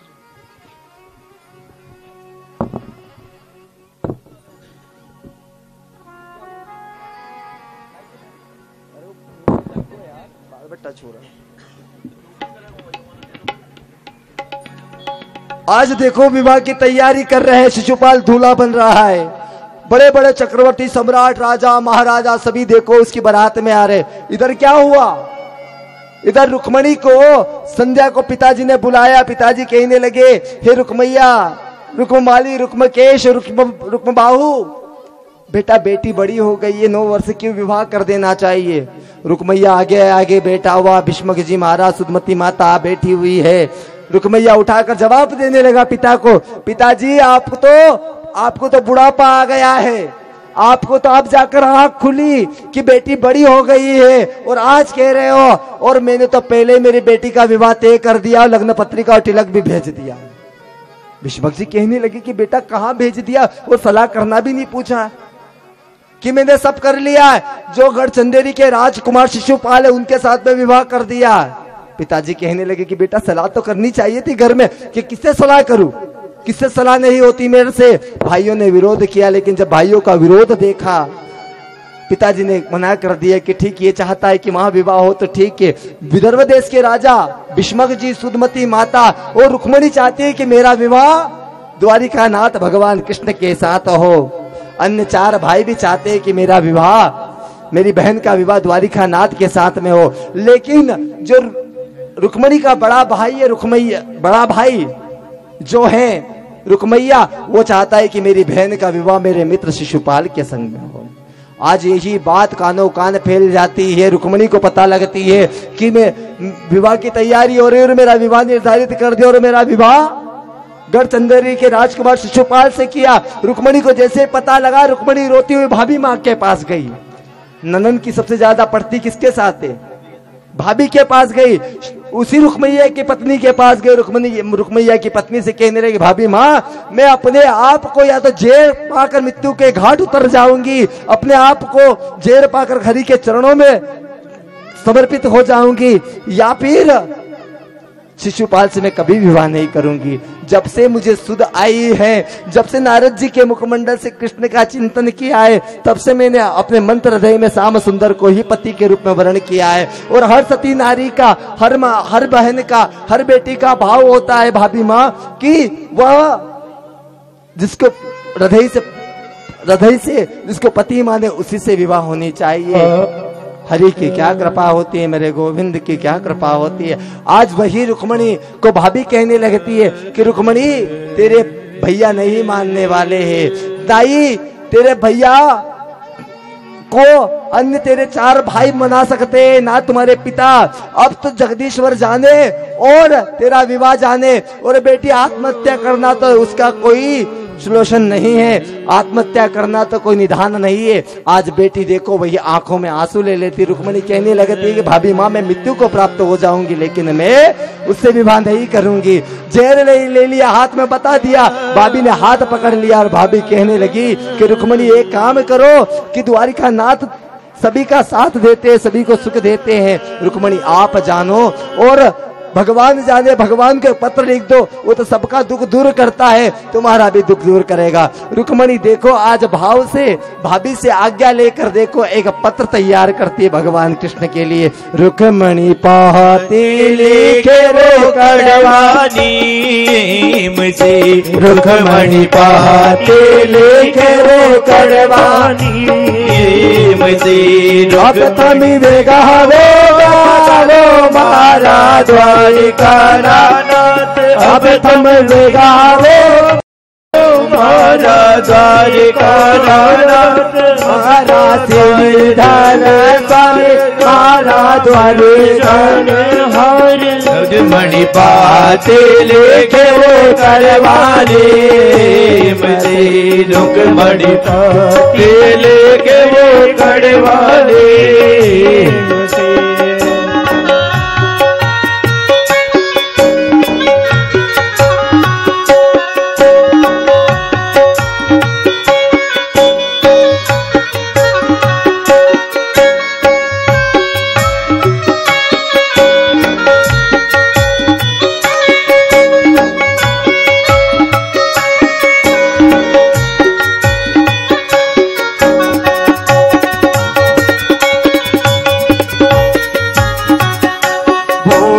बामणलाई पाती पाए बूढ़ो पावन गाये पोते बाजरे।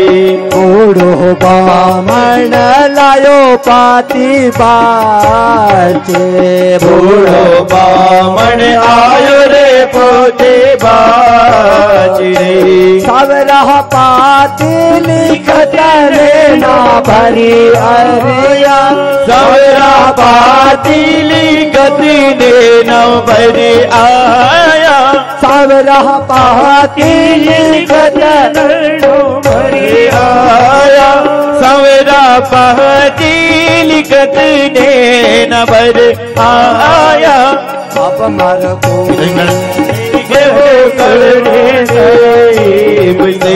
रुकमणि पातिली के वो कड़वानी मुझे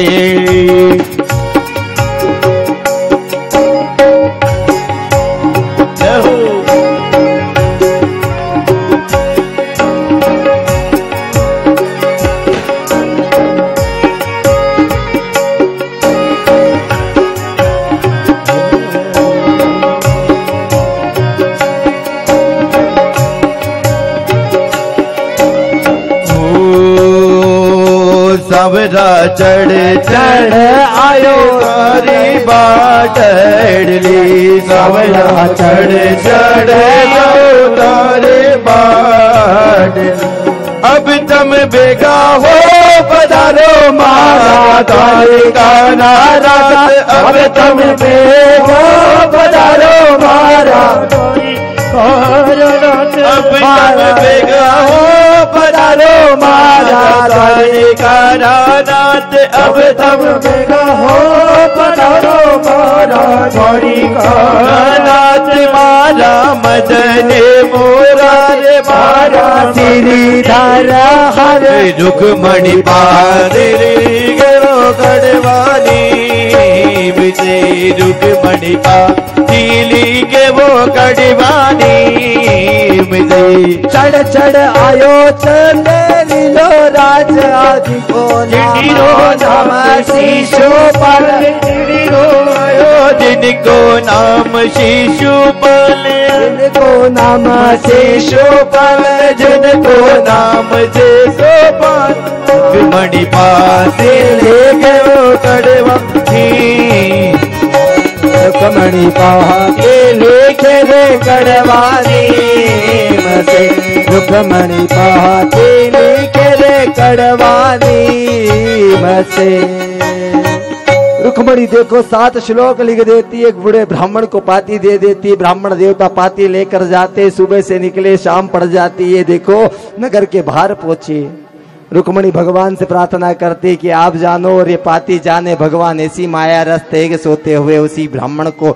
आज कुंदनपुर के से द्वारिका के वन में ले आते ब्राह्मण देवता उठ कर देखो, देखते सुंदर सा वन, और वन के सामने द्वारिका बसिया ब्राह्मण देखो, आगे द्वारिका की ओर बढ़ जाते। इधर शिशुपाल देखो, दूल्हा बनता है, दूल्हा बनकर देखो, आज आज शिशुपाल की दूल्हा बनाया जाता है। आसपास के राजा, महाराजा बड़ी बड़ी सेना लेकर स्वरूप शिशुपाल की बारात में होते हैं। अब शिशुपाल की बारात में कौन कौन जाना चाहते हैं?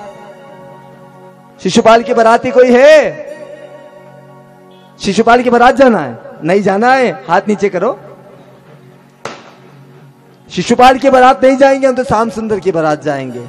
तो शिशुपाल की बारात निकली, घर से भाभी ने हज़ार बार समझाया पर भाभी ने जब समझाया, शिशुपाल एक नहीं माना।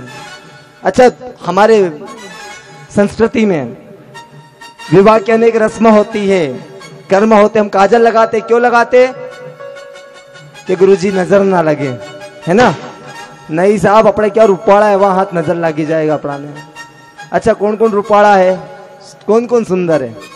कोई है क्या? आय हाय, क्या बात है? काजल क्यों लगाई जाती? भाभी और देवर की अच्छी पड़ती था। भाभी और नंदन की अच्छी पड़ती है। भाभी काजल लगाते हुए कहती है कि अपनी आँखें कर लो, जब बारात लेकर जा रहे हो, उसी जिस, जिससे बिहा- बिहाने जा रहे हो, उसी कन्या को काम की दृष्टि से देखना, आसपास के सख- सखियों को काम की दृष्टि से मत देखना। जब दूल्हा बंधा शिशुपाल घोड़ी पे चढ़ा, घोड़ी पे चढ़कर देखा, शिशुपाल बढ़ने लगा, अनेक प्रकार के अपशगुन होते हैं। खुले बाल की माता मिल जाती है, बिना तिलक का ब्राह्मण मिल जाते हैं, विधवा मिल जाती है। गाय मिल जाती है, गधा मिल जाते कुत्ते रो रहे हैं, सिरा, सियाल भौंक रहे हैं। हरि की क्या कृपा कृपावती बिल्ली ने रास्ता काट दिया, सर्प ने रास्ता काट दिया। जब बारात निकलती है तो उस समय क्या गाती है महिलाएँ? गीत गाती है। और जो रिश्तेदार होते वो क्या कहते हैं? कि गाड़ गाने। है ना? गाते हैं ना? तो शिशुपाल को अच्छा कौन कौन गाली देना चाहते हैं। अपनी मैया को अपनी मैया पे कर काली दृष्टि डाल रहा है काम की दृष्टि डाल रहा है तो अब गाली नहीं दोगा मैं तो दूँगा भैया। दोगे साहब बस जिस अगर नहीं दी तो फिर तुम्हें अच्छा नहीं लगेगा। भैया अभी बारात उधर ही रहने दो अभी बारात नहीं आना है। गाली सभी को गाली देना शिशुपाल को। और मालवी में कहते हैं मालवी में कहते हैं कि जब बारात जाती है निकलती है तो उस समय जो बयान होती है वो क्या कहते हैं कि गाल गा दे हमारी मालवी में कहते आप क्या होते हैं कि नहीं? हम मालवी के मालवी की बात करेंगे। आइए देखो, शिशुपाल के लिए भी बना गा देते। ओ बना साथने से बड़ो घणो आवे धूला साथने लाल घने ही टपके। बना साथने से बड़ो घनो आवे। बना सतन लाड़ी गड़ी टपके। बना सतन से बड़ो घड़ो आवे। बना सा तने लाल घड़ी टपकी। बड़ा सतन से बड़ो घनो आवे। बना बड़ा सतन लड़ी टपके। अब रुक्मणी शिशुपाल की कोई औकात है? लाल टपका रहा है किसके लिए? तो रुक्मणी मुझे मिल जाए, रुक्मणी मुझे मिल जाए, रुक्मणी। जैसे रसगुल्ला देखते हैं तो हमारा मन अपने भी तो लाल टपकी जाए। टपके के लिए टपके? आज रुक्मणी को देखकर यही लाल टपका रहा है। रुक्मणी नार तो कृष्ण निभावा। मणि नार तो कृष्ण निभावा। कृष्ण निभावा तो कृष्ण निभामा। कृष्ण निभाव तो कृष्ण निभामा। रुक्मणी नारत कृष्ण निभामा। मणि नारी तो कृष्ण निभावा। कृष्ण निभावा तो कृष्ण निभामा। कृष्ण निभाव तो कृष्ण निभावा। कृष्ण निभावा तो कृष्ण निभामा। कृष्ण निभाव तो कृष्ण ओ बना सतन से बड़ो घणो आवे। बना सतन लाल गड़ी टपके। एक भी आदमी को मज़े ही नहीं आ रहा।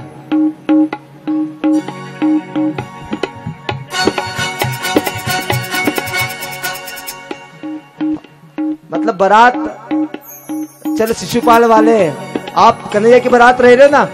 जो माता के साथ देना चाहते देखिए ये, ये गाली है उसको। अगर हमारी बेटी को हमारी माँ को गलत देखता है तो उसके लिए तो इसलिए सभी कहेंगे क्या?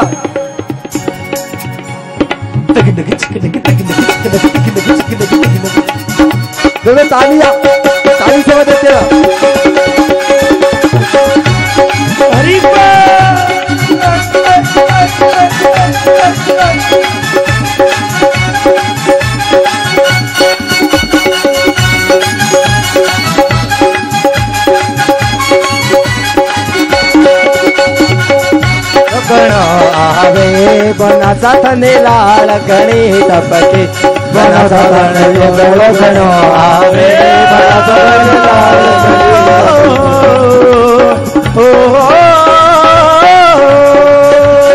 हमारे परम पूज्य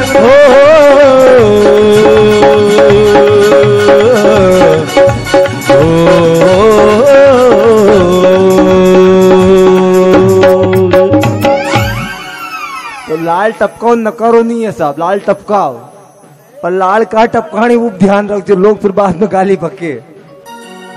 आज तक उस शिशुपाल को लोग गाली मार रहे हैं ना। उसकी बारात आगे बढ़ती है। इधर भगवान कन्हैया के पास वही ब्राह्मण जाते, ब्राह्मण पत्र देते, ब्राह्मण की सेवा करते। भगवान कन्हैया एक पल भी व्यवधान नहीं करते। ब्राह्मण को लेकर देखो द्वारिका से कुंदनपुर की ओर बढ़ जाते। इधर कुंदनपुर में देखो माता रुक्मणी को, आज हल्दी मेहंदी की जा रही है, हल्दी मेहंदी लगाई जा रही है, तेल चढ़ाया जा रहा है। माता रुक्मणी से कहा कि रुक्मणी जल्दी आओ, तुम्हें तेल चढ़ाया जाए। रुक्मणी ने भाभीओं को जवाब दिया कि तेल क्या चढ़ाओगे? एक बड़ी कढ़ाई लाओ और कढ़ाई में तेल डाल दो और उबालते हुए तेल में मुझे ही झोंक दो। ऐसे तेल चढ़ने से तो मैं मृत्यु को प्राप्त होना अच्छा है। भाभीओं ने समझाया कि द्वारिका नाथ के या ब्राह्मण गए, कुछ तो अच्छा होगा बेटी, जो हो रहा है होने दे, वो द्वारिका नाथ सब ठीक करेगा। आज आज माता रुक्मणी को देखो आज सारी मही द्वारिका मही कुंदनपुर में देखो, हल्दी लगाई जाती है, मेहंदी लगाई जाती है। और देखो हल्दी, मेहंदी, तिल इत्यादि का कर्म किया जा। आओ मेरी सखिया, मुझे मेहंदी लगा दो। मुझे श्याम सुंदर की दुल्हन बना दो। मुझे श्याम सुंदर के दुल्हन बना दो। आहू मेरी सखिया, मुझे मेहंदी लगा दो। मेहंदी लगा के मुझे ऐसा सजा दो। मुझे श्याम सुंदर के दुल्हन बना दो। मुझे श्याम सुंदर के दुल्हन बना दो।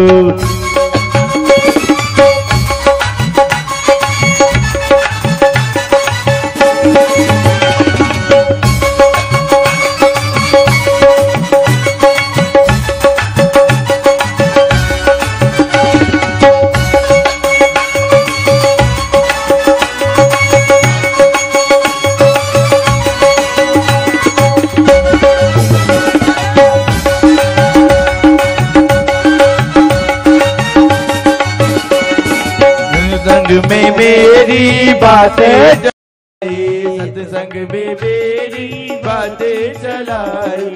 सतगुरु ने मेरी कीनी रे सगाई। सतगुरु ने मेरी कीनी रे सगाई। उनको बुला के हाथी लेवा तो करा दो। उनको बुला के हाथी लेवा तो करा दो। मुझे शाम सुंदर के दुल्हन बना दो। मुझे शाम सुंदर के दुल्हन बना दो।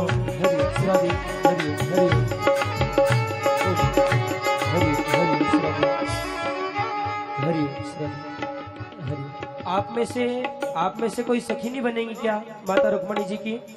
आ जाए एक दो माताएँ। केवल दो। देखिए सब खड़े नहीं होंगे आनंद नहीं आएगा। केवल केवल दो। दो माताएँ। दो। कोई भी हो जाए। दो खड़े जो पास में रुक्मणी को हल्दी मेहंदी कर दीजिए। ठीक है? बाकी आनंद बाकी जिसको भगवान की कथा में भगवान के विवाह में नृत्य करना है आप अपने स्थान पर खड़े होकर करिए। बाकी डिस्टर्ब नहीं हो क्योंकि बारात का स्वागत है भी कर सतगुरु ने मेरी कीनी सगाई। सतगुरु ने मेरी कीनी सगाई। उनको बुला के हाथी लेवा तो करा दो। उनको बुला के हथ लेवा तो करा दो। मुझे शाम सुंदर के दुल्हन बना दो। मुझे शाम सुंदर के दुल्हन बना दो।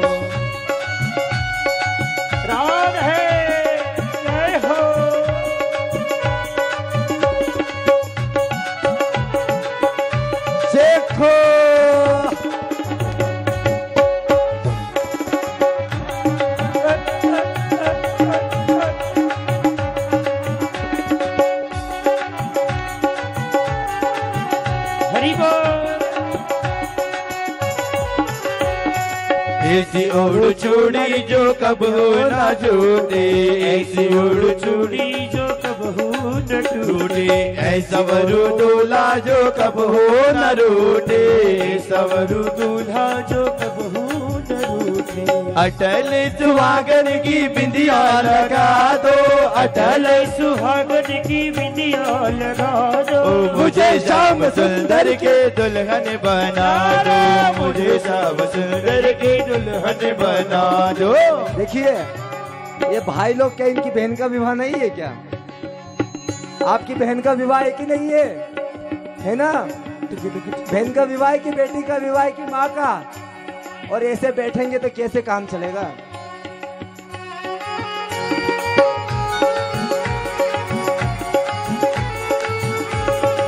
ये हो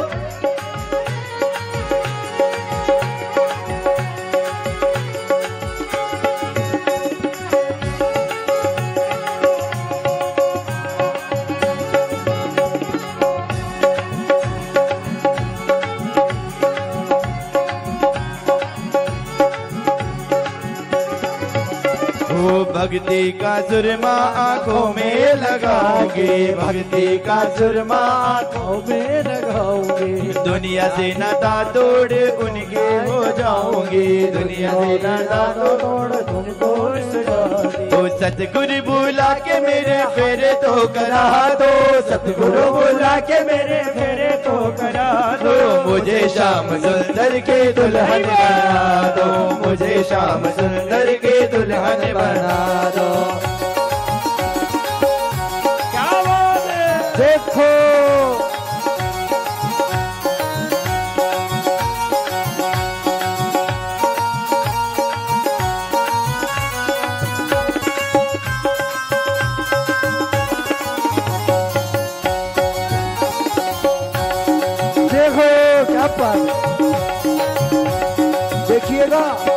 आज माता रुक्मणी को हल्दी लगाई, मेहंदी लगाई, तेल चढ़ाएगा, चुनर ओढ़ाई।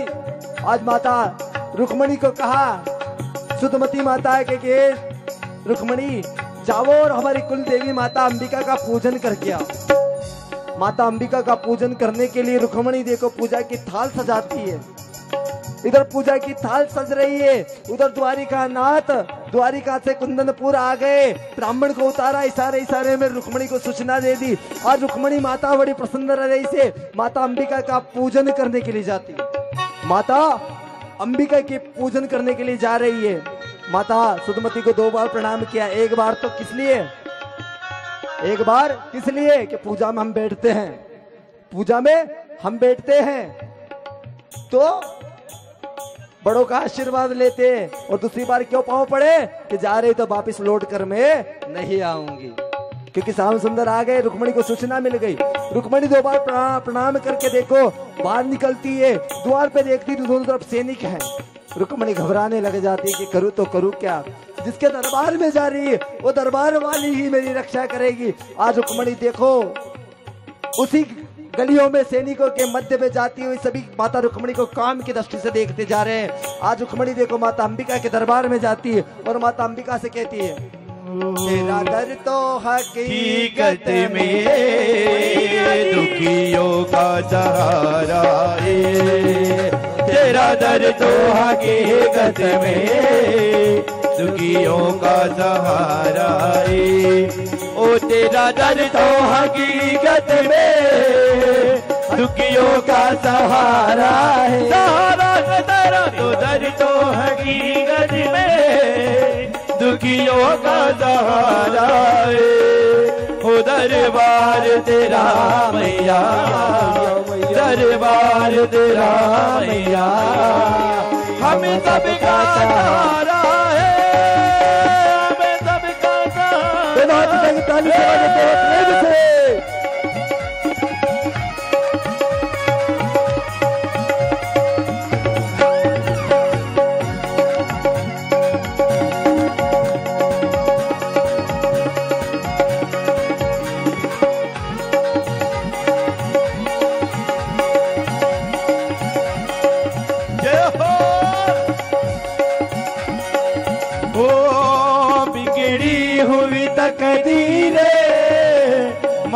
माँ में बनाती है बनाती है तू बिगड़ी हुई तकदीरें।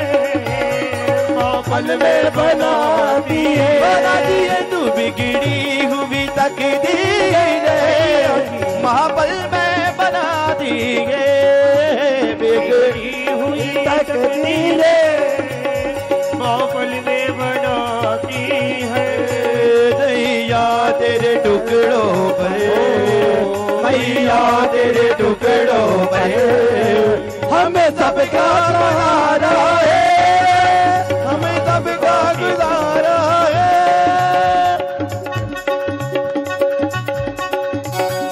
मुझे लगता है, भैया एक मिनट। मुझे लग रहा है कि आप लोगों को रुक्मणी का विवाह नहीं करवाना है।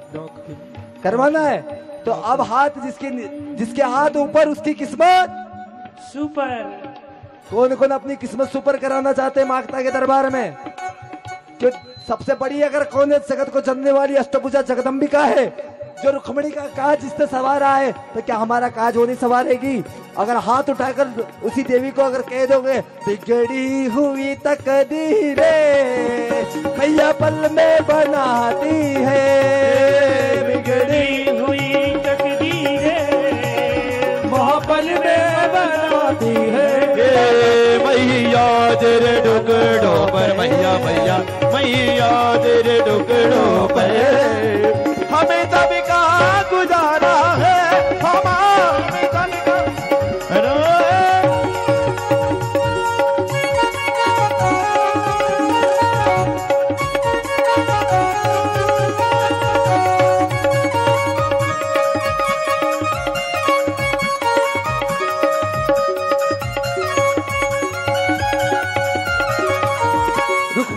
रुक्मणी तकदीर बदल दी माता ने, जैसे रुक्मणी की तकदीर बदली, माता के स्वरूप से, माता के स्वरूप से इतना प्रकाश निकला, रुक्मणी में रुक्मणी में विद्या हो गया।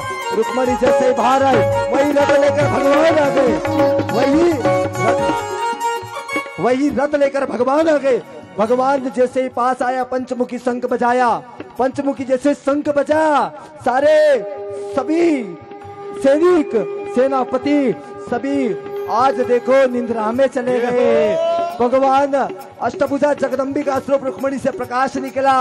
उसी प्रकाश के सामने सारे सैनिकों के आँखों के सामने पर्दा आ गया। रुक्मणी जैसे बाहर निकली। सामने रथ पे सवार भगवान श्याम सुंदर को देखा और श्याम सुंदर के रथ पे बैठ जाती है और बैठ रथ रथ पे बैठ कर देखो।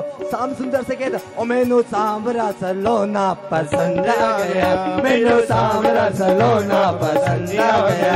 मेरा सांवरा सलोना पसंद आ गया। मेरा सांवरा सलोना पसंद आ गया। हो पसंद आ गया रे मेरे मन को आ गया। पसंद आ गया रे मेरे मन को भा गया। पसंद आ गया रे मेरे मन को आ गया। पसंद आ गया रे मेरे मन को भा गया। मेनू सावरा सलोना पसंद आ गया मेनू सावरा सलोना पसंद आ गया।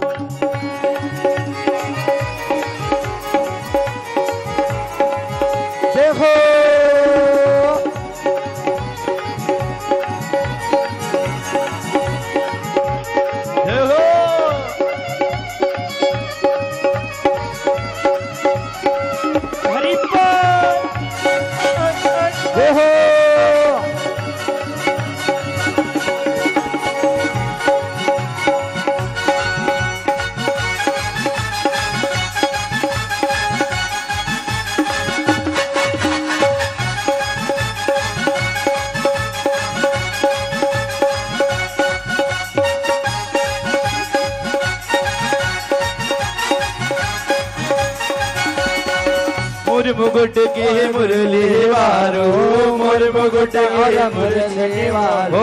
तिरछी तिरछी चितवन वारो। तिरछी तिरछी चितवन वारो। हो ब्रज का बुआला मेरे मन को आ गया।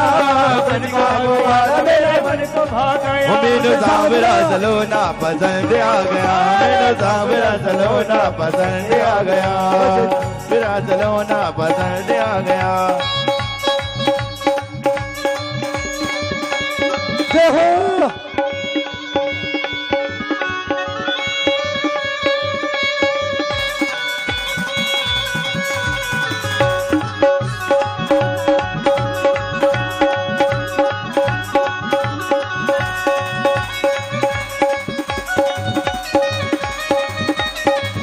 श्याम सुंदर सरकार की।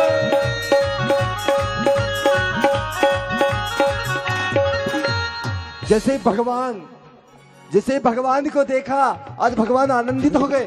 बड़े प्रसन्न। आज रुक्मणी का हाथ पकड़ा, रथ में बिठाया, भगवान ऐसा हरण करके बोलिए, रुक्मणी हरण, भगवान ने कहा रुकमैया आया, पीछे पीछे। आज रुकमैया को भगवान ने ऐसा खींचा के बिना नाई से ही दाढ़ी मुझ बनवा दी। बोलिए, रुक्मणी हरण, भगवान ने की रुक्मणी को हरण करके भगवान देखो, आज मथुरा आज द्वारिका की तरफ़ पढ़ते हैं। सामने से बलदेव भैया आए गए। शिशुपाल की सेना को बलदेव भगवान के द्वारा आज धूल चटा दी गई। भगवान हरि की क्या कृपा होती है? आज देखो, पुनः द्वारिका में भीष्मक जी महाराज को बुलाया गया, सुधमती माता को बुलाया गया और बारात आ रही है। आइए, रुक्मणी और श्री कृष्ण की बारात में हम भी झूमते नाचते हुए द्वारिका में रुक्मणी और कृष्ण का विवाह हुआ था, सो आज हम नालंदापुरम में विवाह करते हैं। भगवान को सिंगार वो तेरा किसने किया? श्रृंगार सावरा। दिल लगे तू दिलदार सावरे। तेरा किसने किया? श्रृंगार सावरे, तेरा किसने किया?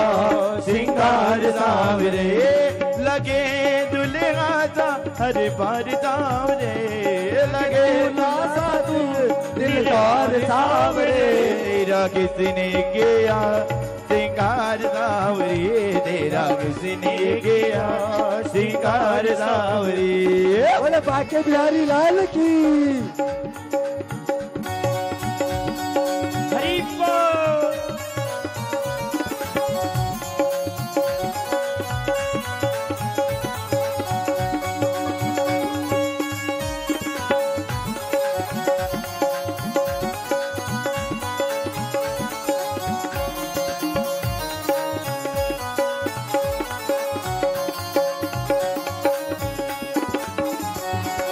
बागों से कलिया चुन चुन कर सुंदर हार बनाया। बागों से कलिया चुन चुन कर सुंदर हार बनाया। अरे रहे सलामत हाथ सदा वो जिसने तुम्हें सजाया। लगे सलामत हाथ सदा वो जिसने तुम्हें सजाया। सजाता रहो मैं हर बार सावरे। सजाता रहूँ मैं हर बार सावरे। किसने किया? सिंगार सावरे तेरा किसने किया? सिंगार सावरे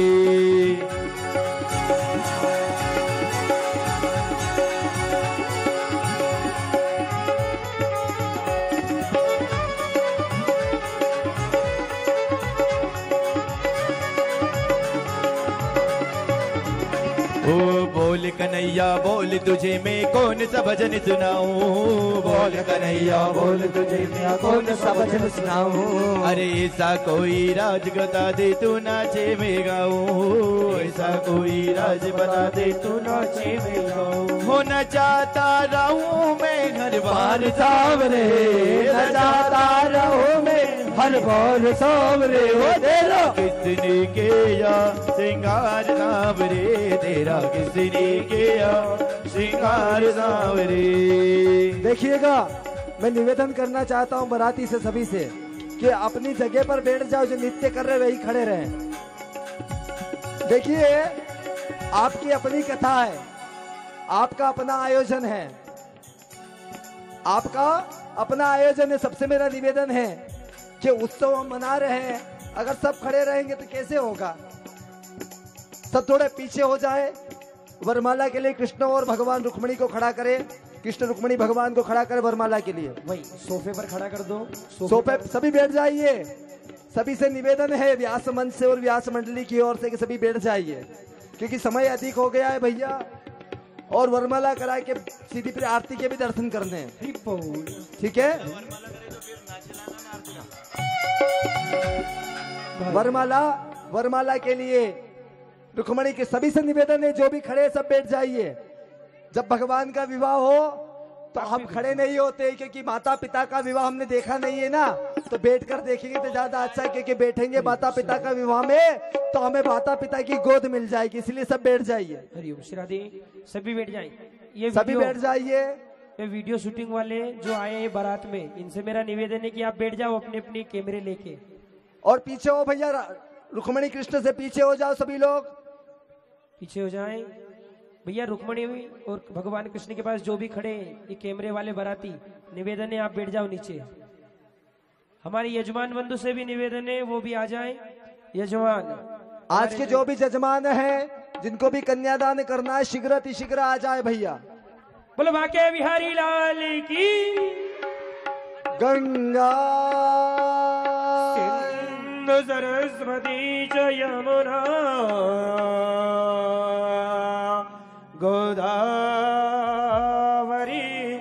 च नर्मदा कावेरी सरयू महेन्द्र दनया। चरमणवती च वेदिका क्षेप्रा वेत्रवती महासुरनदी ख्याता गया गंडकी? पूर्णा पूर्ण जले समुद्र सहिता। कुर्यात् सदा नु मङ्गलम् शुभम् भवतु शुभलग्न। सुप्रसन्ना प्रसन्ना प्रसन्ना। रुक्मणी माता से निवेदन है कि कृष्ण के गले में वरमाला पहनावे। मंगलम मरणम सुदितम तदेव तारावलम चंद्रवलम तदेव विद्या विद्यावलम् देवबलम् तदेव बोले रुक्मणी कृष्ण भगवान की।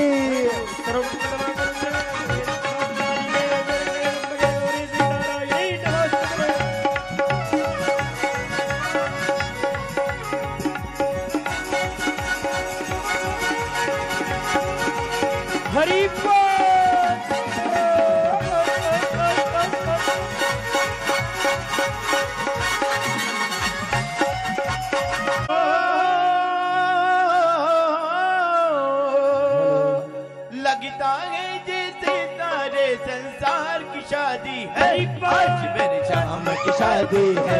आज मेरे शाम की शादी है। ओ शाम की शादी है मेरे घर शाम की शादी है। आज मेरी शाम की शादी जय हो।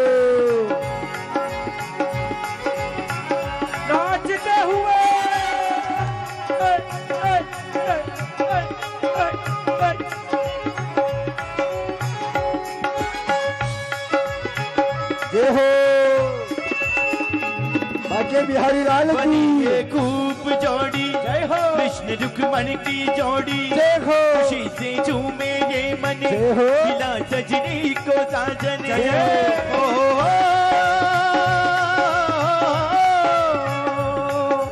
किसी मासूम गली से मेरे दिलदार की शादी है? आज मेरे शाम की शादी है। आज मेरे शाम की शादी है।